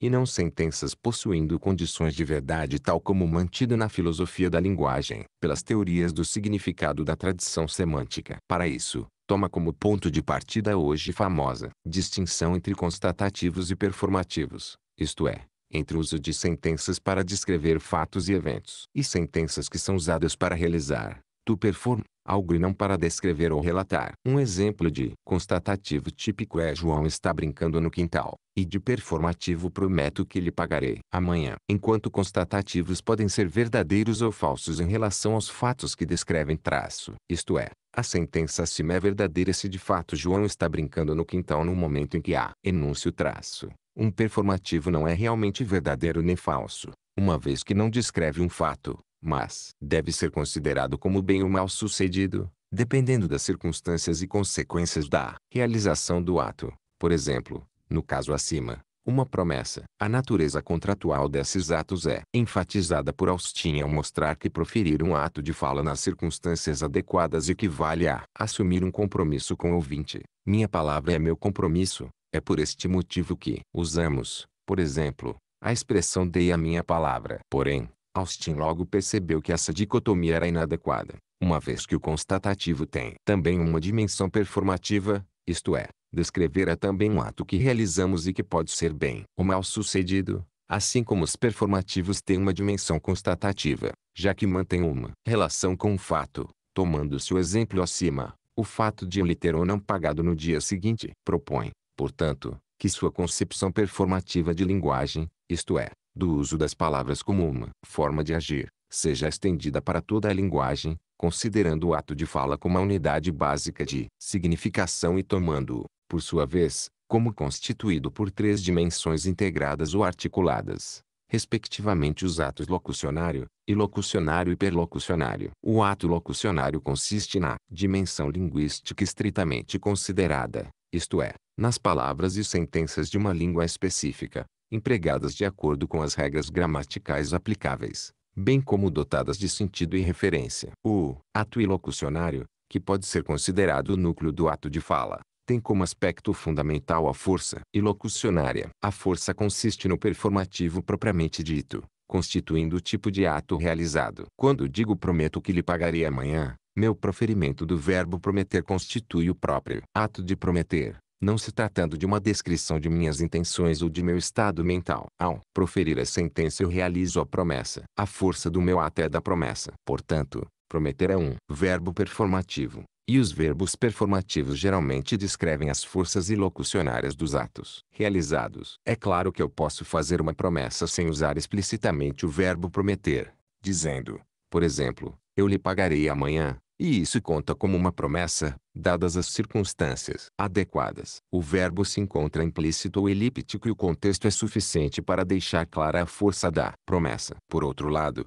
poderia contar também como uma ameaça em circunstâncias diferentes em outro contexto. Isso revela que atos ilocucionários podem ser realizados com verbos performativos implícitos ou elípticos e ainda assim ter a força que pretendem ter. Por isso pode ser dito que a realização de um ato de fala com uma determinada força vai além dos seus elementos linguísticos propriamente ditos. E na linguagem ordinária este é um fenômeno bastante comum. Um dos objetivos principais da análise dos atos de fala consiste precisamente em tornar explícita a força do ato realizado permitindo assim identificar o seu tipo. O ato perlocucionário, que tem recebido menos atenção dos especialistas, foi definido por Austin como se caracterizando pelas consequências do ato em relação aos sentimentos, pensamentos e ações da audiência, ou do falante, ou de outras pessoas, e pode ter sido realizado com o objetivo, intenção ou propósito de gerar essas consequências quando dizer é fazer, Oitava Conferência. Austin caracteriza em seguida as condições pressupostas para a realização dos atos de fala,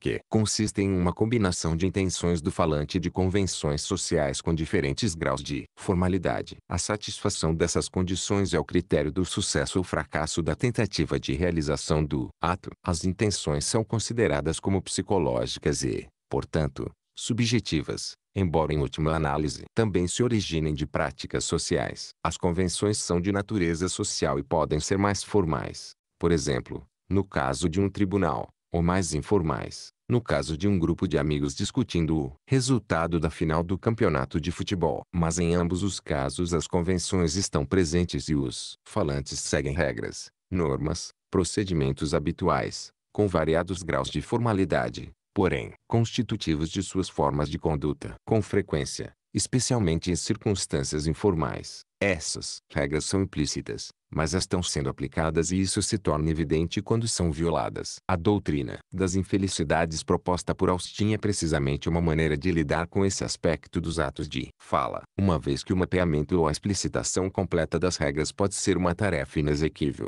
A análise dos motivos pelos quais alguns atos falham, ou são infelizes, é reveladora das regras que foram rompidas nesses casos e, portanto, pode ser uma boa forma de torná-las evidentes. Quando nomeio alguém para um cargo e não tem autoridade para isso, ou se tem autoridade mas o indivíduo nomeado não satisfaz as exigências para assumir o cargo, o ato de nomear não se realiza. Isso mostra que nomear, para ser bem-sucedido, pressupõe a autoridade do falante e a adequação daquele que está sendo nomeado. Na última, décimo segunda, conferência de quando dizer é fazer, Austin propõe a seguinte classificação das forças ilocucionárias dos proferimentos em cinco tipos gerais. 1. Um, veredictivos, que caracterizam-se por dar um veredicto, tais como absolvo, condeno, considero, avalio. 2. Exercitivos, que consistem no exercício de poderes, direitos ou influências, por exemplo, nomeio, demito,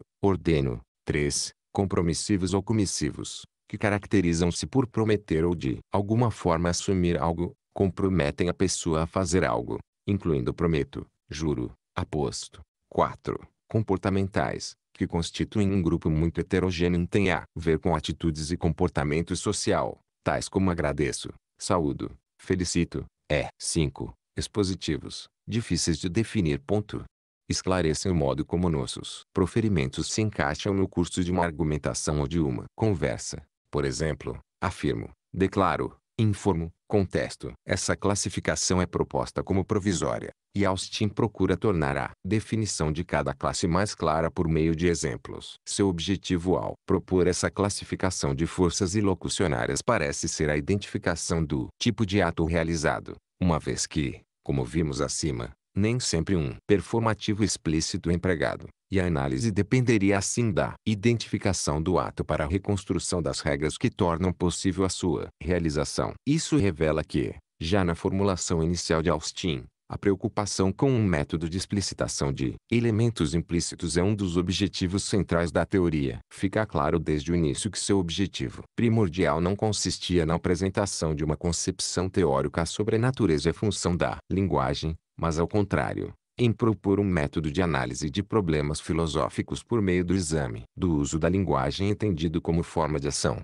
isto é, como modo de realizar atos por meio de palavras. Com efeito, na última conferência, mencionada acima, Austin afirma que o ato de fala total na situação de fala total é o único fenômeno real que, em última análise, pretendemos elucidar. Nas observações finais dessa conferência, Austin enfatiza a necessidade de aplicar a teoria a problemas filosóficos. Na realidade, conceitos como performativo e força locucionária tornaram-se correntes na atualidade em muitas teorias, em áreas como linguística, psicologia, ciências sociais, teoria da comunicação, filosofia do direito, mostrando a influência que essa concepção de linguagem teve para além, inclusive, da própria filosofia da linguagem. Quando dizer é fazer, a concepção performativa de linguagem, o ato de fala. Esse livro, contendo essencialmente as notas de Austin para as 12 conferências William James, feitas em Harvard em 1955, baseadas por sua vez em notas de conferências anteriores em Oxford, foi publicado postumamente em 1962 sem ter passado por uma revisão do autor. É nessa obra que Austin desenvolve sua visão performativa de linguagem, a concepção de que usar a linguagem é realizar atos, e não descrever a realidade. Austin formula também, na segunda conferência, as condições de possibilidade de realização bem-sucedida de um ato de fala, incluindo procedimentos convencionais é intenções e expectativas do falante. Primeira conferência. Ponto. Que nome daríamos a uma sentença ou a um proferimento desse tipo? Proponho denominá-la sentença performativa ou proferimento performativo, ou, de forma abreviada, um performativo. O termo performativo será usado em uma variedade de formas e construções cognatas, assim como se dá com o termo imperativo. Evidentemente que esse termo é derivado do verbo, inglês, to perform, verbo correlato do substantivo ação, lhe indica que ao se emitir o proferimento está se realizando uma ação, não sendo, consequentemente, considerado um mero equivalente a dizer algo. Muitos outros termos podem ser sugeridos, cada um cobrindo uma ou outra classe mais ou menos ampla de performativos. Por exemplo, muitos performativos são contratuais aposto, ou declaratórios declaro guerra. Mas nenhum termo de uso corrente que eu conheça é suficiente para cobrir todos os casos. O termo técnico que mais se aproxima do que necessitamos seria talvez operativo, na acepção em que é usado pelos advogados ingleses ao se referirem àquelas cláusulas de um instrumento legal que servem para efetuar a transação, isto é, a transmissão de propriedade, ou o que quer que seja, que constitui sua principal finalidade. ao passo que o resto do documento simplesmente relata as circunstâncias em que se deve efetuar a transação. Mas operativo tem outros significados. Ponto.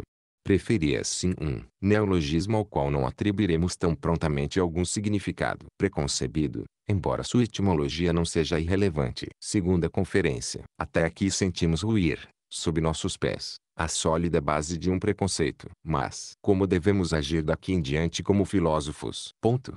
Primeiro, vamos concentrar nossa atenção em um detalhe já mencionado de passagem, a questão das circunstâncias adequadas. Apostar não é, como já assinalei, simplesmente proferir as palavras aposto etc. Com efeito, alguém poderia dizer tais palavras e mesmo assim poderíamos discordar de que tivesse de fato conseguido apostar. Para comprovar o que acabo de dizer basta, digamos, propor a nossa aposta após o término da corrida de cavalos. Além do proferimento das palavras, chamadas performativas, muitas outras coisas em geral têm que ocorrer de modo adequado para podermos dizer que realizamos, com êxito, a nossa ação. Quais são essas coisas esperamos descobrir pela observação e classificação dos tipos de caso em que algo sai errado e nos quais o ato, isto é, casar, apostar, fazer um legado, batizar etc. redunda, pelo menos em parte, em fracassar. Em tais casos não devemos dizer de modo geral que o proferimento seja falso,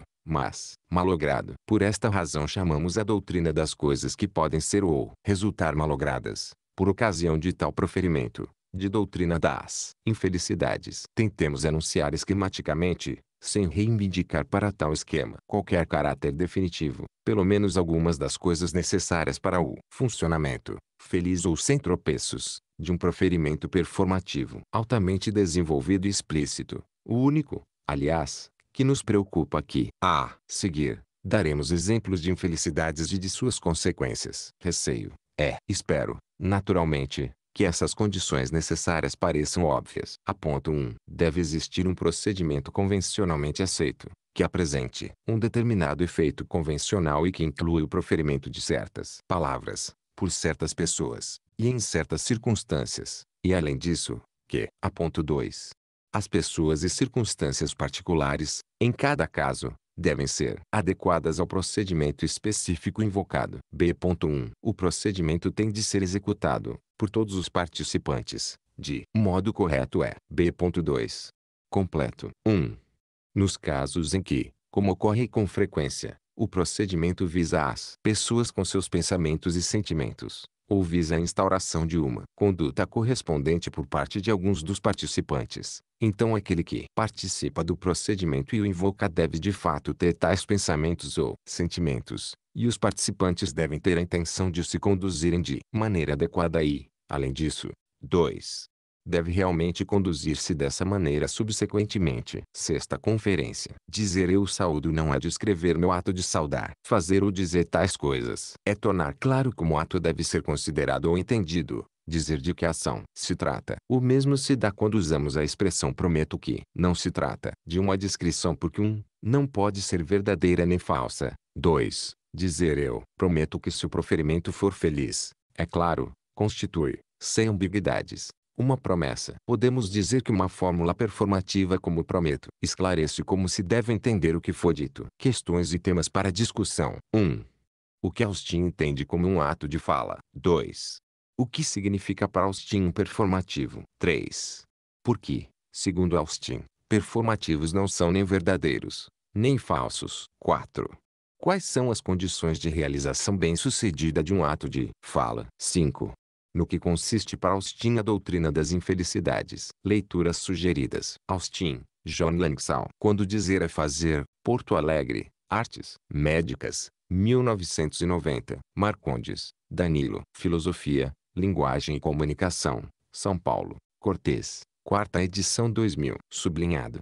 A Pragmática na Filosofia Contemporânea. Rio de Janeiro, Jorge Zar, 2005. Otoni, Paulo. Visão Performativa de Linguagem, Campinas, Unicamp, 1998. Heidegger. Martin Heidegger, 1889 a 1976. Nasceu na Alemanha e foi um dos filósofos mais originais e influentes do século XX. Procurou, a partir de uma crítica radical à tradição da metafísica ocidental, que segundo sua interpretação se origina em Platão, dar um novo rumo, um novo sentido à filosofia, que fosse também a busca de algo mais originário, mais fundamental, a retomada da ontologia, a superação do esquecimento do ser, que teria ocorrido nesta tradição. Sua principal obra, que permaneceu inacabada, Ser e Tempo, Senum Dizete, cf.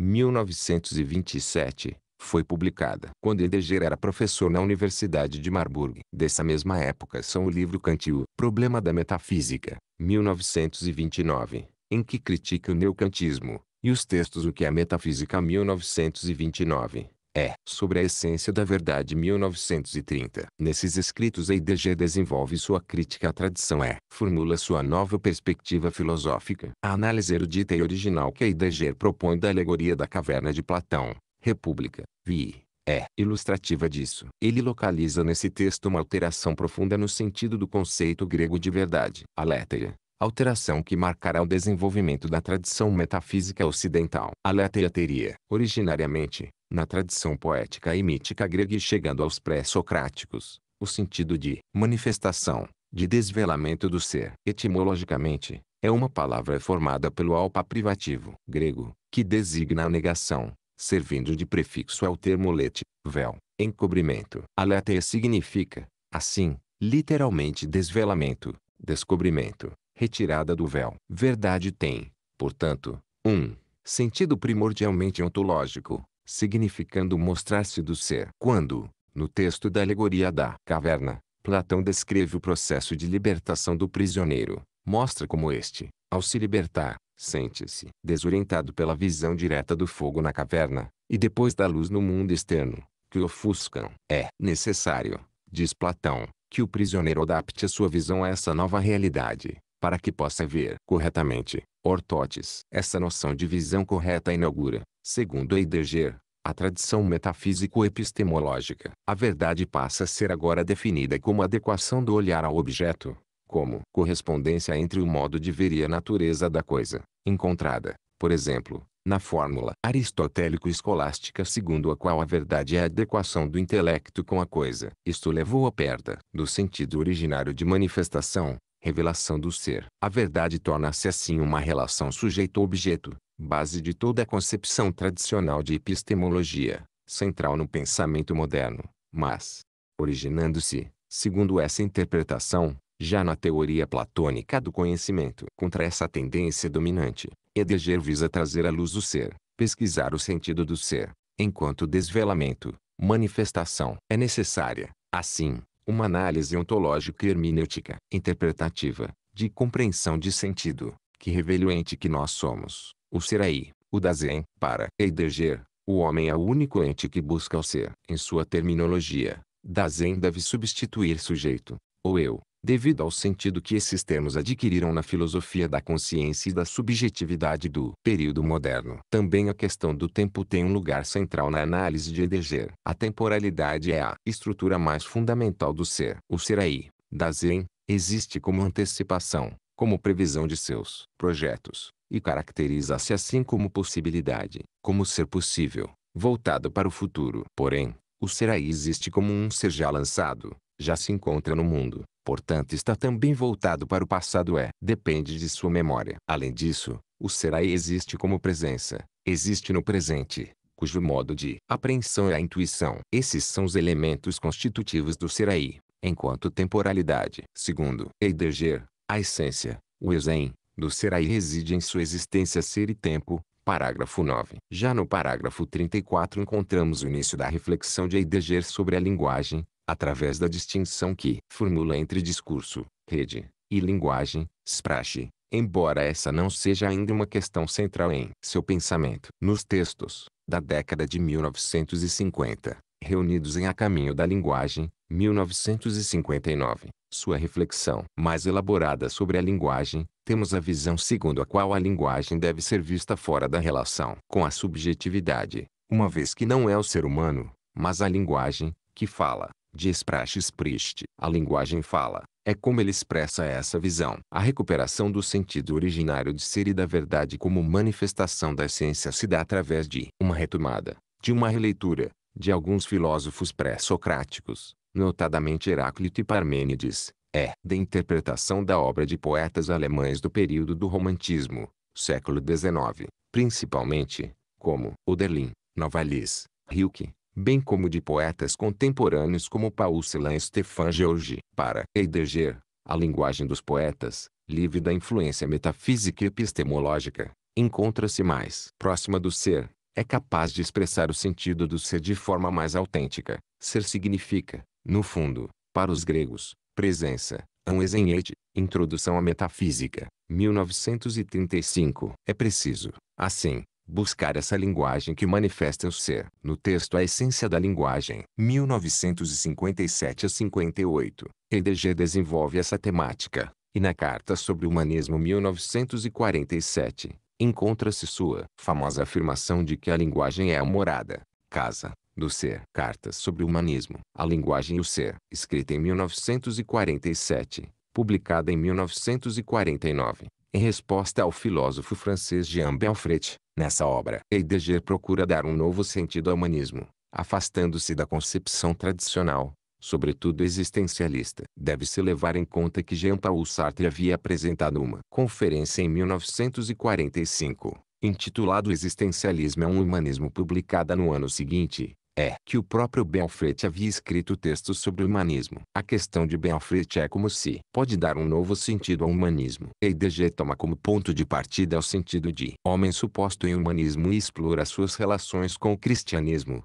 o marxismo e o existencialismo. Afirma então que o homem é o pastor do ser, e que sua relação com o ser se dá, sobretudo através da linguagem, entendida como morada, casa, do ser como seu abrigo. A linguagem não é assim apenas um instrumento, algo de que dispomos para nos comunicar, mas o homem pertence à linguagem. Estamos ainda longe de pensar, com suficiente radicalidade, a essência do agir. Conhecemos o agir apenas como produzir de um efeito a sua realidade efetiva segundo a utilidade que oferece. Mas a essência do agir é o consumar. Consumar significa desdobrar alguma coisa até a plenitude de sua essência, levá-la à plenitude, produzir. Por isso, apenas pode ser consumado, em sentido próprio, aquilo que já é. O que todavia é, antes de tudo, é o ser. O pensar consuma a relação do ser com a essência do homem. O pensar não produz nem efetua esta relação. Ele apenas oferece ao ser, como aquilo que a ele próprio foi confiado pelo ser. Esta oferta consiste no fato de, no pensar, o ser ter acesso à linguagem. A linguagem é a casa do ser. Nesta habitação do ser mora o homem. Os pensadores e os poetas são os guardas desta habitação. A guarda que exerce é o ato de consumar a manifestação do ser, na medida em que elevam a linguagem e nela conservam. Não é por ele irradiar um efeito, ou por ser aplicado, que o pensar se transforma em ação. O pensar age enquanto exerce como pensar. Este agir é provavelmente o mais singelo e, ao mesmo tempo, o mais elevado porque interessa a relação do ser com o homem. Toda a eficácia, porém, funda-se no ser e espraia-se sobre o ente. O pensar, pelo contrário, deixa-se requisitar pelo ser para dizer a verdade do ser. O pensar consuma este deixar. Pensar é engajemente para letra. Ignoro-se do ponto de vista linguístico é possível dizer ambas as coisas para e por, numa só expressão, a saber, pensar, que estilo engajemente de letra. Aqui, a palavra para o genitivo de ele, visa expressar que o genitivo é, ao mesmo tempo, genitivos subjectivos e objetivos. Mas nisto não se deve esquecer que sujeito e objeto são expressões inadequadas da metafísica que se apoderou, muito cedo, da interpretação da linguagem, na forma da lógica e da gramática ocidentais. Mesmo hoje, mal somos capazes de pressentir o que se esconde neste processo. A libertação da linguagem dos grilhões da gramática e a abertura de um espaço essencial mais original estão reservadas como tarefa para o pensar e o poetizar. O pensar não é apenas lengagemente dança da action em favor e através do ente, no sentido do efetivamente real da situação presente. O pensar é engajemente através de em favor da verdade do ser. A sua história nunca é completa. Ela sempre está na iminência de vir a ser. A história do ser sustenta e determina cada condition et situation. O mine. Ponto, ponto, ponto, supondo que ensino seja dado questionar tão simploriamente, como se comporta.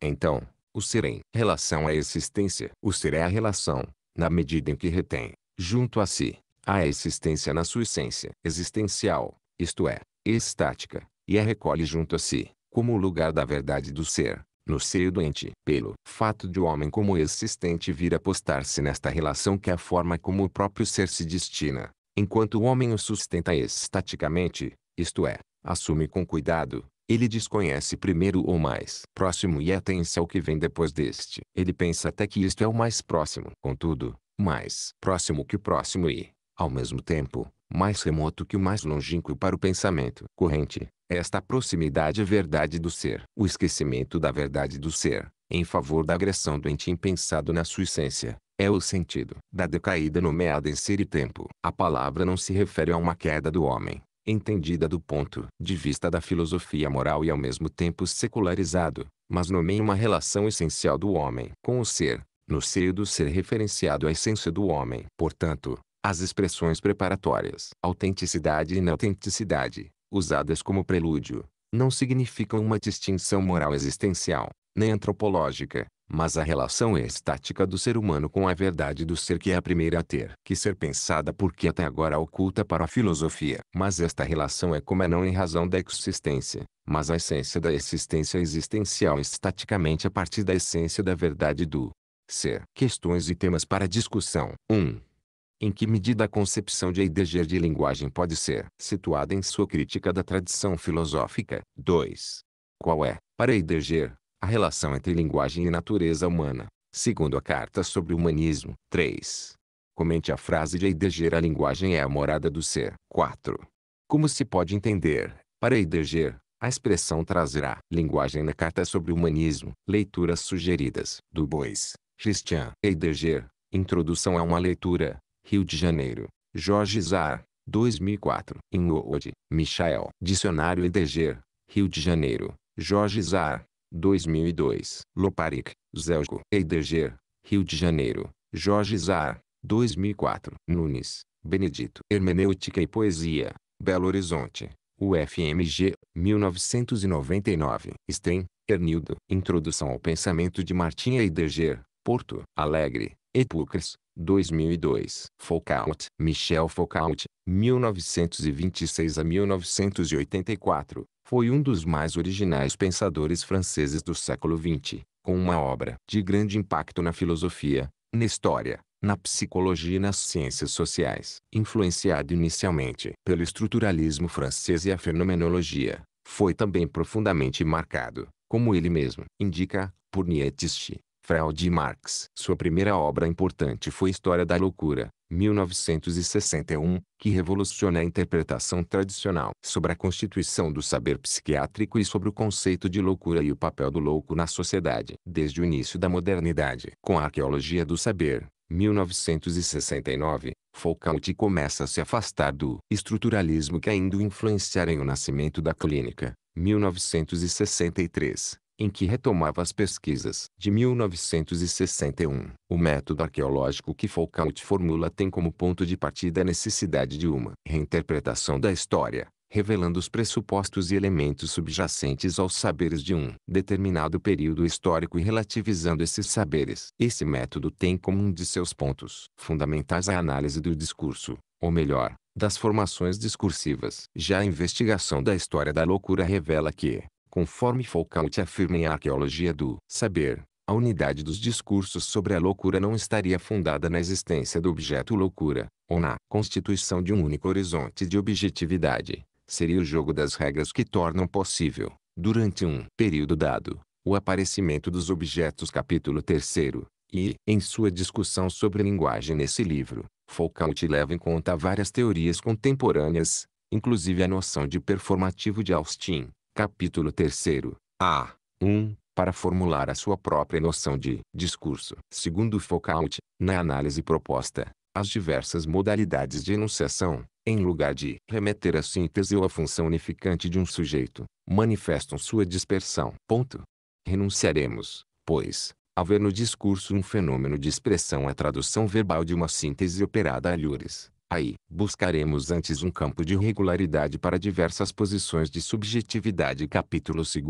E Foucault foi um crítico da modernidade, questionando seus pressupostos racionalistas, seu modelo de ciência, sua concepção de subjetividade, e formulando uma crítica extremamente original ao nascimento das ciências humanas em suas palavras e as coisas. Uma arqueologia das ciências humanas, 1966 em que examina inclusive o surgimento e desenvolvimento das ciências da linguagem nos séculos 17 e 18. Ver principalmente os capítulos 4 e 20. Sua análise volta-se posteriormente para as epistemes como formações discursivas, sendo que o método arqueológico dá lugar a genealogias, inspiradas na genealogia da moral de Nietzsche, que buscam dar conta das mudanças, rupturas, transições entre as diferentes formações discursivas em diferentes períodos. A ordem do discurso, linguagem e poder. Esse texto foi inicialmente apresentado como aula inaugural no Colégio de França em 2 de dezembro de 1970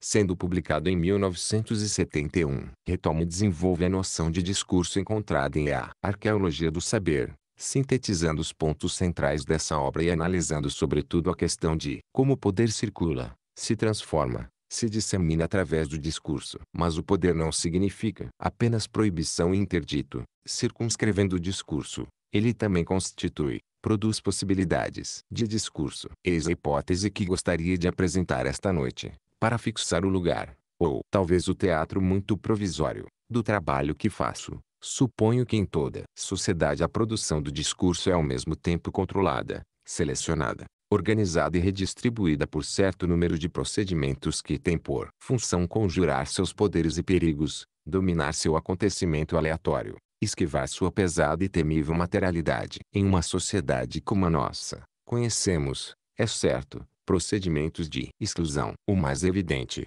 o mais familiar também, e a interdição. Sabe-se bem que não se tem o direito de dizer tudo, que não se pode falar de tudo em qualquer circunstância, que qualquer um, enfim, não pode falar de qualquer coisa. Tabu. Do objeto. Ritual da circunstância. Direito privilegiado ou exclusivo do sujeito que fala. Temos aí o jogo de três tipos de interdições que se cruzam, se reforçam ou se compensam, formando uma grade complexa que não cessa de se modificar. Notaria apenas que, em nossos dias, as regiões onde a grade é mais cerrada, onde os buracos negros se multiplicam, são as regiões da sexualidade e as da política como se o discurso, longe de ser esse elemento transparente ou neutro no qual a sexualidade se desarma e a política se pacifica, fosse um dos lugares onde elas exercem, de modo privilegiado, alguns de seus mais temíveis poderes. Por mais que o discurso seja aparentemente bem pouca coisa, as interdições que o atingem revelam logo,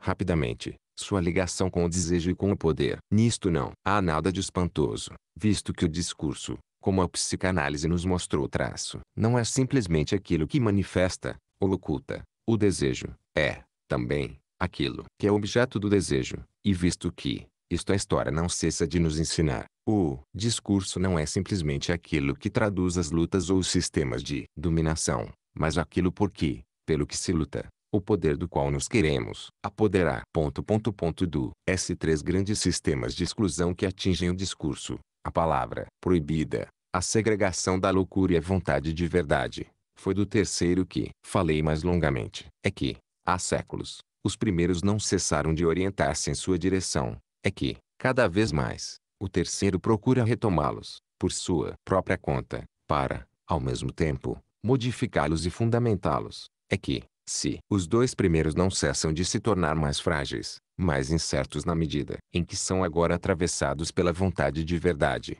Esta, em contrapartida, não cessa de se reforçar, de se tornar mais profunda e mais incontornável. E, contudo, é dela sem dúvida que menos se fala. Como se para nós a vontade de verdade suas peripécias fossem mascaradas pela própria verdade em seu desenrolar necessário. E a razão disso é, talvez, esta, é que o seu discurso verdadeiro não é mais, com efeito, desde os gregos, aquele que responde ao desejo ou aquele que exerce o poder, na vontade de verdade, na vontade de dizer esse discurso verdadeiro, o que está em jogo senão o desejo e o poder. O discurso verdadeiro, que a necessidade de sua forma liberta do desejo e libera do poder, não pode reconhecer a vontade de verdade que o atravessa, e a vontade de verdade, essa que se impõe a nós há bastante tempo, é tal que a verdade que ela quer não pode deixar de mascará-la. Assim, só parece aos nossos olhos uma verdade que seria riqueza, fecundidade, força doce e insidiosamente universal. E ignoramos, Em contrapartida, a vontade de verdade, como prodigiosa maquinaria destinada a excluir todos aqueles que, ponto por ponto, em nossa história, procuraram contornar essa vontade de verdade e recolocá-la em questão contra a verdade, lá, justamente onde a verdade assume a tarefa de justificar a interdição e definir a loucura, todos aqueles, de Nietzsche Chartal de Abataile, devem agora nos servir de sinais, altivos sem dúvida, para o trabalho de todo dia. Existem, evidentemente, muitos outros procedimentos de controle e de delimitação do discurso. Aqueles de que falei até agora se exercem de certo modo do exterior, funcionam como sistemas de exclusão, concernem, sem dúvida, a parte do discurso que põe em jogo o poder e o desejo. Pode-se, creio eu, isolar outro grupo de procedimentos, procedimentos internos, visto que são os discursos eles mesmos que exercem seu próprio controle, procedimentos que funcionam, sobretudo, a título de princípios de classificação, de ordenação, de distribuição, como se se tratasse, desta vez, de submeter outra dimensão do discurso, a do acontecimento e do acaso. Em primeiro lugar, o comentário. Suponho, mas sem ter muita certeza, que não há sociedade onde não existam narrativas maiores que se contam, se repetem e se fazem variar, fórmulas, textos, conjuntos ritualizados de discursos que se narram, conforme circunstâncias bem determinadas, coisas ditas uma vez e que se conservam, porque nelas se imagina haver algo como um segredo ou uma riqueza. Em suma, pode-se supor que há, muito regularmente nas sociedades, uma espécie de desnivelamento entre os discursos, os discursos que se dizem no correr dos dias e das trocas, e que passam com o ato mesmo que os pronunciou, e os discursos que estão na origem de certo número de atos novos, de fala que os retomam, os transformam ou falam deles,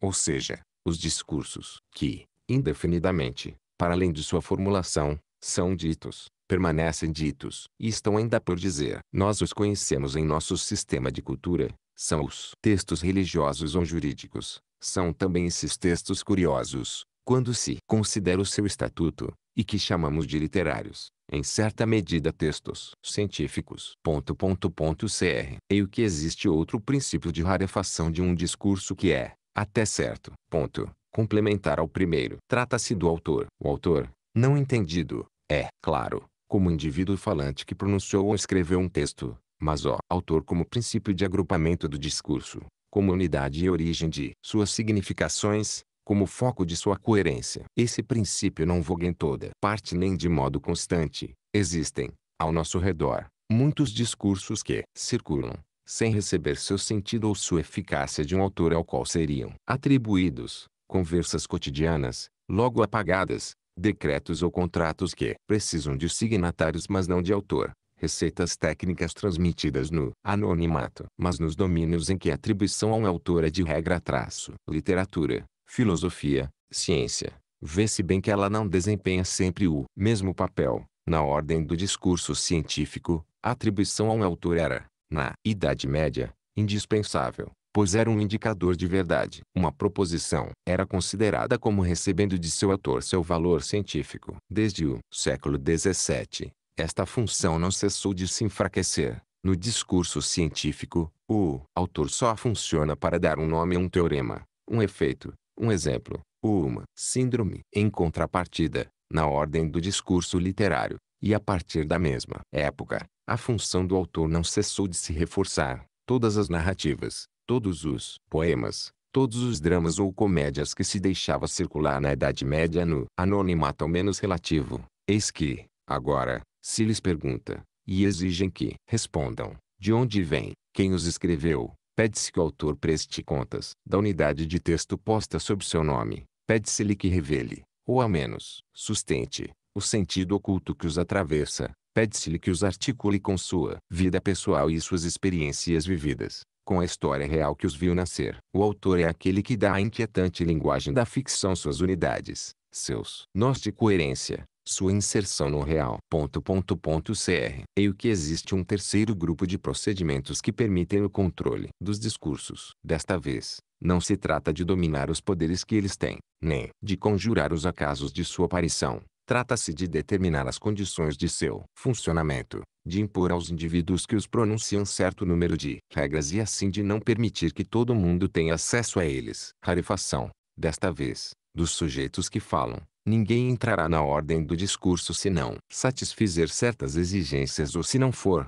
de início, qualificado para fazê-lo. Mais precisamente, nem todas as regiões do discurso são igualmente abertas e penetráveis. Algumas são altamente proibidas, diferenciadas e diferenciantes, enquanto outras parecem quase abertas a todos os ventos e postas, sem restrição prévia, à disposição de cada sujeito que fala. Questões e temas para discussão. 1. Qual a importância da linguagem entendida como discurso para Foucault? 2.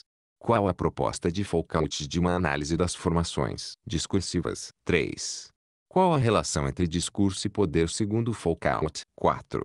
Como Foucault vê a questão do autor em relação ao discurso? Leituras sugeridas. Deleuze, Gilles. Foucault, São Paulo, Brasiliense, 1988. Dreyfus, Hubert Paul Rabinot. Michel Foucault, Uma trajetória filosófica para além do estruturalismo e da hermenêutica. Rio de Janeiro, Forense, 1995. Eribon, Didier. Michel Foucault, 1926 a 1984. São Paulo, Companhia das Letras, 1990. Foucault, Michel. Arqueologia do Saber, Petrópolis, Vozes, 1971. Sublinhado. A Ordem do Discurso, São Paulo, Loyola, 1998. Machado, Roberto. Foucault, A Ciência e o Saber, Rio de Janeiro, Jorge Zar, 2006. Rajiman, J. Foucault, A Liberdade da Filosofia, Rio de Janeiro, Jorge Zar, 1987.